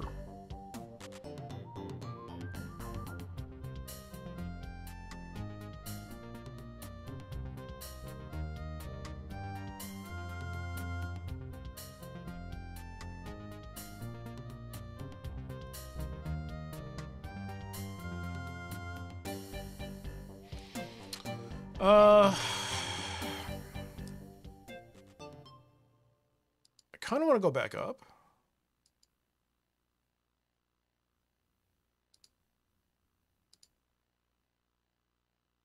Uh, I want to use the com set.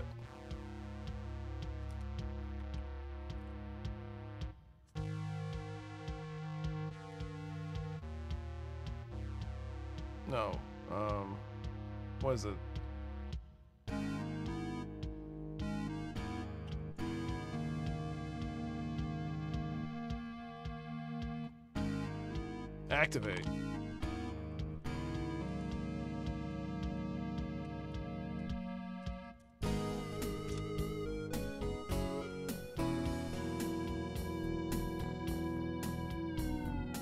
Uh, what was the bulletin board again?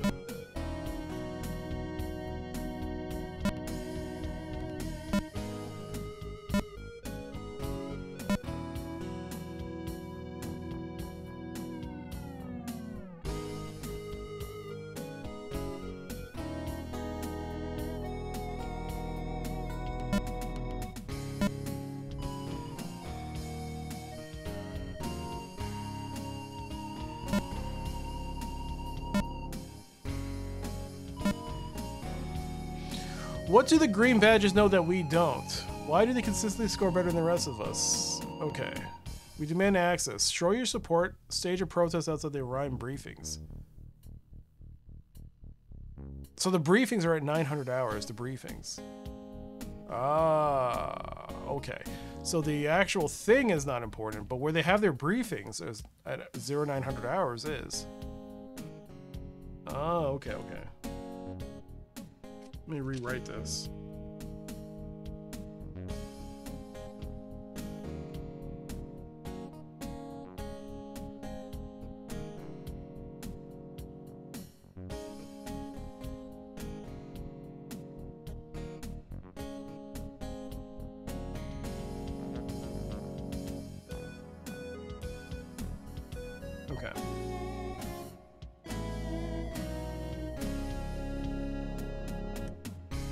Able to eat a pillow in this game? I tried kissing a lot of things. I tried no. See, the thing is, you can't really try a lot of things too much because this is timed. Each turn takes like a minute, so you don't want to be like goofing off too much. Um, uh, mouse cursor stopped again.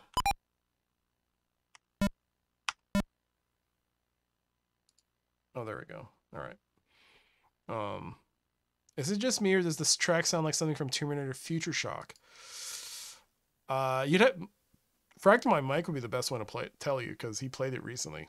I have not played that game yet. I'm pretty sure he's played that. Yeah, he's played Skynet and Future Shock. Yeah. Okay, so now we're in Tanya. Um, can I just go on a mission? So Tanya, the hangars would be to the south.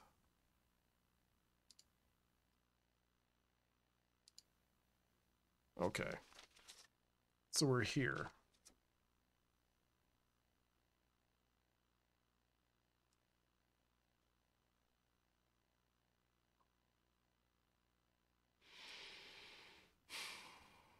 What's the um membership pin?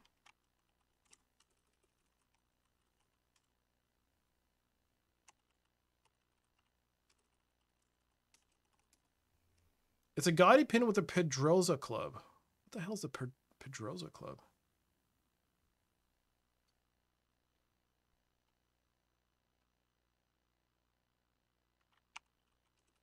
Show blue badge to agent. The agent looks up at your identification. I'm sorry, but you're not listed in the computer yet. Please try back tomorrow. Also, I have to go to sleep. I assume. Talk to agent. Badge, please. Okay.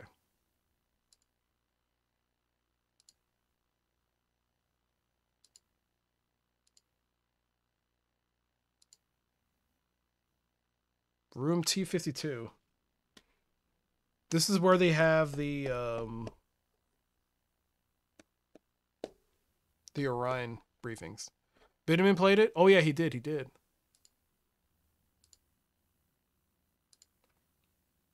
There's the barracks. I mean, the armory. I'm sorry. Um, we'll go up. What time is it? It's already ten.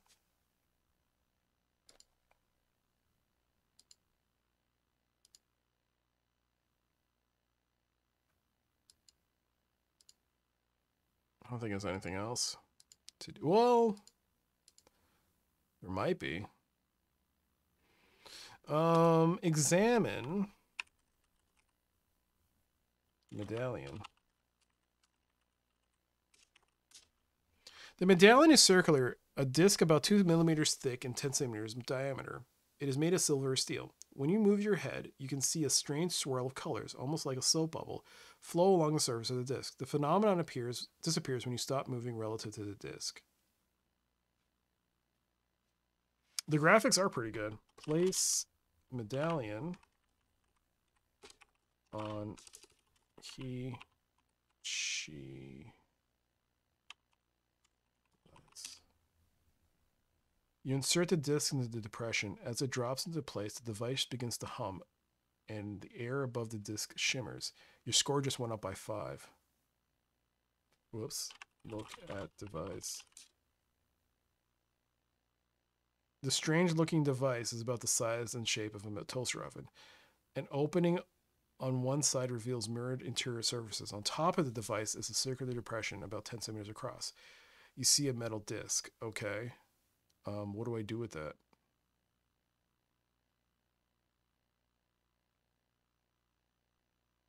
If I pick up the tuning fork, I'll get an alarm.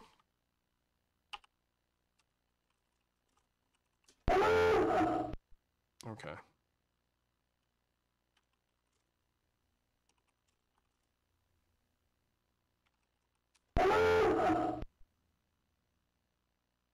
There doesn't seem to be a suitable place to put the tuning fork with the metal disc. Place fork on uh pedestal.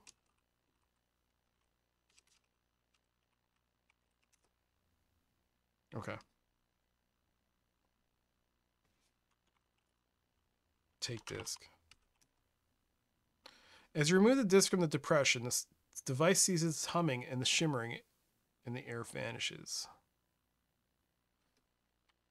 Place disc on device. You insert the disc into the depression. As it drops into place, the device begins to hum and the air above the disc shimmers. Look at disc.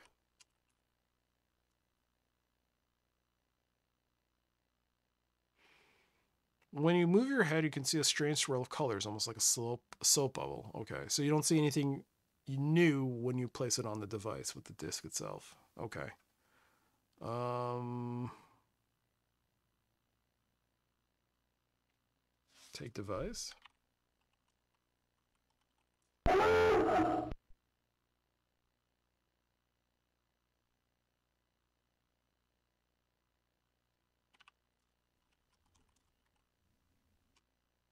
Read plaque.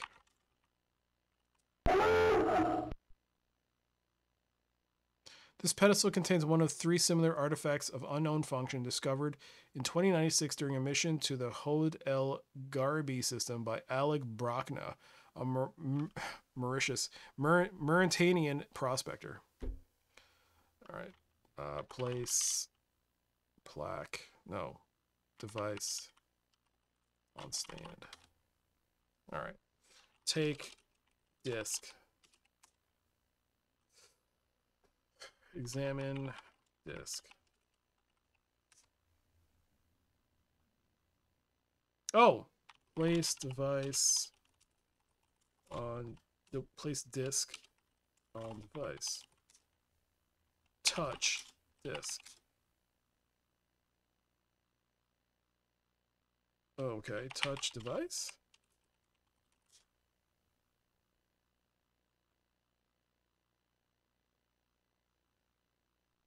Hmm.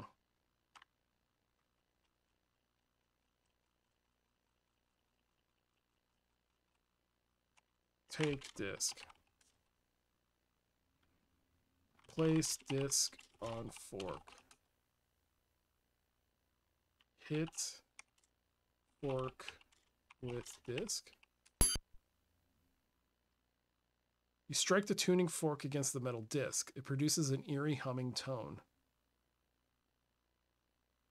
Place disk on device.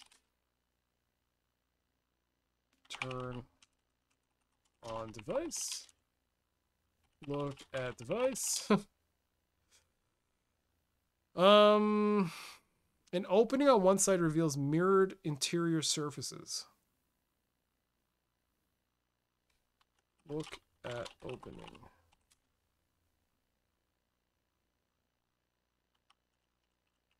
Take this. All right.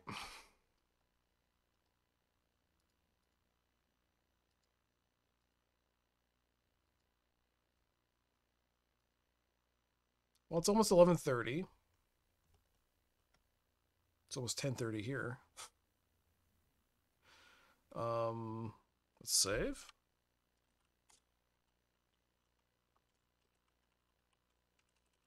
Before sleeping? First night? First day? Alright, sleep. In bed. Lie down. Sleep. I'm not sleepy. It's right up there on the status line. nice. Wait until zero zero zero zero. Sleep. Get up. Okay. go down. It's, technically the next day. So, show badge to agent. Damn it. Wait until zero nine.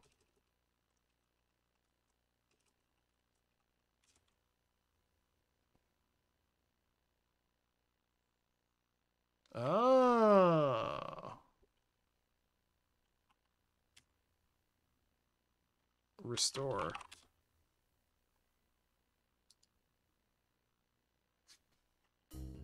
Um, lie in bed. Wait until zero.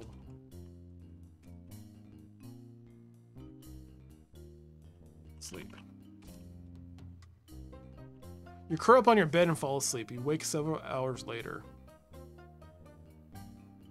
Okay.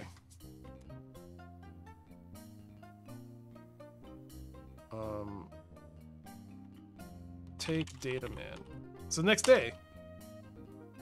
Oh god, okay. So take pin. Take magazine. Take napkin. Take debit card. Look, shit. Take disc. Alright. Let's go. Let's see if I can go down now. Give badge to agent. You show your badge to the agent. She nods and escorts you through the gate into the hangar area. She stops near a computer terminal on the wall and studies the display. Found a prep ship for you, she says to you after the moment. I'll walk you over. Help you program your parasitic computer with your assigned codes, and you're on your way. She begins walking away, and you follow her into the west hangar base. You follow the agent past several large ships tucked into their berths in the hangar spaces. Men and equipment bustle around you uh, working on the Heechee ships. The agent finally steps in front of one, one of the ships and gestures grandly. This is it. Now give me your badge and I'll program the onboard computer. You hand her your badge and she clambers aboard the ship. Just a few minutes later, she reappears. Okay, sport. Just press the code button and you'll see the codes that the corporation has assigned to you. You're set to go. I'll leave you to it. Good luck and good hunting. She returns your badge and walks away. You are left alone in the dock. Here we are. The ship hangars are partitioned into hundreds of individual docks. This is home, one of the docks, a berth that serves as home for a Heechee starship. The ship itself towers over your head, a collection of angular and curved lines that is both awkwardly awkward and strangely graceful at the same time. The ship is perched on long landing gear struts. A ladder leads up into the hatch. The dock exit is to the north. Oh my goodness. We're about to go into space. I'm excited. I feel like I should restore and try and see if there's anything else I missed, but I kind of want to just kind of warp myself and see what happens if you go in the ship and stuff. So, um,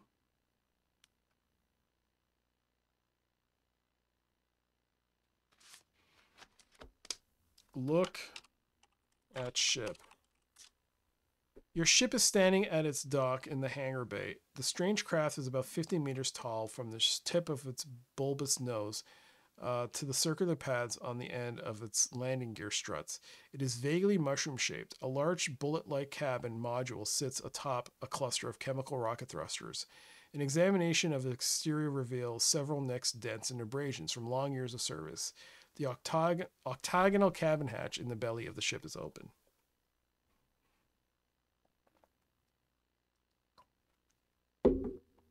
Read sign. A large exit sign is to the north. Okay. Climb. Look at ladder.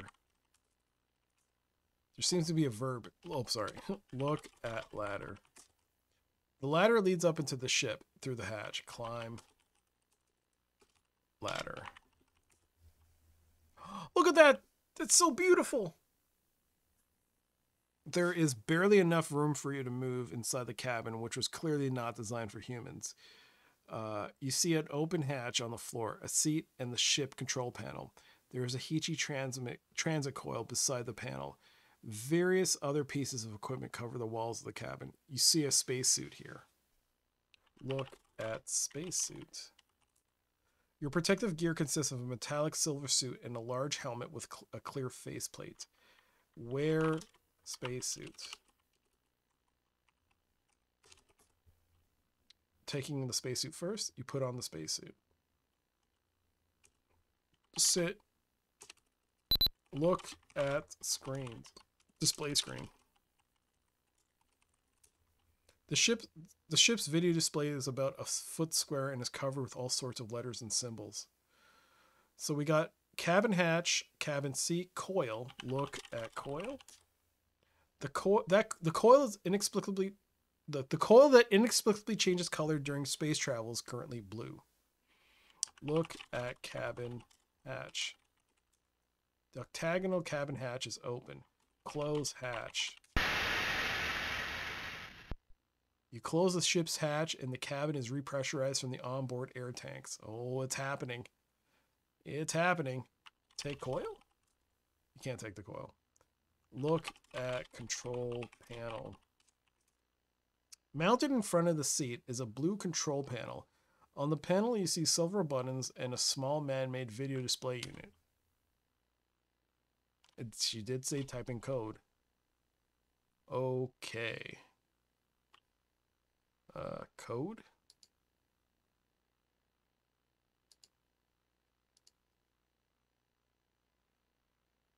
Steel go, orbit, return land. View? Inside gateway hangar? Info? Dock and gateway hangar. So it looks like the first code is there. Go?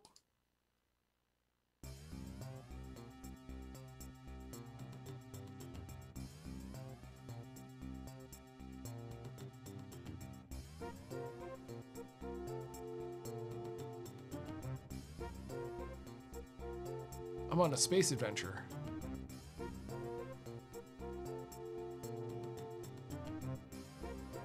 A sullen red giant dominates the view screen when you return to normal space. This is a dying star in a dead planetary system. The remnants of six worlds are either baked to cinders or blasted into jagged pieces. You realize there's nothing to be found here and return to Gateway.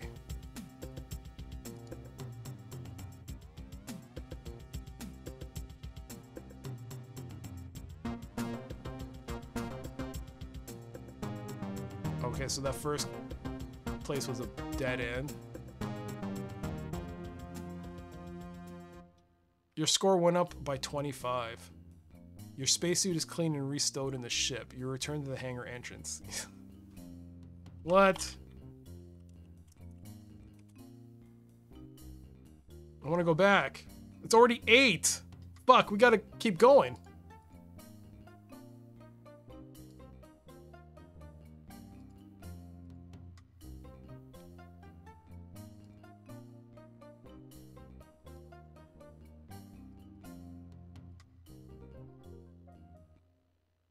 Gives up kind of easily. Yeah.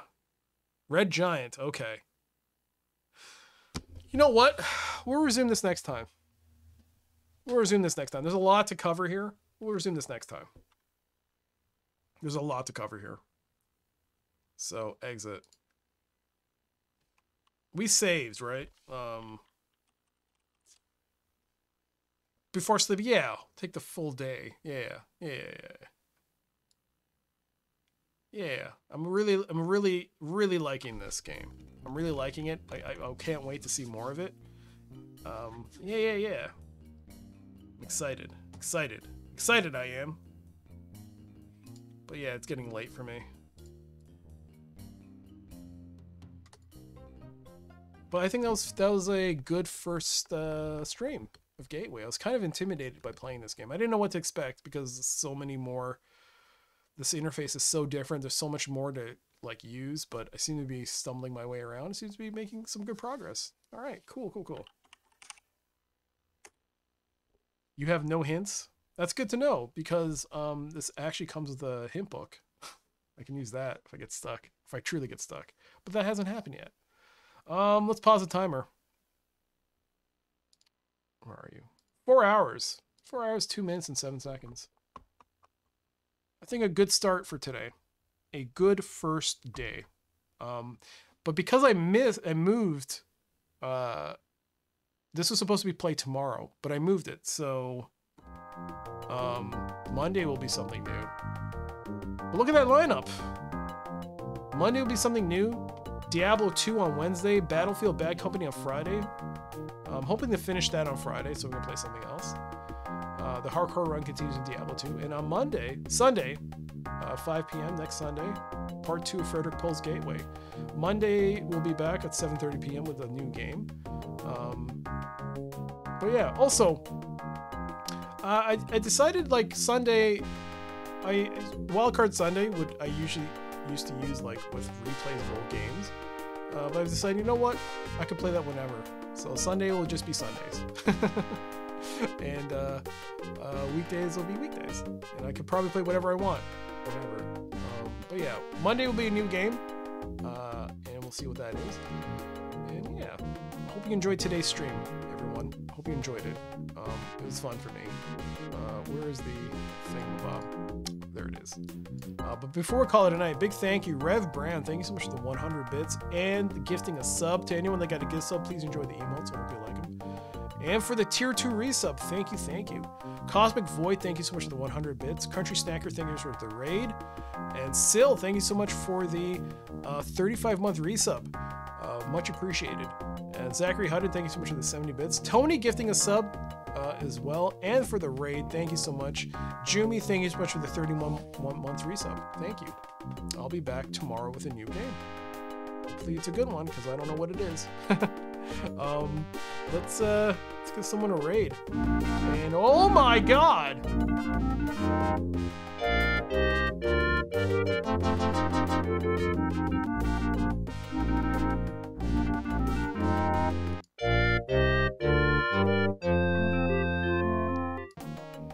Shocked Picard is shocked.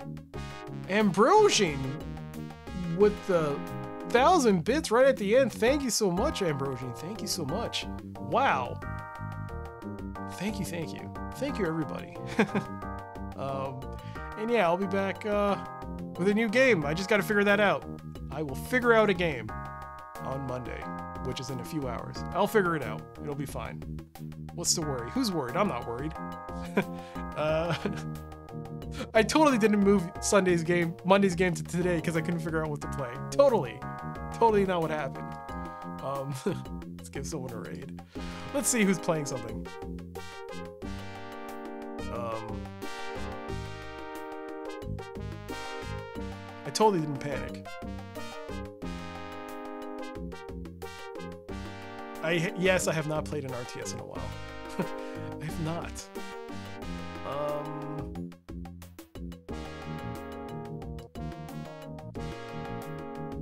good Sunday game, eh? I'm glad you enjoyed it, Rev. Anyone on my friends list playing something? Not friends list, follow list. Um, Camilio is playing Homeworld. That's an RTS.